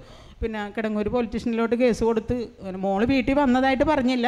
കാണാനില്ല എന്നും പറഞ്ഞാൽ കേസ് കൊടുത്തത് അവരന്വേഷിച്ച് പിടിച്ചു കൊണ്ടുവന്നു. പിന്നെ അപ്പോൾ പിന്നെ സ്റ്റേഷനിൽ പോയി അങ്ങോട്ടും ഇങ്ങോട്ടും ചോദ്യം പറച്ചിലൊക്കെ ചെയ്തു. വന്നപ്പോൾ അവന് വേണ്ടാന്ന് പറയണു. ബന്ധം വേർപെടുത്തണം എന്നുള്ള രീതിയിൽ കൂടി പറഞ്ഞു. ഞാൻ കേസ് കോടതിയിലോട്ട് കേസിലോട്ട് സ്റ്റേഷനിലോട്ട് വന്നപ്പോൾ മുതൽ ജോമാല എടുത്ത് കൈ പിടിച്ച് എന്റെ മാതാവിനെ വിളിച്ച് ഞാൻ കരഞ്ഞ് പ്രാർത്ഥിക്കുകയായിരുന്നു. താഴെ വെച്ചിട്ടില്ല ജോമാല പ്രാർത്ഥിച്ച് എന്റെ അമ്മയെ അങ്ങനെ പറയരുത്. ഒരിക്കൽ പോലും വേണ്ട. എന്റെ സഹോദരൻ ഇടയ്ക്ക് എന്നെ വിളിച്ച് പറഞ്ഞു അവൻ അടുക്കുന്ന ലക്ഷണമൊന്നും കാണുന്നില്ല ഇങ്ങനെയാണ് പറയുന്നത് എന്ന് പറഞ്ഞപ്പോൾ തൊട്ട് ഞങ്ങളെല്ലാവരും കൂട്ടമായിട്ട് കുടുംബത്തോടെ ജോമാല ചൊല്ലി അമ്മയുടെ സന്നദ്ധിയിൽ പ്രാർത്ഥിച്ച് ഞാൻ അമ്മയുടെ സന്നദ്ധിയിൽ വന്ന് സാക്ഷ്യം പിടിപ്പിക്കോളാം എന്റെ മകൾക്ക് ഒരു കുഴപ്പമില്ലാതെ അവർ അങ്ങനെയൊന്നും പറയാതെ ഒന്നിച്ച് ജീവിക്കാനുള്ള അവസരം അമ്മ കൊടുക്കണേ എന്നും പറഞ്ഞൊക്കെ പ്രാർത്ഥിച്ച് കഴിഞ്ഞ് പിന്നെ ഒരു രണ്ട് മണിക്കൂർ കഴിഞ്ഞപ്പോൾ കോൾ വന്നു. അവർ സമ്മതിച്ചു ഒത്തുതീർപ്പിന് സമ്മതിച്ചു. ഞായറാഴ്ച ഇവിടെ വന്ന് എന്റെ വീട്ടിൽ വന്ന് മോളെ കൊണ്ടുപോയിക്കോളാം എന്നുള്ള രീതിയിൽ സമ്മതിച്ചു. അങ്ങനെ വന്നു. വീട്ടിൽ വന്നില്ല. ബസ് സ്റ്റോപ്പിൽ കൊണ്ടുപോയി പിന്നെ സഹോദരൻ കൊണ്ടേ ആക്കി കൊടുത്തു. അങ്ങനെ അവർ പോയി ഒന്നിച്ച് ജീവിക്കുന്നു സന്തോഷമായിട്ട് ജീവിക്കുന്നു കുഴപ്പമൊന്നുമില്ല. മദ്യപാനം ഇപ്പോഴും ഉണ്ട്. അങ്ങനെ പിന്നെ എന്റെ സഹോദരന്റെ മകന് വേണ്ടിയിട്ടൊരു നിയോഗം ഞാൻ വെച്ചായിരുന്നു. ഉടമ്പടി പിന്നെ മൂന്നാമത്തെ പുതുക്കലിന് വരുന്നതിന്റെ അന്ന് തലേദിവസം വീട്ടിൽ ഭയങ്കര പ്രശ്നമായിരുന്നു. അവന് ഒരു ഇരുപത്തിമൂന്ന് വയസ്സുണ്ട്. അവൻ ഈ കഞ്ചാവിന്റെയൊക്കെ ഒരു കൂട്ടുകെട്ടിലൊക്കെ പെട്ടു. ഇച്ചിരി പ്രശ്നങ്ങളായിരുന്നു. ഒരു മൂന്നാൽ കേസ് അവന്റെ പേരിലുണ്ട്. അവസാനം പാലക്കാടത്ത് പാലക്കാടിന്റെ ഒരു സ്ഥലത്ത് വെച്ചൊരു പ്രശ്നം ഉണ്ടായി അങ്ങനെ അവനെ പിടിച്ച് അപ്പോൾ കേസൊക്കെ പറഞ്ഞുകൊണ്ടിരിക്കുമ്പോൾ ഒന്ന് തീരുന്നതിന് മുമ്പ് അടുത്തത് അതുപോലെ വീട്ടിൽ പ്രശ്നം നമുക്ക് ഉപദേശിക്കാൻ പറ്റത്തില്ല ഒന്നും പറ്റത്തില്ല. വീടൊക്കെ തല്ലിപ്പൊളിക്കും ബഹളവും ഒക്കെ ആയി. ആകെ ഞങ്ങൾക്ക് മനപ്രയാസം മനപ്രയാസമായിരുന്നു. അങ്ങനെ മൂന്നാമത്തെ ഉടമ്പടി പുതുക്കാൻ വന്നപ്പോൾ ഞാൻ ആദ്യം വെച്ച നിയോഗം അമ്മ ഇന്നലെ വീട്ടിൽ ഇങ്ങനെ ഒരു സംഭവം ഉണ്ടായിട്ടുണ്ട്. അപ്പോൾ എന്നിട്ട് ഇങ്ങനെ കയ്യിലുണ്ടായിരുന്ന എന്തോ ആയുധം കൊണ്ട് അവന്റെ അമ്മയുടെ കാലിട്ട് ഇങ്ങനെ തടയാൻ ചെന്നപ്പോൾ വെട്ടി കാൽ മുറിഞ്ഞു അങ്ങനെയൊക്കെ ഈ പ്രശ്നമൊക്കെ ഉണ്ടായി. അപ്പോൾ ഞാൻ അമ്മയോട് പറഞ്ഞു അമ്മേ ഇന്നലെ വീട്ടിലൊരു പ്രശ്നം ഉണ്ടായിട്ടുണ്ട്. അത് ഇന്നലത്തെ കൊണ്ട് അവിടെ തീർന്നേക്കണം. മേലില ഭവനത്തിൽ അങ്ങനെ ഒരു പ്രശ്നമോ മകന്റെ ഭാഗത്തൊരു കേസോ മറ്റുള്ള കാര്യങ്ങളോ ഉണ്ടാകാൻ പാടില്ല. എന്ന് പറഞ്ഞു. ആ മകൻ ഇന്ന് എല്ലാ കേസുകളും അവന്റെ തീർന്ന് നല്ല പ്രാർത്ഥിക്കാൻ പള്ളിയിലൊന്നും പോകത്തില്ല. വേളാങ്കണ്ണിയിൽ അങ്ങനെയുള്ള സ്ഥലത്തൊക്കെ പോകും. നമ്മുടെ ഇടവ പള്ളിയിലൊന്നും പോകത്തില്ലെങ്കിൽ പോലും എല്ലാം കൂട്ടുകെട്ടിയെന്നും അവൻ അതിൽ നിന്ന് വിട്ടുപോകുന്നു നല്ലൊരു മോനായിട്ട് അങ്ങനെ അവിടെ ജീവിക്കുന്നു. പിന്നെ ആറ് കാര്യങ്ങൾ പിന്നെ പന്ത്രണ്ട് പതിനെട്ട് കാര്യങ്ങൾ നാല് മാസത്തെ പുതു നാല് പ്രാവശ്യത്തെ പുതുക്കളോട് ഞാൻ വെച്ചെങ്കിലും പറയാൻ വാക്കുകളില്ല. ഓരോ മണിക്കൂറിലും ഓരോ നിമിഷത്തിലും ചൊരിഞ്ഞുകൊണ്ടിരിക്കുന്ന അനുഗ്രഹങ്ങൾ എങ്ങനെയാണ് പറയേണ്ടതെന്ന് എനിക്കറിയില്ല. അതിനെല്ലാം അമ്മയ്ക്കും തിരുക്കുമാരനും കോടാനുകോടി നന്ദി പറഞ്ഞ് ഞാൻ സ്തുതിക്കുന്നു. കുടുംബത്ത് ഭയങ്കര സമാധാനവും സന്തോഷമൊക്കെ ഉണ്ട്. എന്റെ ജീവിത പങ്കാളി ഭയങ്കര മുൻകോപിയാണ്. എടുത്തു ചാടി ദേഷ്യപ്പെട്ടൊക്കെ വരും. പെട്ട ഒന്ന് പറഞ്ഞ് രണ്ടാമത്തേന് കൈ കൈയും കലാശമൊക്കെ ആയിരുന്നു. പിന്നെ ഞാൻ തേനൊക്കെ ഒഴിച്ച് വിശ്വാസപ്രമാണം ചൊല്ലിക്കൊടുക്കും ഉപ്പൊക്കെ ഇട്ട് കൊടുക്കും. അങ്ങനെ വലിയ ശാന്തനായി.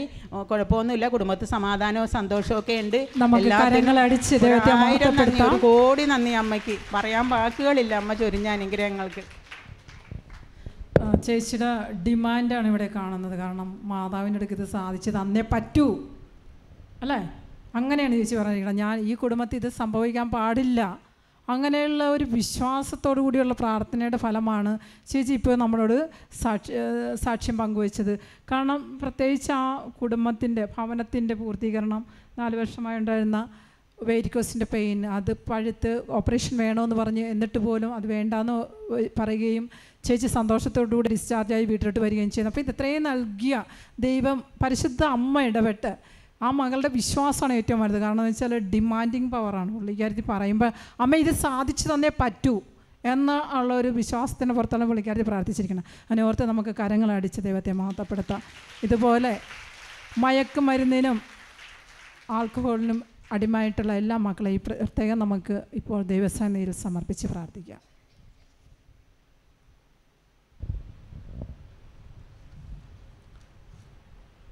ഇനി പേര് വിളിക്കുന്നവർ ദയവചെയ്ത് മാതാവിന്റെ സന്നിധിയിലോട്ട് വരേണ്ടതാണ്.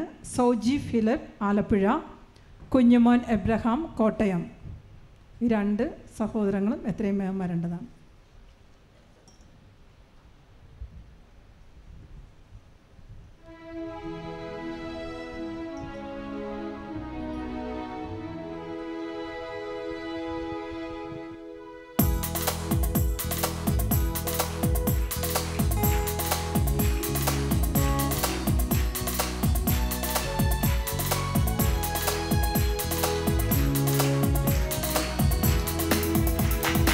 അനുഗ്രഹത്തിൻ അധിപതിയെ ആനന്ദ കൃപ തിരുനദിയേ.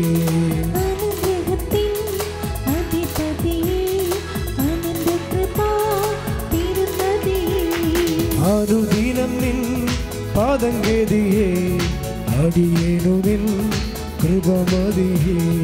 അനുദിനം നിൻ പദമതിയേ അടിയനു അനുഗ്രഹത്തിൻ അധിപതിയേ അനന്ത കൃപ പെരുമതിയേ അനുഗ്രഹത്തിൻ അധിപതിയേ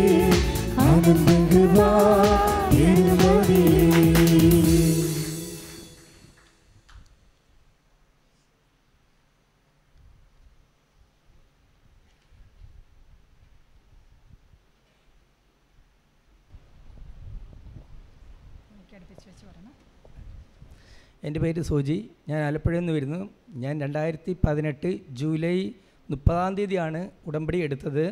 ഞാൻ ഉടമ്പടി വെച്ചിരുന്ന ആദ്യത്തെ നിയമം എന്റെ മകൾക്ക് വേണ്ടിയുള്ളതായിരുന്നു. അവൾക്ക് എല്ലാ മാസവും ഞങ്ങൾ ഹോസ്പിറ്റലിൽ കൊണ്ടുപോകണം. എന്നിട്ട് ആന്റിബയോട്ടിക് കൊടുത്തെങ്കിൽ മാത്രമേ അവളുടെ അസുഖം മാറത്തുള്ളൂ. അതുകൊണ്ട് ആദ്യത്തെ ഒരാഴ്ച കൊടുത്ത് രണ്ട് ദിവസം കഴിഞ്ഞ് പിന്നെയും ചുമയുണ്ടാവും പിന്നെയും പനിയാവും. അത് കഫമാണ്. അപ്പോൾ ഡോക്ടർ ചോദിച്ച് എങ്ങനെയാണ് ഇത്രയും കഫം ഈ കുഞ്ഞിന് വരുന്നതെന്ന് ഞങ്ങളോട് തന്നെ ഡോക്ടർ ചോദിച്ചിട്ടുണ്ട്. അപ്പോൾ ഞങ്ങൾ സാധാരണ ഇവർക്ക് ഒരു ക്രീം ബിസ്ക്കറ്റോ അല്ല പാലോ ഒരു സാധനവും കൊടുക്കാറില്ലായിരുന്നു. എന്നിട്ടും കഫം ഇത്രയും കൂടുന്നതാണ് ഈ അസുഖത്തിന്റെ കാരണം എന്ന് പറഞ്ഞു ഞങ്ങളങ്ങനെ ഉടമ്പടി എടുത്ത് ഉടമ്പടി എടുത്ത് പ്രാർത്ഥിച്ച് ഈ കഴിഞ്ഞ ചെവ്മല റാലിയിൽ ഞങ്ങൾ ഞാൻ പങ്കെടുത്തിരുന്നു. പങ്കെടുത്തപ്പോൾ ഇവിടുന്ന് വിജയകുമാർ സാറിനെ കണ്ട് ഞങ്ങൾ കോൺടാക്ട് ചെയ്തപ്പോൾ സാറ് ഞങ്ങളോട് പറഞ്ഞ് അടുത്ത മൂന്ന് മാസത്തേക്ക് കുഞ്ഞു ഹോസ്പിറ്റലിൽ പോകില്ല എന്നാണ് ഞങ്ങളോട് പറഞ്ഞിരുന്നത്. ഇപ്പോൾ അഞ്ച് മാസമായി അഞ്ച് മാസമായിട്ടും കുഞ്ഞിന് ഒരസുഖവും ഒരു മരുന്ന് പോലും ഞങ്ങൾ കൊടുക്കേണ്ടി വന്നിട്ടില്ല. രണ്ടാമത്തത് ഞങ്ങൾ ഉടമ്പടിയിൽ വെക്കാത്ത കാര്യമാണ്. കാരണം എന്റെ വൈഫിന്റെ അമ്മ ഒരു ദിവസം പള്ളിയിൽ പോയപ്പോൾ കാൽ തട്ടി വീണ്. കാൽ തട്ടി വീണെങ്കിൽ അത് നടുവിന്റെ കശേരിക്കൾ പൊട്ടിപ്പോയി. പൊട്ടിപ്പോയി അങ്ങനെ ഞങ്ങൾ ആലപ്പുഴ ജനറൽ ആശുപത്രി കൊണ്ട് കാണിച്ചപ്പോൾ ഡോക്ടർ പറഞ്ഞു കുഴപ്പമൊന്നുമില്ല. മരുന്നും ഗുളികയെല്ലാം തന്നു വിട്ടു. പക്ഷേ വീട്ടിൽ കൊണ്ടു ചെന്നിട്ട് ഞങ്ങൾക്ക് ഒരു കാരണവശാലും അമ്മച്ചിക്ക് ഇരിക്കാനോ നിൽക്കാനോ വയ്യാതെ വന്നപ്പോൾ ഞങ്ങൾ പിറ്റേ ദിവസം ആലപ്പുഴ സഹൃദയ ഹോസ്പിറ്റലിൽ കൊണ്ട് ചെന്ന് അവിടെ ചെന്നിട്ട് അവിടെ അഡ്മിറ്റ് ചെയ്ത് കഴിഞ്ഞപ്പോൾ ഡോക്ടർ പരിശോധിച്ചിട്ട് പറഞ്ഞ് കശേരിക്കൾ പൊട്ടിയിരിക്കുകയാണ് നിങ്ങൾക്കൊരു ഓപ്പറേഷൻ വേണം. അതിന് ഒന്നര ലക്ഷം രൂപ ഓപ്പറേഷൻ തന്നെയാകും. നീ എത്രയും വേഗം ഓപ്പറേഷൻ ചെയ്യണം. അല്ലെങ്കിൽ ആൾ കൂനി പിടിച്ചു പോകുമെന്നാണ് ഡോക്ടർ പറഞ്ഞിരുന്നത്. ഞങ്ങളെ കൊണ്ട് ഒരു നിവർത്തിയില്ലായിരുന്നു ഇവർ മൂന്ന് പെൺമക്കളായിരുന്നു. അവർക്ക് മൂന്ന് പേർക്കും അതിനുള്ള സാമ്പത്തികം അന്നേരം ഒപ്പിച്ചെടുക്കാൻ പറ്റിയില്ല. പിന്നെയും വിചാരിച്ച് കടം വാങ്ങിച്ചിട്ടെല്ലാം ചെയ്യണം അപ്പം ഞാൻ അപ്പം ഇത് കേട്ടപ്പോൾ ഇവിടെ കരയാൻ തുടങ്ങി. ഞാൻ പറഞ്ഞു നീ സമാധാനമായിരിക്കും. നമുക്ക് അമ്മയുണ്ടല്ലോ. അമ്മയോട് നമുക്ക് പറയാം. അങ്ങനെ ഞങ്ങൾ അന്നത്തെ പ്രതി ഉടമ്പടി പ്രാർത്ഥനയിലും രാവിലത്തെ പ്രതിഷീകരണ പ്രാർത്ഥനയിലും നിയോഗം വെച്ച് പ്രാർത്ഥിച്ചതിന്റെ ഫലമായിട്ട് പിറ്റേ ദിവസം ഇവിടെ ചേച്ചിക്ക് ജോലിയുണ്ട്. അപ്പോൾ ആ ചേച്ചിയുടെ ഇ എസ് എ വെച്ച് ഞങ്ങൾ അത് ഡോക്ടറോട് ചെന്ന് പറഞ്ഞു ഞങ്ങൾക്ക് ഇ എസ് എ ഉണ്ടെന്ന് പറഞ്ഞപ്പോൾ ഡോക്ടർ പറഞ്ഞു ഇപ്പോൾ ഇവിടെ ഇ എസ് എ ഇല്ല. നിങ്ങൾ ഇ എസ് എ ഉള്ള പുഷ്പഗിരിയിലാണ്. നിങ്ങൾക്ക് അങ്ങോട്ട് വേണേൽ ഞാൻ റെഫർ ചെയ്ത് തരാം. അപ്പോൾ ഇവിടെ ഒന്ന് പോകണമെങ്കിൽ അവരുടെ വീട്ടിൽ വേറെ ആരുമില്ലാത്തതുകൊണ്ട് അച്ഛനും അമ്മയും മാത്രമേ ഉള്ളൂ വേറെ. ബാക്കി മൂന്ന് മക്കളെയും കെട്ടിച്ചതായതുകൊണ്ട് വേറെ ആരുമില്ല. അവിടം വരെ പോയി നിൽക്കാനും ഒന്നും ആരുമില്ലായിരുന്നു. അങ്ങനെ ആയപ്പോൾ ഞങ്ങളിത് പ്രാർത്ഥിച്ചുകൊണ്ടിരുന്നപ്പോഴത്തേക്ക് പിറ്റേ ദിവസം ഡോക്ടറിനോട് ഞങ്ങൾ പറഞ്ഞുകൊണ്ടപ്പോൾ ഡോക്ടർ പറഞ്ഞ് നിങ്ങൾ ഓപ്പറേഷൻ ചെയ്തേ പറ്റത്തുള്ളൂ. ഞാൻ ഇവിടെ റെഫർ ചെയ്യാം. അല്ലെങ്കിൽ ഇതിന് വേറൊരു സജഷനും ഇല്ല എന്ന് പറഞ്ഞ് അപ്പം ഞങ്ങൾ പിറ്റേ ദിവസവും ഞാൻ നിങ്ങൾ ഇത് എനിക്ക് പ്രാർത്ഥിച്ചുകൊണ്ടിരുന്നപ്പോൾ അതിന്റെ പിറ്റേ ദിവസം ഡോ ഞങ്ങൾ അവിടെ ചെന്നപ്പം പറഞ്ഞ് ഈ സഹൃദയിൽ ആദ്യമായി അവിടെ എസ് ആരംഭിക്കുന്നെന്ന് ഡോക്ടർ ഞങ്ങളോട് പറഞ്ഞു. അതിന് ഞങ്ങൾ ചെന്ന് അവിടുത്തെ ഓഫീസിൽ ചെന്ന് കാര്യങ്ങൾ തിരക്കുമ്പോൾ അവിടുത്തെ ഓഫീസിൽ നിന്ന് പറഞ്ഞ് ഒരാഴ്ചയെങ്കിലും ഈ സമയം എടുക്കും. ഇതിന്റെ പേപ്പർ വർക്ക് കഴിഞ്ഞ് കിട്ടണമെങ്കിൽ തന്നെയും അത് കാരണം കൊണ്ട് നിങ്ങൾ പെട്ടെന്ന് തന്നെ പുഷ്പരി കൊണ്ടുപോകുമെന്ന് പറഞ്ഞു. ഞാൻ പറ ഞങ്ങൾ പറഞ്ഞ് അങ്ങനെ കൊണ്ടുപോകാൻ പറ്റത്തില്ല സാറേ എന്ന് പറഞ്ഞപ്പം ഡോക്ടർ പറഞ്ഞു "എന്നാ ഒരു കാര്യം ചെയ്യാം. ഡോക്ടർ തന്നെ നേരിട്ട് ഇ എസ് ഐയുടെ മെയിൻ ഓഫീസിലേക്ക് വിളിച്ച് അവരുമായിട്ട് സംസാരിച്ചപ്പോൾ അവിടെ നിന്ന് പറഞ്ഞ് അന്ന് ഒരു ശനിയാഴ്ചയായിരുന്നു. ഡോക്ടർ പറഞ്ഞു ഡോക്ടറിനോട് അവർ പറഞ്ഞു ഞായറാഴ്ച ഒരു ദിവസം ഓഫീസ് മുടക്കാണ്. അതുകൊണ്ട് തിങ്കളാഴ്ച ഉച്ചയ്ക്ക് മുമ്പായിട്ട് പേപ്പർ വർക്കെല്ലാം ചെയ്തു തരാമെന്ന് പറഞ്ഞു. അങ്ങനെ തിങ്കളാഴ്ച ഉച്ചയ്ക്ക് മുമ്പ് തന്നെ പേപ്പർ വർക്ക് ചെയ്ത് കഴിഞ്ഞ് തിങ്കളാഴ്ച രാത്രിയിൽ ഓപ്പറേഷൻ കഴിഞ്ഞ് ഒരു രൂപ പോലും ഞങ്ങൾക്ക് പൈസ മുടക്കാതെ ഓപ്പറേഷൻ ഭംഗിയാക്കി തന്നത് മൂന്നാമത്തത് എന്റെ ഭാര്യയ്ക്ക് നിരന്തരമായിട്ട് എപ്പോഴും തലവേദന ഉണ്ട് രണ്ടും മൂന്നും ഗുളിക കഴിച്ചാൽ ആ തലവേദന നിൽക്കത്തുള്ളൂ അത് ഈ മൈഗ്രെയിന്റെ ആണെന്നാണ് പറഞ്ഞിരുന്നത്. അങ്ങനെ ഞങ്ങൾ ഉടമ്പടിയിൽ വെച്ചിട്ടുണ്ട്. അതിൽ ഉപ്പും തേനും എല്ലാ ദിവസവും പ്രാർത്ഥനയ്ക്ക് എന്റെ കുഞ്ഞിനും എന്റെ ഞങ്ങൾക്ക് മൂന്ന് പേരും ഞങ്ങൾ തേനും ഉപ്പും എല്ലാം കഴിക്കുമായിരുന്നു. അങ്ങനെ കഴിച്ചിപ്പം തലവേദനയൊക്കെ ഒരുപാട് ഒരുപാട് കുറഞ്ഞു കഴിഞ്ഞ്. ഇപ്പം യാതൊരു കുഴപ്പമില്ല. കുടുംബത്തിലാണെങ്കിൽ സന്തോഷം സമ്മാനം ഞങ്ങൾ മൂന്ന് പേരും അടങ്ങുന്നതാണ് ഒരു കുടുംബം. അതണക്ക് ഞാൻ ആദ്യമായിട്ട് ഇവിടെ പറയാത്തൊരു എഴുതി കൊടുക്കാത്ത ഒരു കാര്യം ഉണ്ടായിരുന്നു. ഒരു ഹൈന്ദവ സഹോദരന്റെ ഒരു കുഞ്ഞിന് വേണ്ടി ആ കുഞ്ഞ് പ്രസവിച്ച് ഏതാണ്ട് നാൽപ്പത്തഞ്ച് അമ്പത് ദിവസമായുള്ള ആ ചേട്ടൻ എന്നോട് പറഞ്ഞിരുന്നത്. ആ ചേട്ടൻ എന്നോട് കരഞ്ഞോണ്ട് പറഞ്ഞു സോജി ഇന്നണക്ക് എന്റെ ഇന്നണക്ക് കുഞ്ഞിനൊരു ഓപ്പറേഷൻ വേണം എന്ന് പറഞ്ഞാൽ ഇത്രയും ദിവസമായുള്ളൂ അപ്പം ഞാൻ പറഞ്ഞു ചേട്ടാ ഒരു കാര്യം ചെയ്യും. എന്റെ വിശ്വാസത്തിൽ ഞാൻ ചേട്ടനോട് ഒരു കാര്യം ഞാൻ ഉടം ഈ എന്റെ അപ്പോൾ ഇവിടുത്തെ പത്രം ഉണ്ടായിരുന്നു. ആ പത്രവും ഇച്ചിരി ഉപ്പുമായിട്ട് കൊടുത്തു വിട്ടിട്ട് ഞാൻ പറഞ്ഞു കുഞ്ഞിനെ അഡ്മിറ്റ് ചെയ്യുന്നതാണ് ആ ചേട്ടൻ അവിടെ ചെല്ലുന്നതെന്ന് പറഞ്ഞ്. അപ്പോൾ അവിടെ ചെന്നപ്പോഴത്തേക്കും ഞാൻ പറഞ്ഞ് അഡ്മിറ്റ് ചെയ്തിട്ട് താഴെ കുഞ്ഞിനെ കിടത്തിരിക്കുന്ന താഴെ പത്രം നിങ്ങൾ വെക്കുക. മാതാവിനോട് പ്രാർത്ഥിക്കുക. മാതാവേ എന്റെ കുഞ്ഞിന് ഒരു കുഴപ്പവും വരുത്തരുത് എന്ന് പറഞ്ഞുകൊണ്ട് ചെയ്യാൻ പറഞ്ഞ് ആ ചേട്ടൻ പറഞ്ഞു എന്നിട്ട് അഡ്മിറ്റ് ചെയ്ത് ഓപ്പറേഷൻ കഴിഞ്ഞ് ഒരാഴ്ച അവിടെ കിടക്കണമെന്നും പറഞ്ഞിട്ടാണ് പറഞ്ഞിരിക്കുന്നത്. അങ്ങനെ ആ ചേട്ടൻ പത്രം കൊണ്ട് അവിടെ ചെന്ന് ഞാൻ പറഞ്ഞ കണക്ക് എന്നെ പുള്ളി ചെയ്ത് പിറ്റേ ദിവസം എന്റെയൊക്കെ വന്നിട്ട് പുള്ളി പറഞ്ഞിടാ ഹോസ്പിറ്റലിൽ കുഞ്ഞിനെ ഓപ്പറേഷന് കയറ്റി. പക്ഷേ ഡോക്ടർ പറഞ്ഞു ഓപ്പറേഷൻ ചെയ്യേണ്ട. അങ്ങനെ ഒരുപാട് അനുഗ്രഹം. ഇത് പറഞ്ഞാലും പറഞ്ഞാലും തീരത്തില്ല. പക്ഷെ ഒത്തിരി അനുഗ്രഹം അമ്മയും ഈശോയും എനിക്ക് ചെയ്തുകൊണ്ടിരിക്കുന്നത് അതിനെല്ലാത്തിനും അമ്മയ്ക്കും ഈശോയ്ക്കും ഒരായിരം നന്ദി പറയുന്നു. കുഞ്ഞിന്റെ മൂന്ന് വർഷമായി തുടർച്ചയായി ഉണ്ടായിരുന്ന അലർജി രോഗം അതായത് ചുമ അല്ലേ? പൂർണമായി മാറി കിട്ടി അമ്മയുടെ ഓപ്പറേഷനത്തിന് അവർക്ക് ആവശ്യമായ പണം പരിശുദ്ധ അമ്മ ഇടപെട്ട് നടത്തി കൊടുത്തു അതുതന്നെയല്ല സ്വന്തം കാര്യം മാത്രമല്ല മറ്റുള്ളവരെയും ദൈവത്തിലേക്ക് കൊണ്ടുവരുന്നതാണ് നമ്മൾ ഈ സാക്ഷ്യത്തിൽ നിന്ന് മനസ്സിലാക്കുന്നത്. മറ്റുള്ളവരെയും വിശ്വാസത്തിലേക്ക് കൊണ്ടുവരിക. ഞാൻ മാത്രം രക്ഷപ്പെട്ടാൽ പോരാ എന്റെ സഹോദരൻ. അത് ഏത് മതമാണെന്നുള്ളതല്ല സഹോദരങ്ങളെയും ദൈവസന്നിധിയിൽ എത്തിക്കുകയായിരുന്നു ഈ മകന്റെ പ്രത്യേകത. അതുകൊണ്ട് നമുക്ക് ഈ മകത്തിന് കിട്ടിയതും മകന്റെ കൂട്ടുകാരനും അവൻ വഴി മറ്റുള്ളവർക്കും ദൈവത്തിന്റെ പല അനുഗ്രഹങ്ങളിലും ഇടപാടുകളും ഉണ്ടാകട്ടെ നമുക്ക് പ്രാർത്ഥിക്കാം. കരങ്ങൾ അടിച്ച് ദൈവത്തെ മഹത്വപ്പെടുത്താം.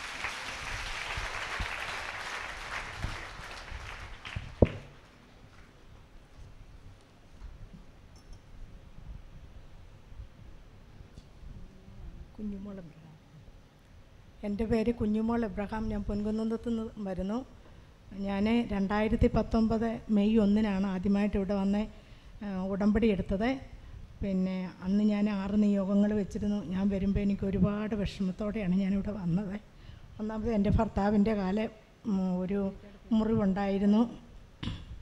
പുള്ളിക്കാരന് ഇരുപത് വർഷമായിട്ട് ഷുഗറുള്ള മനുഷ്യനാണ്. അപ്പോൾ ഒരു ചെറിയ ഞുണൽ പോലൊരു സംഭവം ഉണ്ടായിരുന്നുള്ളൂ. പക്ഷേങ്കിൽ അത് ഡോക്ടറെ കാണിച്ചു. ഒരുപാട് ചികിത്സകൾ നടത്തിയിട്ട് അത് വലിയൊരു മുറിവായി. അതിന്റെ കൂടെ വീണ്ടും ചെറിയൊരു വീണ്ടും ഒരു മുറിവായി. എല്ലാം കൂടെ ആ കാൽ കാലിന്റെ വിരൽ മുറിച്ച് കളയണമെന്ന് ഒരുപാട് പേര് പറഞ്ഞു. ഞങ്ങൾ ഒരുപാട് വിഷമിച്ചു. ഞാനിവിടെ നിന്ന് പ്രാർത്ഥിച്ചു. ഇവിടുത്തെ നിയമങ്ങളെല്ലാം വെച്ച് ഞാൻ മാതാവിന്റെ മുന്നിൽ എന്നും വൈകിട്ട് ഞങ്ങളെ തിരി കത്തിച്ച് പ്രാർത്ഥിച്ചു.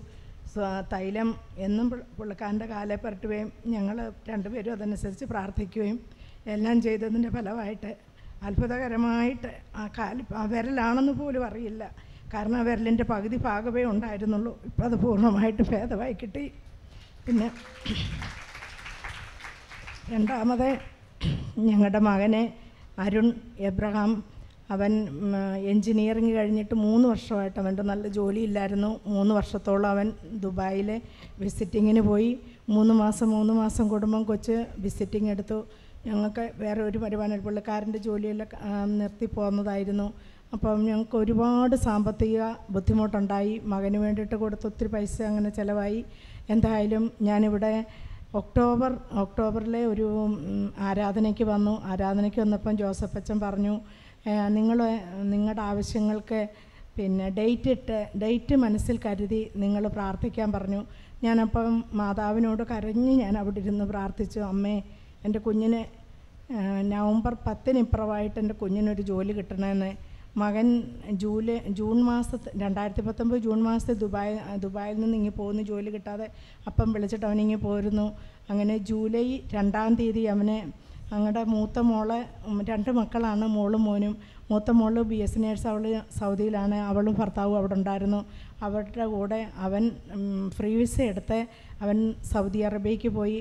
അവിടെ ഞാനിങ്ങനെ മാതാവിനോട് ഇവിടിരുന്ന് കരഞ്ഞ് പ്രാർത്ഥിച്ചു. അതിന്റെ ഫലമായിട്ട് ഞാൻ നവംബർ പത്തൊന്ന് മാതാവിനോട് പറഞ്ഞു നവംബർ പന്ത്രണ്ടാം തീയതി ഞങ്ങളുടെ കുഞ്ഞിന് നല്ല ജോലി എല്ലാ സ്പെസിലിറ്റിയോടും കൂടിയ ജോലി കുഞ്ഞിന് അമ്മ ശരിയാക്കി കൊടുത്തു.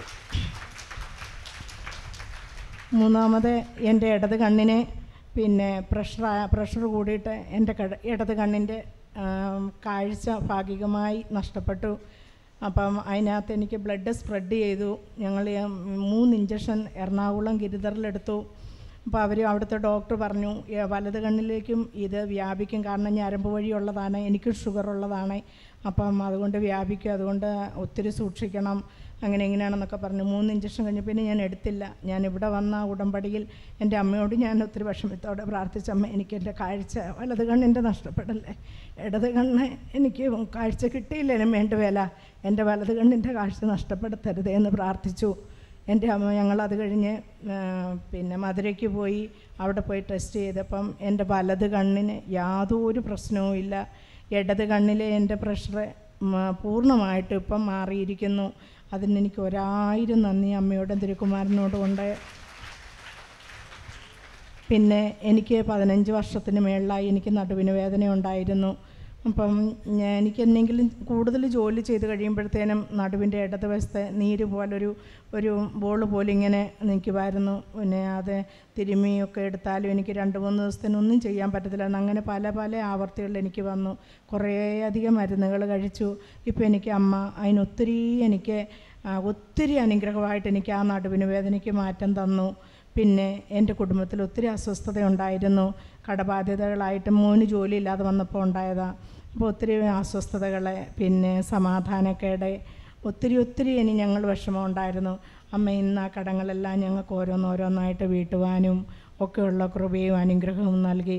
എല്ലാം ഞങ്ങൾക്ക് നൽകിയ അമ്മയ്ക്കും പരിശുദ്ധ അമ്മയ്ക്കും തിരുക്കുമാരനും ഒരായിരം നന്ദി പറയുന്നു. ഞങ്ങൾക്ക് കിട്ടിയ അനുഗ്രഹങ്ങൾ ഇത്രയൊക്കെ നിങ്ങളോട് പറഞ്ഞു. എന്നാൽ ഇതിന് നമുക്ക് വലിയൊരു അനുഗ്രഹം. ഞങ്ങളുടെ അയലോകത്തുള്ള ഒരു പെങ്കൊച്ച് അവർക്ക് ഇരുപത്തിയഞ്ച് വയസ്സേ ഉള്ളൂ. ഹിന്ദു സമുദായത്തിൽപ്പെട്ട ഒരു കുഞ്ഞുമുണ്ട് പെട്ടെന്ന് ഒരു കുഴപ്പമില്ലാതെ നടന്നു വന്ന് അവൾക്ക് ഒരു പനിയൊക്കെ വന്ന ഡോക്ടറെ കണ്ടു കഴിയുമ്പോൾ അവൾക്ക് ബ്ലഡ് ക്യാൻസർ ആണെന്ന് പറഞ്ഞു. അവൾക്ക് ക്യൂമ എടുക്കാനൊക്കെ പോയി. അപ്പോൾ ഞങ്ങളുടെ തൊട്ടായാലൊക്കെ എനിക്കാണെങ്കിൽ കുഞ്ഞിന് ഭയങ്കര ഇഷ്ടമാണ് ഞാൻ അവളോട് മോളെ നീ പേടിക്കണ്ട. കൃപാസനത്തിൽ ഞങ്ങൾ പോകുന്നുണ്ട്. ഞങ്ങൾ ഉടമ്പടി എടുത്തിട്ടുണ്ട്. ഇത് ഒരു ഉടമ്പടി എടുത്തു കഴിഞ്ഞാൽ ദേശത്തിന് മൊത്തം അനുഗ്രഹം വന്ന അച്ഛൻ പറഞ്ഞത്. അപ്പോൾ ഈ ഉടമ്പടി വെച്ച് ഞാൻ നിനക്ക് വേണ്ടി പ്രാർത്ഥിക്കുക. അങ്ങനെ ഞങ്ങൾ രണ്ടുപേരും അവർക്ക് വേണ്ടി പ്രാർത്ഥിച്ചു. ഇവിടെ തലയിലെ മുടിയെല്ലാം കംപ്ലീറ്റ് പൊഴിഞ്ഞു പോയായിരുന്നു അപ്പോൾ ഞങ്ങളോട് പറഞ്ഞു നിന്നെ ഞാൻ കൃപാസനത്തിൽ കൊണ്ടുപോവാം. അതും അവൾക്ക് സന്തോഷമായി. ചേട്ടാ എന്റെ അസുഖം മാറുമെന്ന് ചോദിച്ചു. നീ ധൈര്യമായിട്ടിരുന്നു? അമ്മ മാതാവ് നിന്റെ അസുഖം മാറ്റി തരുമെന്ന് പറയും പ്രിയ സഹോദരങ്ങളെ ഇന്ന് അവൾ ഭേദപ്പെട്ടു. അവിടെ തലയിൽ മുടിയൊക്കെ ആയി. അവൾ ഞാൻ വണ്ടി കൊണ്ട് അങ്ങോട്ടും ഇങ്ങോട്ടും ഇവരുടെ വീടിന്റെ ഭാഗക്കൂടെ പോകാൻ പോകാം. ഞാൻ നിർത്തും. ചോദിക്കും. ആര്യേ എങ്ങനെയുണ്ട് മോളെ? ഉടനെ പറയും. "അച്ഛ- ചേട്ടാ ഒത്തിരി സൗഖ്യമായിരുന്നു. ഇപ്പോൾ അവൾ സന്തോഷം ചെറിയ രീതിയിലുള്ള മരുന്ന് കഴിക്കുന്നുണ്ട്. അവിടെ അസുഖം പൂർണമായിട്ട് മാറുമെന്നാണ് എന്റെ വിശ്വാസം. നിങ്ങളുടെ എല്ലാം പ്രാർത്ഥന ഒരിക്കൽ കൂടി ഞാൻ ആവശ്യപ്പെടുകയാണ്. ഇരുപത് വർഷമായിട്ടുണ്ടായിരുന്ന ഷുഗർ രോഗം. ആർക്കായിരുന്നു കാലമൊക്കെ പൂർണ സൗഖ്യം പ്രാപിച്ചു. കൂടാതെ മൂന്ന് വർഷമായ അതിന്റെ ജോലി സംബന്ധമായ പ്രശ്നം മാറിക്കിട്ടി. ചേച്ചിയുടെ കണ്ണിന്റെ കാഴ്ച നഷ്ടപ്പെട്ടു എന്ന് പറഞ്ഞിരുന്നു. ഇപ്പോൾ നിൽക്കണം ഈ ഇന്നത്തെ സാക്ഷ്യത്തിൽ രണ്ട് മൂന്ന് കാര്യം നമ്മൾ ശ്രദ്ധിച്ചായിരുന്നു അല്ലേ? കണ്ണിന്റെ കാഴ്ച. അത് ഇന്നത്തെ ഒരു പ്രത്യേകതയാണ് ഇന്നത്തെ സാക്ഷ്യത്തിന്റെ. അപ്പോൾ കണ്ണിന് കാഴ്ചയില്ലാതെ അസ്വസ്ഥപ്പെടുന്ന എല്ലാവരും ഈ സാക്ഷ്യം കേൾക്കുമ്പോൾ പറയണം ഇന്ന് അമ്മ എന്റെ കണ്ണ് തൊട്ട് സുഖപ്പെടുത്തിയിട്ട് എന്നെ വിടാം. പരിശുദ്ധ കുർബാനയുടെ ആശീർവാദം ലഭിക്കുമ്പോൾ അച്ഛന്റെ ആരാധനയുടെ സമയത്ത് നമുക്ക് എല്ലാവർക്കും സൗഖ്യം നേടണം. അപ്പോൾ പരിശുദ്ധമായിട്ട് പ്രാർത്ഥിക്കുക. ഇരുന്ന് വേദനകളോടുകൂടി ഇരിക്കുക എല്ലാവർക്കും ഭയങ്കര വിഷമമുകൊണ്ടിരിക്കുക. ഈ സഹോദരനും കുടുംബത്തിനും അതുകൂടാതെ അവർ മറ്റൊരു കുടുംബത്തിനെയും കൂടെ ദത്തെടുത്തിരിക്കുകയാണ് പ്രാർത്ഥനയിൽ.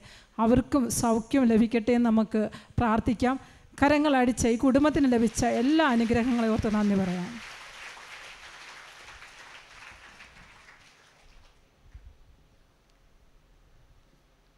അടുത്തതായി പേര് വിചരി വിളിക്കുന്നവർ അമ്മ മാതാവിന്റെ സന്നിധിയിലായിട്ട് വരേണ്ടതാണ്. ഫ്യൂജിൻ Fort Kochi baby J Jacob Kottayam നിപ്സി Thoppumpady. മൂന്ന് പേരും ദയവ് ചെയ്ത് വരേണ്ടതാണ്.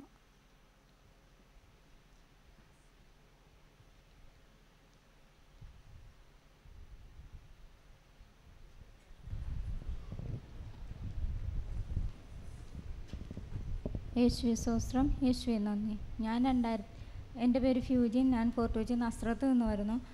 ഞാൻ രണ്ടായിരത്തി പതിനെട്ട് നവംബർ മാസം ഉടമ്പടി എടുത്തതാണ്. എനിക്ക് ഇരുപത്തിമൂന്ന് വർഷമായി അപസ്മാരത്തിന്റെ അസുഖം ഉണ്ടായിരുന്നു. പതിനഞ്ച് വയസ്സ് കഴിഞ്ഞപ്പോൾ മുതൽ തുടങ്ങിയതാണ്.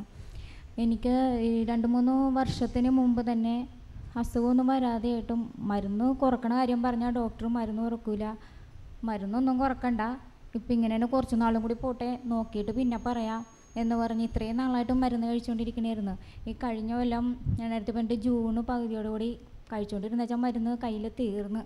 ജോലിക്ക് വന്നിട്ട് പിന്നെ മേടിക്കാമെന്ന് കരുതി. പിന്നെ ആ കാര്യമേ അങ്ങ് മറന്നുപോയി. മരുന്നിന്റെ കാര്യമേ മറന്നുപോയി. മൂന്ന് നാല് മാസം കഴിഞ്ഞിട്ടാണ് പിന്നെ ഈ മരുന്നിന്റെ കാര്യം ഞാൻ ഓർക്കണം. മരുന്ന് മേടിച്ചിട്ടില്ലല്ലോ എന്ന് അപ്പം ഞാൻ മാതാവിനോട് പറഞ്ഞു മാതാവ് ഇനി ഞാൻ മരുന്നേ കഴിക്കണില്ല. എന്നെ നീ കാത്തോളണം.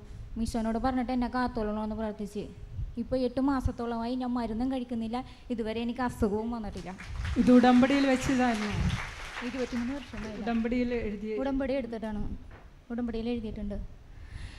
പിന്നീട് ഈ കഴിഞ്ഞ ഒക്ടോബർ എട്ടാം തീയതി ഞാനിവിടെ ഉടമ്പടി പ്രാർത്ഥനയ്ക്ക് വന്നിട്ട് പ്രാർത്ഥന കഴിഞ്ഞ് മാതാവിനെ മുത്തുന്നതിനായിട്ട് ഇവിടെ നിന്ന് സ്റ്റെപ്പ് കയറി വന്നുകൊണ്ടിരിക്കണമായിരുന്നു അപ്പോൾ ഈ സൈഡിൽ മുമ്പ് ഉടമ്പടി വിളക്ക് വെച്ചിരുന്നു. ആ സൈഡിൽ നിന്ന് കുറച്ച് പേര് വന്നിട്ട് ക്യൂവിൽ നിൽക്കുന്ന ആൾക്കാരെ എല്ലാവരും അങ്ങോട്ട് തള്ളി അങ്ങോട്ട് പിടിച്ചു. ക്യൂവിലുള്ളവർക്ക് കയറാൻ പറ്റാത്ത അവസ്ഥയിൽ തള്ളി പിടിച്ചു ഞാൻ കൈവരിയുടെ സൈഡിലായിരുന്നു.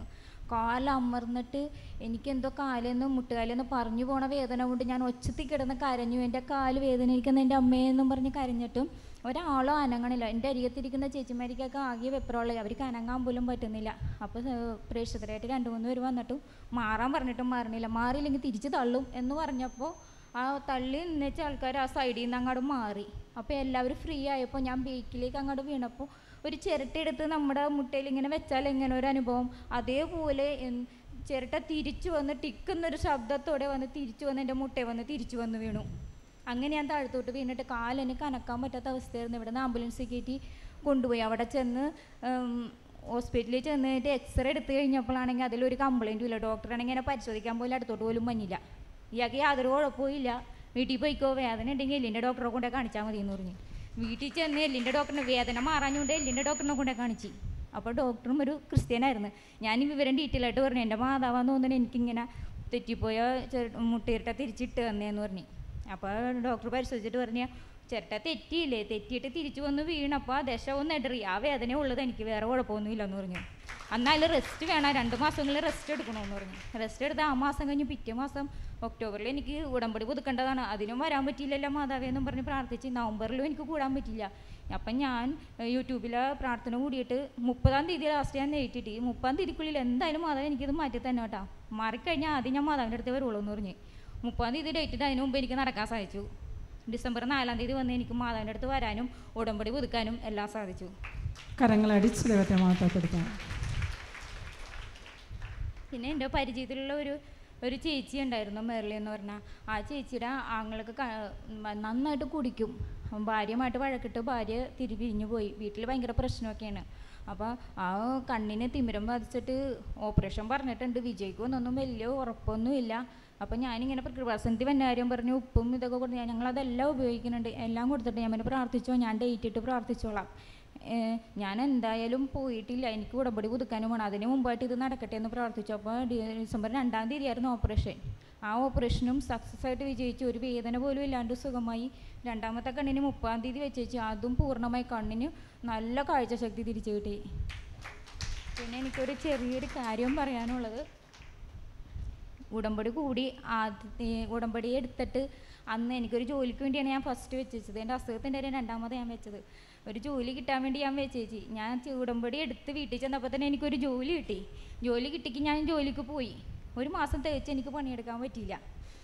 ഭയങ്കര ടഫായിട്ടുള്ള പണിയായതുകൊണ്ട് അവർ പറഞ്ഞ് തനിക്ക് പണിയെടുക്കാൻ പറ്റുമെന്ന് തോന്നണില്ല ഒരു ഫോറിനേഴ്സിന്റെ ഓഫീസിലായിരുന്നു അപ്പോൾ തനിക്ക് ഇത്തിരി റെസ്റ്റുള്ള പണിയപ്പോൾ എനിക്ക് പറ്റുള്ളൂ എന്ന് പറഞ്ഞ് എന്നെ അവിടെ നിന്ന് പറഞ്ഞു വിട്ടു. അത് കഴിഞ്ഞ് മിറ്റേ മാസം ഇവിടെ വന്നു കഴിഞ്ഞപ്പോൾ ഞാൻ മാധവനോട് പറഞ്ഞു മാധവ് ഒരു ജോലി ചോദിച്ചിട്ട് എനിക്ക് കിട്ടിയത് ഇങ്ങനെയാണ്. ഇങ്ങനെയാണെങ്കിൽ ഒരു കാര്യം ചെയ്യും മാധവ് എനിക്ക് ജോലിയും തരണ്ട വല്ല ആക്സിഡന്റും പറ്റി എന്നെ വല്ലയിടത്തും മാറ്റി ഇരുത്ത്. നല്ലപോലെ മാധവ് നോക്കെന്ന് പറഞ്ഞു. ഇതിപ്പോൾ എനിക്കൊരു സംശയമുണ്ട്. എന്റെ കാലിന് ഇങ്ങനെ പറ്റിയത് മാധവൻ ഇനി അതുമൂലം എനിക്ക് തന്നതാണോ? എന്നാൽ രണ്ടു മാസം ഞാൻ ജോലിയെടുത്ത് ജീവിക്കണേലും സുഭിക്ഷമായിട്ടാണ് എന്റെ മാതാവിനെ കൊണ്ടുവരുന്നത് എന്റെ കാര്യങ്ങളെല്ലാം ലാഭിഷായിട്ട് എല്ലാ കാര്യവും നടത്തി തന്നത്. ഈ നിമിഷം വരെ ഒരു കുറവില്ലാണ്ട് എന്റെ മാതാവിനെ നോക്കിക്കൊണ്ടിരിക്കുന്നു. എല്ലാ നന്മകൾക്കും ആയിരം ആയിരം നന്ദി. ഇരുപത്തിമൂന്ന് വർഷമായിട്ടുണ്ട് അപസ്മാര രോഗം നേർച്ച വസ്തുക്കൾ ഉപയോഗിച്ച് പ്രാർത്ഥിച്ചതിന്റെ ഫലമായി പൂർണ സൗഖ്യം നേടി. ഇവിടെയും മോൾ പ്രത്യേകം പറയുന്നുണ്ടായിരുന്നു തിമിരം ബാധിച്ച സഹോദരിയുടെ കണ്ണിന്റെ കാഴ്ച പൂർണമായിട്ട് പൂർണമായിട്ട് സൗഖ്യം പ്രാപിച്ചിരിക്കുകയാണ്. എനിക്കാണ് ഇന്നത്തെ ദിവസം പ്രത്യേകം എല്ലാവരും കണ്ണിന് കാഴ്ച നഷ്ടപ്പെട്ടവരും അതുപോലെ അസ്വസ്ഥ അനുഭവിക്കുന്ന എല്ലാവരും പ്രത്യേകം അമ്മയുടെ മാധ്യസ്ഥം വായിച്ച് പ്രാർത്ഥിക്കണം. കാരണം ഇന്നത്തെ പ്രത്യേകത അതാണ്. ഇന്നത്തെ സാക്ഷ്യത്തിൽ കൂടുതൽ കാഴ്ചയുടെ കാര്യമാണ്. ഈ മകൾക്ക് ദൈവം നൽകിയ പരിശുദ്ധ അമ്മയുടെ മധ്യസ്ഥം വഴി തിരുക്കുമാരിൽ നിന്ന് കിട്ടിയ എല്ലാ അനുഗ്രഹങ്ങളെ ഓർത്ത് നമുക്ക് നന്ദി പറയാം. അസ്വസ്ഥപ്പെട്ടുകൊണ്ടിരുന്ന അവസ്ഥയിൽ പോലും അമ്മ അവിടെ സൗഖ്യം നൽകിയിരിക്കുകയാണ്. മുട്ടിന്റെ ചിരട്ട തെറ്റിയിരുന്നു അല്ലേ? ആ അവിടെ തന്നെ മാതാവ് തിരിച്ചിട്ട് അതിനുള്ള കൊടുത്ത പണിയായിരുന്നു.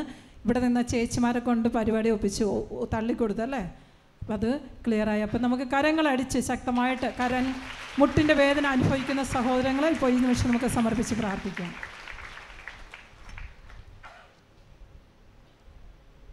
Baby Jacob.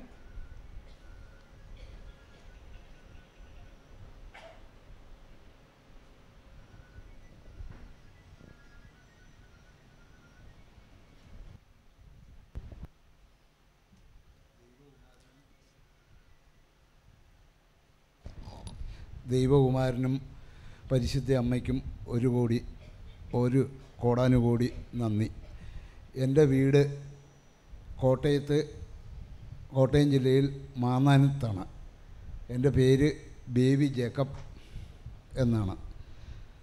ഞാൻ രണ്ടായിരത്തി പത്തൊമ്പത് മെയ് മുപ്പതാം തീയതിയാണ് ഇവിടെ വന്ന് ആദ്യമായി ഈ കൃപാസനത്തിൽ വരുന്നതും ഇവിടെ വന്ന് ഉടമ്പടി എടുക്കുന്നതും. എനിക്ക് വലിയ വിശ്വാസമൊന്നും ഇല്ലായിരുന്നു. വലിയ പ്രതീക്ഷയോട് കൂടിയൊന്നുമല്ല. പലരും പറഞ്ഞ് ഇങ്ങനെ പത്രം വായിച്ചു ഒന്ന് ഇവിടെ വന്നു ഒന്ന് വരണമെന്ന് തോന്നി ഒന്ന് വന്നു. വന്നപ്പോൾ ഉടമ്പടി എടുക്കണമെന്ന് തോന്നി മാതാവ് തോന്നിച്ചു ഞാൻ ഉടമ്പടി എടുത്തു. ഉടമ്പടി എടുത്ത് എന്നിട്ടും ഈ മെയ് മുപ്പതാം തീയതി ഉടമ്പടി എടുത്തിട്ട് ഞാൻ മാതാവിന്റെ പ്രാർത്ഥന ചെല്ലുകയോ വീട്ടിൽ ചെന്ന് ഇത് പ്രത്യക്ഷീകരണ പ്രാർത്ഥന ചെല്ലുകയോ ഒന്നും ചെയ്തില്ല. ഈ ഉടമ്പടി എടുത്തുകൊണ്ട് പോയ തൈലവും ഇതും ചുമ്മാ വീട്ടിൽ വെച്ചിരുന്നു. അതിനുശേഷം ഇങ്ങനെ അങ്ങ് തുടർന്ന് പോകുന്നു അത് കഴിഞ്ഞ് ഞാൻ ജൂൺ നാലാം തീയതി ചൊവ്വാഴ്ച ഇവിടെ പറഞ്ഞതനുസരിച്ച് ആദ്യത്തെ പ്രാവശ്യം ഇവിടെ വന്നു. വന്ന് ചൊവ്വാഴ്ചത്തെ ഇത് പ്രാർത്ഥന കൂടി. പ്രാർത്ഥന കൂടി. അന്ന് വീട്ടിൽ ചെന്ന് കഴിഞ്ഞപ്പോൾ എനിക്ക് തോന്നി ഈ പ്രാർത്ഥന ചെല്ലണമെന്ന് തോന്നി. അന്ന് മുതൽ ഞാൻ ഈ പ്രാർത്ഥന ചെല്ലാൻ ആരംഭിച്ചു. അന്ന് മുതൽ ഈ പ്രാർത്ഥന ചൊല്ലി പിറ്റേ ദിവസം രാവിലെയും പ്രാർത്ഥന ചൊല്ലി. ഇങ്ങനെ മുടങ്ങാതെ പ്രാർത്ഥന ചൊല്ലി. ഞാൻ ഇപ്പോൾ പറയുന്നത് എനിക്ക് സാധിച്ച ഉടമ്പടിയിൽ ഞാൻ വെച്ചിരുന്ന ഒരു കാര്യം എനിക്ക് സാധിച്ചു. എനിക്കൊരു ചെറിയ കടയാണ് മാന്നാനത്ത്.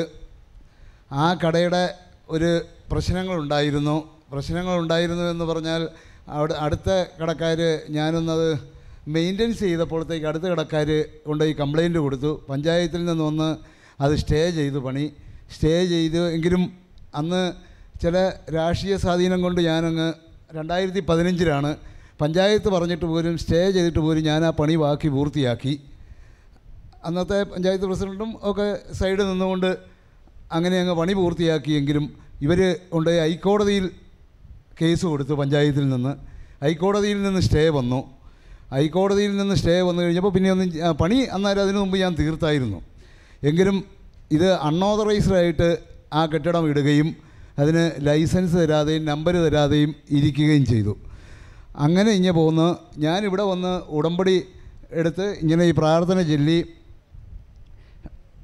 പോയപ്പോൾ ഇവിടെ നിന്നും കഴിഞ്ഞ നവംബർ മാസം ചൊവ്വാഴ്ച ഇവിടെ നിന്നും പോയപ്പോൾ ഞാൻ വന്ന് പ്രാർത്ഥനയും കൂടി തിരിച്ച് ബസ്സേ കയറി ചേർത്തലയ്ക്കുള്ള വെസയിലിരിക്കുമ്പോൾ പഞ്ചായത്തിൽ നിന്ന് എന്നെ വിളിക്കുന്നു. അഞ്ച് വർഷം കഴിഞ്ഞാണ് പഞ്ചായത്തിൽ നിന്ന് എന്നെ വിളിച്ച് നിങ്ങളുടെ ഇത് പുതുക്കാത്ത എന്താണ്? കടയുടെ ലൈസൻസ് പുതുക്കാത്ത എന്താണ്? അതിന്റെ പ്രശ്നങ്ങൾ തീർക്കണമല്ലോ. അഞ്ച് വർഷത്തെ കുടിശ്ശിയുടെ കിടപ്പുണ്ട്. ആ ഇത് വന്ന് തീർക്കണം എന്ന് പറയുകയും നവംബറിലല്ല ഒക്ടോബർ മാസമായിരുന്നു. ഒന്നാം തീയതി ആയിരുന്നു ചൊവ്വാഴ്ച. അന്ന് ഇവിടെ വന്ന് ചെയ്തപ്പോൾ വന്ന് പഞ്ചായത്തിൽ നിന്ന് ഇങ്ങനെ ഞാൻ ബസ്സേലിരിക്കുമ്പോൾ വിളിക്കുകയും ചെല്ലണമെന്ന് പറഞ്ഞു. പിറ്റേ ദിവസം രണ്ടാം തീയതി ആയതുകൊണ്ട് അന്ന് വരണ്ട. ഒക്ടോബർ രണ്ട് അവധിയാണ് വരണ്ട. അതിന്റെ പിറ്റേ ദിവസം വന്നാൽ മതി എന്ന് പറഞ്ഞ് ഞാൻ ചെന്ന്. ചെന്നപ്പോൾ അഞ്ച് വർഷത്തെ കുടിശ്ശികയും അതിന്റെ പിഴയും പലിശയും കൂടി ഉള്ള തുക അടയ്ക്കണമെന്ന് പറഞ്ഞു. പന്തീരായിരത്തി ചില്ലുവാൻ രൂപയാകുമെന്ന് എന്നോട് പറഞ്ഞു. ഞാൻ ആ പൈസ അടയ്ക്കാൻ തയ്യാറായപ്പോൾ പെട്ടെന്ന് അവർ നോക്കി വെച്ച് കുറേ കണക്കുകളും എല്ലാം നോക്കി വെച്ച് മാതാവിന്റെ അനുഗ്രഹത്തിൽ അത് അയ്യായിരം രൂപ കൊണ്ട് അവർ റൗണ്ട് ഫിഗർ ആക്കി തന്നു. അങ്ങനെ ഞാൻ ആ ഇത് അടച്ചു. എനിക്ക് പിറ്റേ അന്ന് തന്നെ ലൈസൻസിന് അപേക്ഷ കൊടുത്തു. ഈ പിന്നെ എന്റെ പേരിലല്ലായിരുന്നു എന്റെ ഇച്ചായന്റെ പേരിലായിരുന്നു ആ കട. ഇച്ചായൻ മരിച്ചുപോയി. പിന്നെ എന്റെ പേരിൽ പിന്നെ ഇത് കെയറിലാക്കി അവിടെ അപേക്ഷ കൊടുത്തു. ഇതെല്ലാം നവംബർ മാസം കൊണ്ട് എനിക്ക് തീർത്തു തന്നു. മാതാവിന്റെ പ്രത്യേക അനുഗ്രഹത്താൽ എനിക്ക് ലൈസൻസും കിട്ടി കടയുടെ. ഈ ഇതുകളെല്ലാം തീർത്തു തന്നു. അപ്പോൾ എനിക്ക് വിശ്വാസമായി ഇങ്ങനെ അങ്ങ് പോയി. പക്ഷേ അതിനു മുമ്പ് തന്നെ എന്റെ പിന്നെ ഇതിൽ ഉടമ്പടിയിൽ വയ്ക്കാത്ത ഒരു വലിയ കാര്യം എനിക്ക് സാധിച്ചു തന്നു. ഏതാണ്ട് നാൽപ്പത്തെട്ട് വർഷമായിട്ട് ഞാൻ പുകവലിക്കുന്നയാളായിരുന്നു പന്ത്രണ്ട് വയസ്സിൽ എന്റെ ഇച്ച അച്ഛന്റെ വീടി കട്ടുവരിച്ച് വീടിയിൽ നിന്നും കട്ടുവരിച്ച് പന്ത്രണ്ട് വയസ്സുള്ളപ്പോൾ ആരംഭിച്ചതാണ് സത്യം പറഞ്ഞാൽ ഈ പുകവലി. അത് തുടർന്ന് ഇങ്ങനെ പോന്നിട്ട് അവസാനം ഏതാണ്ട് ഒരു മൂന്ന് പായ്ക്കറ്റ് സിഗരറ്റ് ഇല്ലാതെ എനിക്ക് ഒരു ദിവസം പോലും നിൽക്കാൻ മേലാത്ത ഒരു വിധത്തിലും നിൽക്കാൻ മേലാത്ത ഇവിടെ വന്ന വന്നപ്പോഴും ഈ കൃപാസനത്തിൽ വന്നപ്പോഴും ഞാൻ ഇവിടുന്ന് പുറത്തോട്ട് ഇറങ്ങിയ ഉടനെ എന്റെ മടി എന്റെ പോക്കറ്റ് ഒരു സീർട്ട് കാണും. അത് പുറത്തോട്ട് ഇറങ്ങുമ്പോഴത്തേക്ക് അന്നാരെ വലിക്കും അങ്ങ് മാറി നിന്ന്. ഇങ്ങനെ തുടർന്നുകൊണ്ടിരുന്നപ്പോൾ ഈ കഴിഞ്ഞ പിന്നെ ആഗസ്റ്റ് പതിനെട്ടാം തീയതി ഞങ്ങളുടെ അവിടെ ഒരു മെഡിക്കൽ ക്യാമ്പ് നടത്തി. ഞാനും കൂടിയുള്ള ഭാഗവാക്കായ ഒരു സ്വയം സ്വയ പുരുഷ സ്വയ സഹായ സംഘത്തിന്റെ ഒരു മെഡിക്കൽ ക്യാമ്പ് നടത്തി. ഞാൻ അതിന്റെ ഒരു ഭാരവാഹിയായതുകൊണ്ട് ഈ ഡോക്ടർമാർ കിംസിലെ കിംസ് ഹോസ്പിറ്റലിലെ ഡോക്ടർമാരായിരുന്നു അത് നടത്തിയത്. അവർ അവിടെ ഒപ്പം ആഹാരം കഴിക്കേണ്ട ഒരു സാഹചര്യം എനിക്ക് വന്നു. മാതാവ് വരുത്തിയതാണെന്ന് ഞാനിപ്പോൾ വിശ്വസിക്കുന്നു. ആ ഡോക്ടർമാരോട് കൂടിയിരുന്ന് ഉച്ചഭക്ഷണം കഴിച്ചപ്പോൾ ഈ പിന്നെ ഇത് കഴിഞ്ഞ് ക്യാമ്പ് കഴിഞ്ഞേച്ച് പത്ത് നാനൂറ് പേരെ പരിശോധിച്ചു. ഇതിന്റെ എല്ലാം കഴിഞ്ഞ് ഞങ്ങൾ ഒരുമിച്ചിരുന്ന് ആഹാരം കഴിച്ചപ്പോൾ എന്റെ വലി ഒരു ഡോക്ടർ എന്നോട് ചോദിച്ച് പുകവലി സ്വല്പം കൂടുതലാണല്ലോ എന്ന് പറഞ്ഞ്. അപ്പോൾ പുള്ളി കണ്ട് ഞാൻ രാവിലെ മുതൽ വലിക്കുന്നതും കണ്ടിട്ട് ഞങ്ങൾ ഒരുമിച്ചിരുന്ന് ഒരേ അടുത്തടുത്ത സീറ്റിൽ ഇരുന്ന് ആഹാരം കഴിച്ചുകൊണ്ടിരുന്നപ്പോൾ ഇത് ചോദിച്ചു. ഞാൻ പറഞ്ഞു ഞാൻ വലിക്കും ഞാൻ രണ്ട് മൂന്ന് വൈകിട്ട് സിഗരറ്റ് വേണമുള്ള സത്യം ഞാൻ തുറന്നു പറഞ്ഞു. അപ്പം ഇത് ഞാൻ ഇതിൽ വെച്ചിട്ടില്ല എന്റെ ഉടമ്പടിയിൽ വെച്ചിട്ടില്ലാത്ത പ്രാർത്ഥനയിൽ വെച്ചിട്ടില്ലാത്തതായിരുന്നു ആ, അപ്പം പറഞ്ഞ് ഈ മദ് ഇതങ്ങ് നിർത്തിയേര്. ഇതാ പുകവലി അങ്ങ് നിർത്തിയേര്. മദ്യപാനം ഞാൻ വല്ലപ്പോഴും ഉണ്ട്. അതെനിക്ക് നിർബന്ധമില്ലായിരുന്നു. പക്ഷേ അതും തുടർന്നു കൊണ്ട് പോകുന്ന ഞാനാണ്. പുകവലി അങ്ങ് നിർത്തിയാൽ അല്ലെങ്കിൽ ഇതേപടി പോവുകയായിരുന്നു ഡോക്ടർ എന്നോട് പറഞ്ഞു. തമാശ രൂപത്തിലാണെങ്കിൽ പോലും. അന്ന് ആഗസ്റ്റ് പതിനെട്ടാം തീയതി ഞായറാഴ്ചയായിരുന്നു ഇത് സംഭവിച്ചത്. ആഗസ്റ്റ് പത്തൊൻപതാം തീയതി രാവിലെ ഞാൻ നോക്കുമ്പോൾ മൂന്ന് അന്ന് പിന്നെ മദ്യപാനം എല്ലാം കഴിഞ്ഞേച്ച് ഞങ്ങൾ വീട്ടിൽ ചെല്ലുമ്പോൾ ഏതാണ്ട് പത്ത് മണിയായി രാത്രി. ഒരു പാക്കറ്റ് സിഗരറ്റ് മേടിച്ചുകൊണ്ടാണ് പോയത്. അതിന്റെ ഏതാണ്ട് ഒൻപത് സിഗരറ്റ് രാത്രി കൊണ്ട് ഞാൻ വലിച്ചു. ബാക്കി മൂന്ന് സിഗരറ്റ് നേരം വെളുത്തപ്പോൾ എന്റെ ഇതിനകത്തുണ്ട്. അതിൽ നിന്ന് പറഞ്ഞ എടുത്ത് വലിക്കാൻ തുടങ്ങിയപ്പം ആരോ എന്നെ തടയുന്ന പോലെ ഇത് ഞാൻ തിരിച്ച് പാക്കറ്റിൽ ഇട്ടിട്ട് ഇങ്ങനെ ഇട്ടിട്ടിട്ട് ഞാൻ ഒൻപത് മണിയായപ്പോൾ വീട്ടിൽ നിന്ന് കവലയിലോട്ട് പോരുന്നു കടയിലോട്ട് പോരുന്നു. ആ പാക്കറ്റ് സിഗരറ്റും ഇട്ട് ലൈറ്ററും എടുത്ത് പോക്കറ്റ് ഇട്ടുകൊണ്ടാണ് പോരുന്നത്. വഴിയിലോട്ട് ഇറങ്ങി ഞാൻ ഒരെണ്ണം എടുത്ത് ചുണ്ടിൽ വെച്ചു. തിരിച്ചത് എന്തോ ഏതോ ഒരു ശക്തി കൊണ്ട് ഞാനെടുത്ത് പായ്ക്കറ്റിലിട്ടു. ഈ സിഗരറ്റ് മാന്നാനം ജംഗ്ഷനിൽ ചെന്നപ്പോൾ ഞാൻ ഒടിച്ച് ഈ പായ്ക്കറ്റോട് കൂടി പുറത്തോട്ട് കളഞ്ഞു. അന്ന് മുതൽ ഇന്ന് ആറ് മാസം കഴിഞ്ഞു. ഇന്ന് വരെ ഞാൻ പുക വലിക്കുകയോ മദ്യപാനം നടത്തുകയോ ചെയ്തിട്ടില്ല. അന്ന് ഞാനിത് പ്രാർത്ഥിച്ചതല്ല മാതാവിനോട് ഉടമ്പടിയിൽ വെച്ചതല്ല പക്ഷേ അമ്മ എനിക്ക് ആ അനുഗ്രഹമാണ് ആദ്യം ചെയ്തു തന്നത്. അതിനുശേഷമാണ് ഞാൻ ഉടമ്പടിയിൽ വെച്ച ഈ കടയുടെ കാര്യം സാധിച്ചു തന്നത്. അതുപോലെ തന്നെ ഈ കഴിഞ്ഞ നവംബർ മാസം എനിക്ക് മറ്റൊരു ഭയങ്കര അനുഭവം ഉണ്ടായി. ഞാൻ ഈ കടയിലോട്ട് സാധനം മേടിക്കാൻ എറണാകുളത്തിന് പോവുകയാണ്. മാന്നാനത്ത് നിന്ന് അപ്പം വണ്ടി കൊണ്ടുപോണത് ഈ വെള്ളിമൂങ്ങ ഓട്ടോറിക്ഷയാണ് ഞാൻ വിളിച്ചുകൊണ്ട് പോണത് സാധനം എടുത്തുകൊണ്ട് പോരാൻ. ഒരു ലക്ഷം രൂപ ബാങ്കിൽ നിന്ന് തലേദിവസം എടുത്ത് ഇവിടുത്തെ മാ കടലാസിൽ പൊതിഞ്ഞ് എടുക്കേണ്ട സാധനങ്ങളുടെ ലിസ്റ്റും എഴുതി. അതുപോലെ തന്നെ പിന്നെ ഇത് മാതാവിന്റെ ഇവിടുന്ന് കൊണ്ടുപോകണ പത്രത്തിന്റെ സഞ്ചിയിൽ കടലാസിൽ പൊതിഞ്ഞ് കഴിഞ്ഞ് ഈ സഞ്ചിയിൽ പൊതിഞ്ഞാണ് ഈ ലിസ്റ്റും രൂപയും കൂടി ഞാൻ കൊണ്ടുപോയത്. മാന്നാനത്ത് നിന്ന് ഈ വെള്ളിമൂങ്ങ ഒരു ഓട്ടോറിക്ഷയും വിളിച്ചാണ് പോകുന്നത്. സ്ഥിരം കൊണ്ടുപോകുന്നത് അവനെയാണ്. ആ വണ്ടിയും വിളിച്ച് ഞങ്ങൾ രാവിലെ ഏഴ് മണിക്ക് മാന്നാനത്ത് നിന്ന് ഏഴ് മണിക്ക് മുമ്പ് പോയി. ഞങ്ങൾ പൂത്തോട്ട ചെന്നപ്പോൾ അവിടെ നിന്നാണ് കാപ്പി കുടിക്കുന്നത്. എല്ലാ സ്ഥിരം എറണാകുളത്തിന് പോകുമ്പോൾ പൂത്തോട്ട ജംഗ്ഷനിൽ ഒരു ചെറിയ കടയുണ്ട്. എന്നാന്ന് വെച്ചാൽ അവിടെ ടോയ്ലറ്റും ഒക്കെ വീട്ടിൽ തന്നെ സൗകര്യമുണ്ട് അവിടുന്ന്. അതുകൊണ്ട് ആ ചെറിയ കടയിൽ കയറി കാപ്പി കുടിച്ച് അന്നും പുട്ടും കടലയും മറ്റും കഴിച്ച് ഞാനും ഈ ഡ്രൈവറും കഴിച്ചേച്ച് ഈ രൂപ മേശപ്പുറത്ത് വെച്ചു ഈ പൊതി. മേശപ്പുറത്ത് വെച്ചിട്ട് ഞാൻ ടോയ്ലറ്റിൽ പോയിട്ട് എന്നാൽ ഇവൻ ഇതെടുത്തോളൂ എന്നോർത്ത് അവൻ അങ്ങോട്ട് പുറത്തോട്ട് പോയി ഇവൻ എടുത്തോളൂ എന്നോർത്ത് ഞാൻ ടോയ്ലറ്റിൽ പോയിട്ട് നേരെ അന്നേരം ഈ പിന്നെ ഓണർ അപ്പോൾ അവർ തന്നെയാണ് വേറെ വലിയ കടയല്ല അവർ തന്നെയാണ് പൈസ മേടിക്കുന്നതും സാധനം സപ്ലൈ ചെയ്യുന്നതും എല്ലാം. അപ്പോൾ ആ ഓണർ അവിടെ മേശപ്പുറത്ത് നിൽക്കുന്ന കണ്ടുകൊണ്ട് ഞാൻ ഈ പൈസ എടുക്കാതെ വേഗം ചെന്ന് ഇത് പിന്നെ പൈസ അവിടുത്തെ കൊടുത്തു. അത് പോക്കറ്റിൽ പൈസ ഉണ്ടായിരുന്നു. ഒരു പത്ത് രണ്ടായിരം രൂപ പോക്കറ്റിലുണ്ടായിരുന്നു ചില്ലറ. ഇത് ഇന്നെടുത്ത് ഈ പിന്നെ കാപ്പ് കുടിച്ചതിന്റെ പൈസ കൊടുത്തു. തിരിച്ച് നേരെ ഇറങ്ങി അങ്ങ് പോയി. നേരെ ഇറങ്ങി വണ്ടിയിലോട്ട് കയറി. അപ്പോൾ ഈ വലിയ നിർത്തിയപ്പോൾ വല്ലപ്പോഴും ഓരോ മുട്ടായി മേടിച്ച് പോക്കറ്റ് ഇടും. മിഠായി തിന്നുമായിരുന്നു. അന്ന് അതൊരു സ്ഥിരം വേണമായിരുന്നു. ഇപ്പോൾ അതും വേണ്ട. എങ്കിൽ ഒരു ആ മിഠായി ഒരെണ്ണെടുത്ത് പോക്കറ്റ് ഇന്ന് കഴിച്ച് വൈകിട്ടുകൊണ്ട് ഞങ്ങൾ ഈ വണ്ടിയെ കയറി ഉദയംപേരൂരി ചെന്നു. ഉദയംപേരൂരി ചെല്ലുമ്പോഴാണ് വണ്ടി ഏതാണ്ട് ആറര കിലോമീറ്റർ അപ്പുറേ ഉദയംപേരി ചെല്ലുമാണ് ഞാൻ ഇവനോട് എടാ പൈസ എന്ത് ചെയ്യുക അതെടുത്തെന്ന് ഡ്രൈവറോട് ചോദിക്കുന്നു. അയ്യോ ഞാൻ എടുത്തില്ലെന്ന് അവൻ പറഞ്ഞു തിരിച്ച് ഞങ്ങൾ ഞാൻ അവിടെ ഇരുന്ന മാതാവ് എന്റെ ഗൃഹവാസന അമ്മ എന്ന് മാത്രമേ പറഞ്ഞുള്ളൂ. പറഞ്ഞേച്ച് വണ്ടി തിരിക്കാൻ പറഞ്ഞ് തിരിച്ച് ഞങ്ങൾ ഇവിടെ വരുമ്പോൾ ഈ രണ്ട് നീല ഉടുപ്പിട്ട നമ്മുടെ സി ഐ ടിയുടെ ചുമട്ടുതൊഴിലാളികൾ രണ്ട് പേരിരുന്ന് ആ മേശപ്പുറത്ത് ഭക്ഷണം കഴിക്കുന്നുണ്ട്.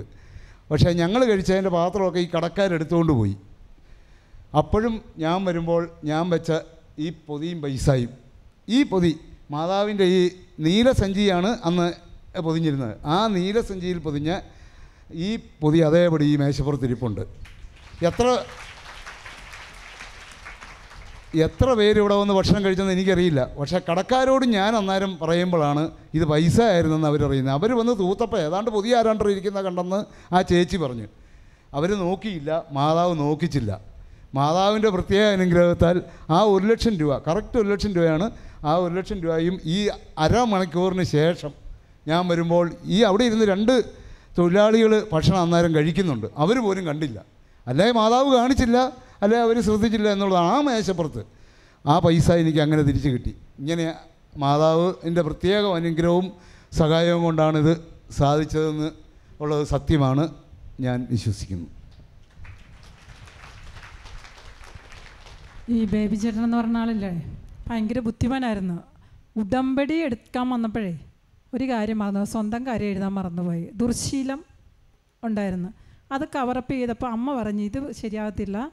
നേരെയാക്കാതെ കട മുന്നോട്ട് കൊണ്ടുപോകാൻ പാടില്ല. അല്ല? കിട്ടുന്നതെല്ലാം മൂന്നും നാലും കുറ്റി സിഗരറ്റ് വലിച്ചു കഴിഞ്ഞാൽ നടക്കുമോ കട മുന്നോട്ട് കൊണ്ടുപോകാൻ പറ്റുമോ അപ്പോൾ ആദ്യത്തിന് അമ്മ ഇടപെട്ട് ആറ് നിയോഗം എഴുതി വെച്ചായിരുന്നോ? ഉടമ്പടി എടുത്തപ്പോൾ ആറും എഴുതിയോ? ഒന്നും ഇടാ ആ അപ്പം എല്ലാം എഴുതിയായിരുന്നു ഞാനോർത്ത് ഏതെങ്കിലും ഒരെണ്ണം വിട്ട് കാണാം. അപ്പം അമ്മ കൂട്ടിച്ചേർത്താണോ എന്ന് പക്ഷേ നമ്മൾ എഴുതുമ്പോൾ അമ്മയ്ക്കറിയാം ഏതാണ് നമുക്ക് ഏറ്റവും അത്യാവശ്യം എന്നുള്ള. അതുകൊണ്ടാണ് നാൽപ്പത്തെട്ട് വർഷമായിട്ടുണ്ടായിരുന്ന പുകവലി ഈ മകളിൽ നിന്ന് എടുത്തു മാറ്റിയിരിക്കുന്നത്. കൈയടിക്കണ്ടേ? ഏ? അപ്പോൾ പുകവലിയിൽ നിന്ന് വിടുതൽ കളിത്തിയ ഈ സഹോദരനെ ഓർത്ത് നമുക്ക് നന്ദി പറയാം. കാരണം കുടുംബത്തിന് കിട്ടിയിരിക്കുന്ന ഏറ്റവും വലിയ അനുഗ്രഹമാണ്. ദുർശീലങ്ങൾ ഏറ്റവും വലിയ അപകടകാരിയാണ് അല്ലേ? ഒരു വ്യക്തിയുടെ പൂർണ ആരോഗ്യം തന്നെ ഇല്ലാതാക്കാൻ പറ്റൂ. അതുകൊണ്ട് ഈ കുടുംബത്തിന് കിട്ടിയ എല്ലാ അനുഗ്രഹത്തെ ഓർത്ത് ഒരു ലക്ഷം രൂപ നഷ്ടപ്പെട്ടു എന്ന് പറയുന്നു. അത് അമ്മയുടെ പ്രത്യേക സംരക്ഷണം മൂലം വെച്ചെടുത്ത് തന്നെ ഇരുന്ന് സഹോദരന് തിരികെ കിട്ടിയതിനെ ഓർത്ത് നമുക്ക് നന്ദി പറയാം. കരങ്ങൾ ശക്തമായി അടിച്ച് കുടുംബത്തിന് വേണ്ടി നമുക്ക് പ്രത്യേകം പ്രാർത്ഥിക്കാം. അതുപോലെ വിഷമത അനുഭവിക്കുന്ന എല്ലാവരെയും ഓർത്ത് നമുക്ക് പ്രാർത്ഥിക്കാം.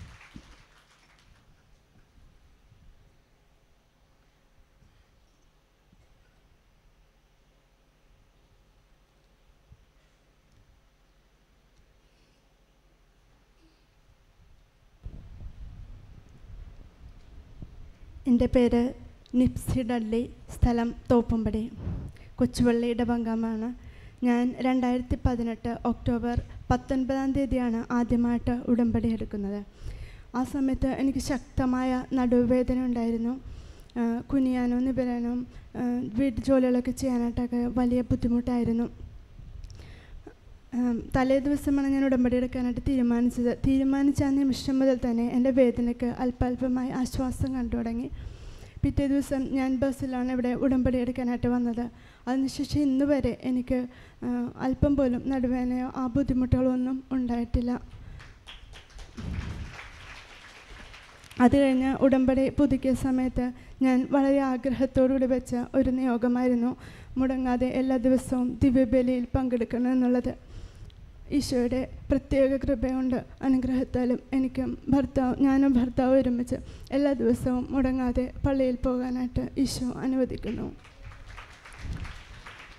പിന്നീട് ഉടമ്പടി പുതുക്കിയ സമയത്ത് എനിക്ക് ഒത്തിരി ഒത്തിരി ആവശ്യങ്ങളുണ്ട്. അതുകൊണ്ട് എന്റെ രോഗങ്ങളെല്ലാം മാറ്റിവെച്ച് വീട്ടിലെ കാര്യങ്ങളാണ് ഞാൻ പ്രധാനമായിട്ടും ആഗ്രഹിച്ചിരുന്നത്. അതിനാൽ മാതാവിന്റെ നിയോഗത്വം എന്ന് മാത്രമാണ് ഞാൻ ഉടമ്പടി നിയോഗങ്ങളിൽ വെച്ചത്. എന്നാൽ ആ കാര്യങ്ങളെല്ലാം എന്നെ വഴി നടത്തിക്കൊണ്ട് തന്നെ എനിക്ക് യൂട്രസിലൊരു മുഴയുണ്ടായിരുന്നു കഴിഞ്ഞ രണ്ടാം തിങ്കളാഴ്ചയാണ് ഞാൻ ഇവിടെ ഉടമ്പടി ധ്യാനത്തിൽ വന്നത്. ആ സമയത്ത് ബഹുമാനപ്പെട്ട അച്ഛൻ വിളിച്ചു പറഞ്ഞു വയറ്റിൽ യൂട്രസിലൊക്കെ മുഴയുള്ള ആളുകൾ അടിവയറ്റിൽ കൈവച്ച് പ്രാർത്ഥിക്കാനായിട്ട് ഞാനും വിശ്വാസത്തോടെ എന്റെ അടിവയറ്റിൽ കൈവച്ച് പ്രാർത്ഥിച്ചു. പിന്നീട് ഞാൻ വീട്ടിൽ പോയിട്ട് എന്റെ മരുന്നുകളൊന്നും കഴിച്ചില്ലായിരുന്നു. കഴിഞ്ഞ ആഴ്ചയാണ് ഞാൻ പോയി സ്കാൻ ചെയ്തത്. എന്റെ വയറ്റിൽ ഒൻ വൺ പോയിന്റ് ഫൈവ് സെന്റിമീറ്ററുള്ള ഒരു മുഴയുണ്ടായിരുന്നു എന്നാൽ കഴിഞ്ഞ ആഴ്ച സ്കാൻ ചെയ്തപ്പോൾ യൂട്രസ് പൂർണമായിട്ടും ക്ലീൻ ആയിരിക്കുന്നു എന്നാണ് ഡോക്ടർ പറഞ്ഞത്. ഇത്രയേറെ അനുഗ്രഹങ്ങൾ പരിശുദ്ധ അമ്മ വഴി ഈശോയിൽ നിന്നും എനിക്ക് ലഭിച്ചു. ഈശോയ്ക്കും തിരുക്കുമാരനും കോടാനുകോടി നന്ദി സ്തുതി അർപ്പിക്കുന്നു. കൃപാസനത്തിലെ പ്രാർത്ഥനയുടെ പ്രത്യേകത എന്ന് വെച്ചാൽ കൈവെപ്പ് പ്രാർത്ഥനയാണ്. അച്ഛൻ നമ്മളോട് പറയാറുണ്ട് രോഗം ഉള്ളിടത്ത് കൈവച്ച് പ്രാർത്ഥിക്കുക. സാധാരണ പുരോഹിതന്മാരാണ് നമ്മൾക്ക് തലയിൽ കൈവച്ച് പ്രാർത്ഥിക്കാറല്ലേ? പക്ഷേ ഇവിടുത്തെ ഒരു പ്രത്യേകതയാണ് നമ്മുടെ രോഗാവസ്ഥ എവിടെയാണോ അവിടെ നമ്മൾ കരങ്ങൾ വെച്ച് പ്രാർത്ഥിച്ചാൽ സൗഖ്യം കിട്ടുമെന്ന്. നല്ല തെളിവാണ് ഇപ്പോൾ മോൾ പറഞ്ഞത് യൂട്രസിലുണ്ടായിരുന്ന മുഴ. പൂർണമായും അപ്രത്യക്ഷമായിരിക്കുന്നു എന്നുള്ളത് നമുക്ക് കരങ്ങളടിച്ച് ഇമാൾക്ക് ദൈവം കൊടുത്ത എല്ലാ കൃപയ്ക്കും അനുഗ്രഹങ്ങൾക്കും നന്ദി പറയാം. ഇതോടെ നമ്മുടെ സാക്ഷി ഇവിടെ അവസാനിക്കുകയാണ്.